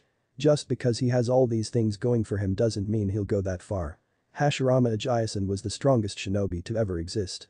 Just because he has a few advantages doesn't mean he'll be anywhere as strong as my grandfather, the senju scoffed. Jiraiya turned serious at this, there's something I need to talk to you about Tsuhaime. We know what Orochimaru wants from you. And from what he did recently in Konoha, I think I know what he offered you. What did he do to the village? I don't know if you know this, but the wayward teammate is the leader of a new shinobi village Oto.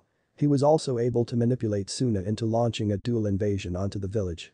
Thanks to my student and timely information, we were able to escape the invasion with very little losses. But there were consequences. What happened? Being the snake he is, Orochimaru could pass up the chance to take out Sensei for good. To achieve that goal, he used your granduncle's jutsu the Edo Tensei to try and revive both your granduncle and grandfather to finish the job. What? That bastard.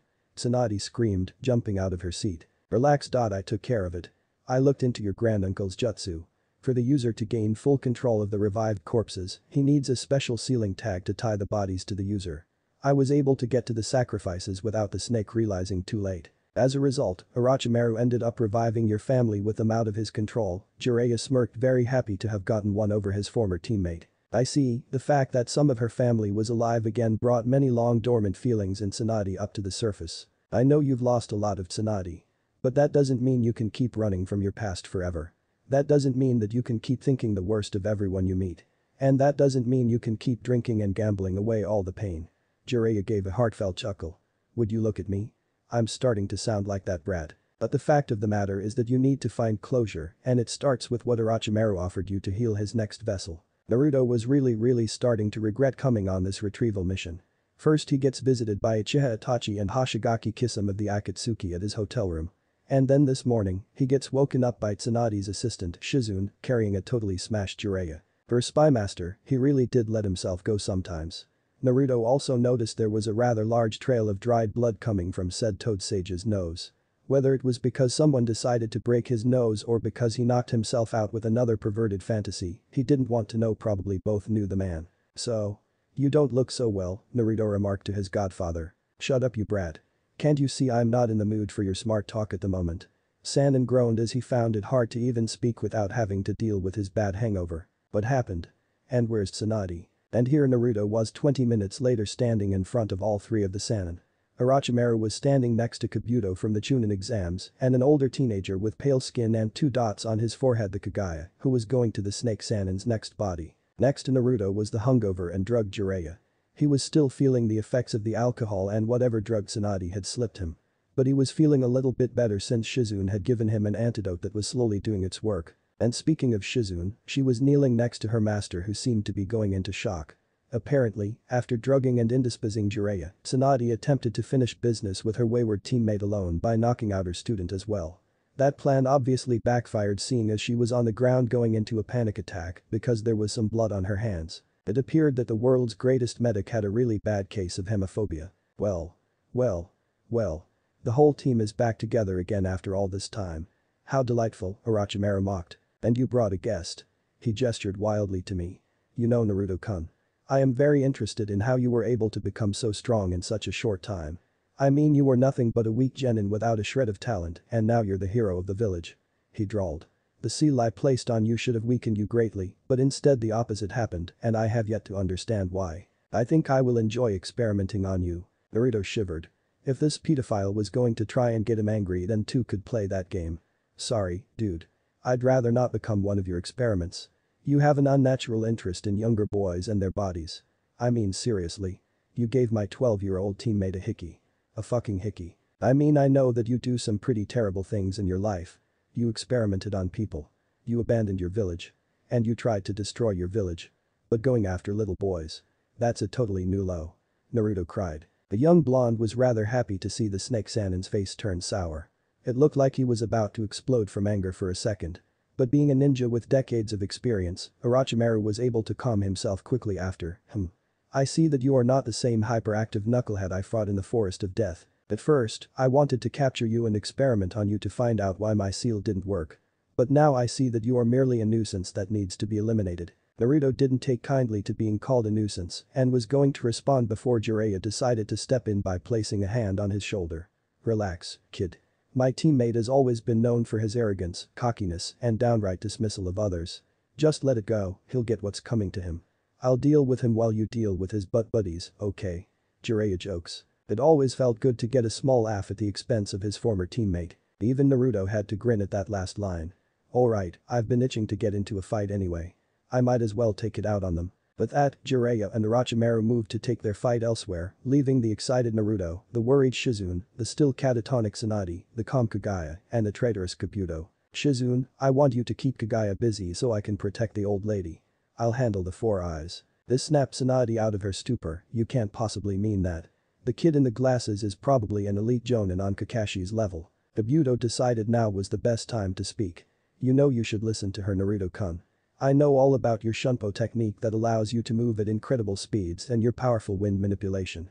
But that won't be enough against the two of us. So, that's the extent of knowledge they have on me. I think I can win this if I bring out the chains Naruto thought to himself. Shizune looked at Naruto with worry. I'll be fine. Just keep the Kaguya busy and I'll deal with the traitor. With that, Shizune and Kimimaro exited stage left. Stop trying to be a hero. If you stay here, you're just going to get yourself killed. Tsunade yelled. Naruto stayed calm though. Without even looking at the female Sannin, he spoke. You know, you and I are actually very similar. The village we both are from has caused us a great deal of pain taking our loved ones away from us. But do you know what's the difference between the two of us? You decided to let the dreams of your loved ones die with them. But I, on the other hand, have kept the dreams of my parents alive and I will fulfill them, the blonde said with utter conviction. Tsunade's eyes widened at her fellow blonde's words. Kabuto mockingly clapped his hands, what a touching speech. You almost made me shed a tear. The medical ninja wiped away a fake tear for dramatic effect. Tell me, Naruto-kun. Who were your parents? You seem to hold them up to great esteem, but last time I checked, you were a clanless orphan. They couldn't have been very good ninjas seeing as they died fighting the creature now sealed inside you. You shouldn't bring up someone's parents, Kabuto. It could be hazardous to your health, Naruto threatened. And with that, Naruto was gone in a flash. Immediately, Kabuto jumped out of the way of one of Naruto's swift kicks and readied his chakra scalpels. Careful to not let those chakra scalpels hit his naked skin, Naruto resolved to only try to hit Kabuto without getting in range of suffering damage from those scalpels. Kabuto saw what Naruto was doing and changed his focus and aimed for Naruto's unprotected sternum. Before he could connect, Naruto flushed away. Hmm. I'm very impressed by Naruto-kun. You are as fast as I say you are kamikaze. So much so that I can even land a proper hit on you. But your problem is that you can't land a good hit on me as long as I have good form and stay on the defensive with my chakra scalpels. Otherwise, you'd risk suffering major damage yourself. As such, it seems we are at an impasse. Unfortunately, Kabuto, you are wrong about that. Oh. And how exactly am I wrong in my assessment? Do you remember what I said about how dangerous it was to mock someone's parents? Naruto asked. Well, this is why. Naruto screamed. Inton. Rakuchenshin release binding chains. Slamming his hands on the earth below him, Naruto was able to catch Kabuto completely off guard as multiple large black spike chains erupted from the ground underneath him, each aiming for a different appendage. But he was unable to escape all of them as one last chain was able to wrap around his right ankle. With a heavy thud, the chain dragged Kabuto back into the dirt. Tell me Kabuto. Do you know what the punishment is for traitors who turn on their village? Naruto asked as he summoned a shadow clone next to him. Instead of answering, Kabuto tried to use his scalpels to destroy the chains, but they wouldn't break so easily. Something was definitely different about these chains. At Kabuto's refusal to answer him, Naruto continued speaking, no answer. Pity. The punishment for treason is death. You made the wrong decision when you decided to aid the snake pedophile's plans to hurt the village and my friends. Naruto held one hand out to his shadow clone. If Orochimaru wanted to try and experiment on him, then he was going to experiment his Inton. Rasengan Yin release. Rasengan on the snake second in command. It was time to see what this jutsu could do to the human body. For the first time in his life, Kabuto was afraid. Very afraid. The amount of dense chakra that was forming around the young blonde's hand was not good news. The blood-red color of the sphere didn't make him feel any better. There was no way he would be able to get away from the chain in time. Kabuto wasn't the only one to notice jutsu. It can't be. Tsunade said in awe. It was astounding for someone his age to be able to perfect the jutsu. Maybe his dream to be the strongest shinobi ever wasn't all that far-fetched. So, he's going to test Rasengan on the traitor, huh? Jiraiya thought. He, like Naruto, was interested to see the power of the Yin release Rasengan. Orochimaru, however, wasn't willing to let his second-in-command be a test dummy for that jutsu.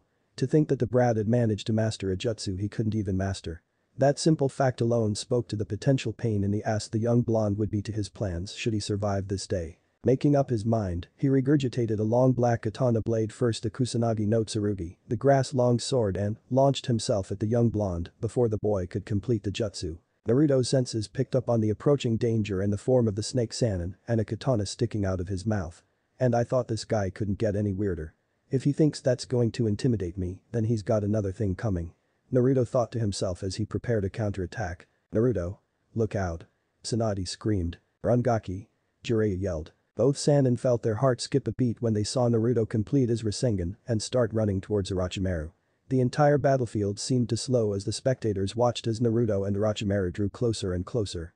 Just as the two were about to collide, Naruto aimed his Rasengan down towards Orochimaru's stomach. In doing so, Orochimaru was able to stab the Kusanagi right through Naruto's neck. Orochimaru expected Naruto's jutsu to immediately dissipate. From what Orochimaru understood about the Rasengan, it required the utmost chakra control at all times. Surely, a sword through one's neck would cause a momentary drop in control, should it not? Unfortunately for him, Naruto did not lose control and slammed the Inton. Rasengan right into his stomach. With his job done, Naruto dispelled to reveal that he was in fact an Inton. Bushin Yin release. Shadow clone. The resulting explosion from the Inton. Rasengan was thunderous. Blood spewed everywhere. The grass longsword flew through the air towards Naruto. And the mangled mess of body mass that was left of what used to be called Orochimaru was sent in the opposite direction. After the smoke cleared, the snake Sannin looked black and charred. He was missing both legs, half of his right arm, and several internal organs, if the amount of blood and the gaping hole in the sternum was any sign. Everyone watched in shock as Orochimaru wheezed, struggled to breathe, and coughed up copious amounts of blood. It was Orochimaru's loyal Kaguya that sprang into action first. Orochimaru Sama. As the pale white teenager ran to his master, a hand shot out of Orochimaru's mouth. And then another. And then a head poked out. With Kimimaro's help, Orochimaru was able to free himself from his skin. The SH. Figures, the stupid snake wouldn't die, Naruto remarked. Upon hearing the clanking of chains behind him, Naruto realized that Kabuto had finally managed to cut himself free from his chakra chain. Immediately, the traitor ran to his master to assess the damage the Rasengan had done. You little punk. Orochimaru continued to cough blood. Naruto gave a smirk as he walked over towards the fallen blade of Kusanagi and picked it up. You know, I always wanted to learn some kinjutsu eventually.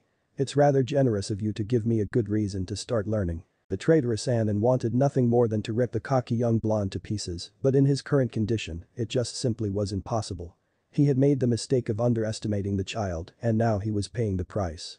He was going to have to abandon his plans with Tsunade and his prized sword. This isn't over. I'll get you for this.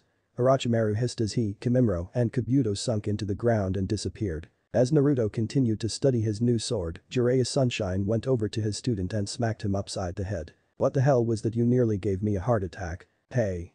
I knew exactly what I was doing.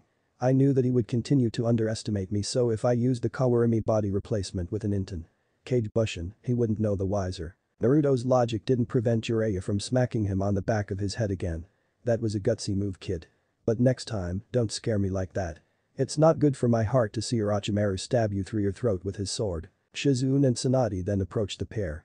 The most notable thing was that Tsunade was no longer having a fit due to the blood on her hand. Tsunade-sama. Your hand. Are you okay? Shizune asked in concern for her mentor. Tsunade studied her hand and didn't flinch. And for the first time in a long time, the Senju princess smiled.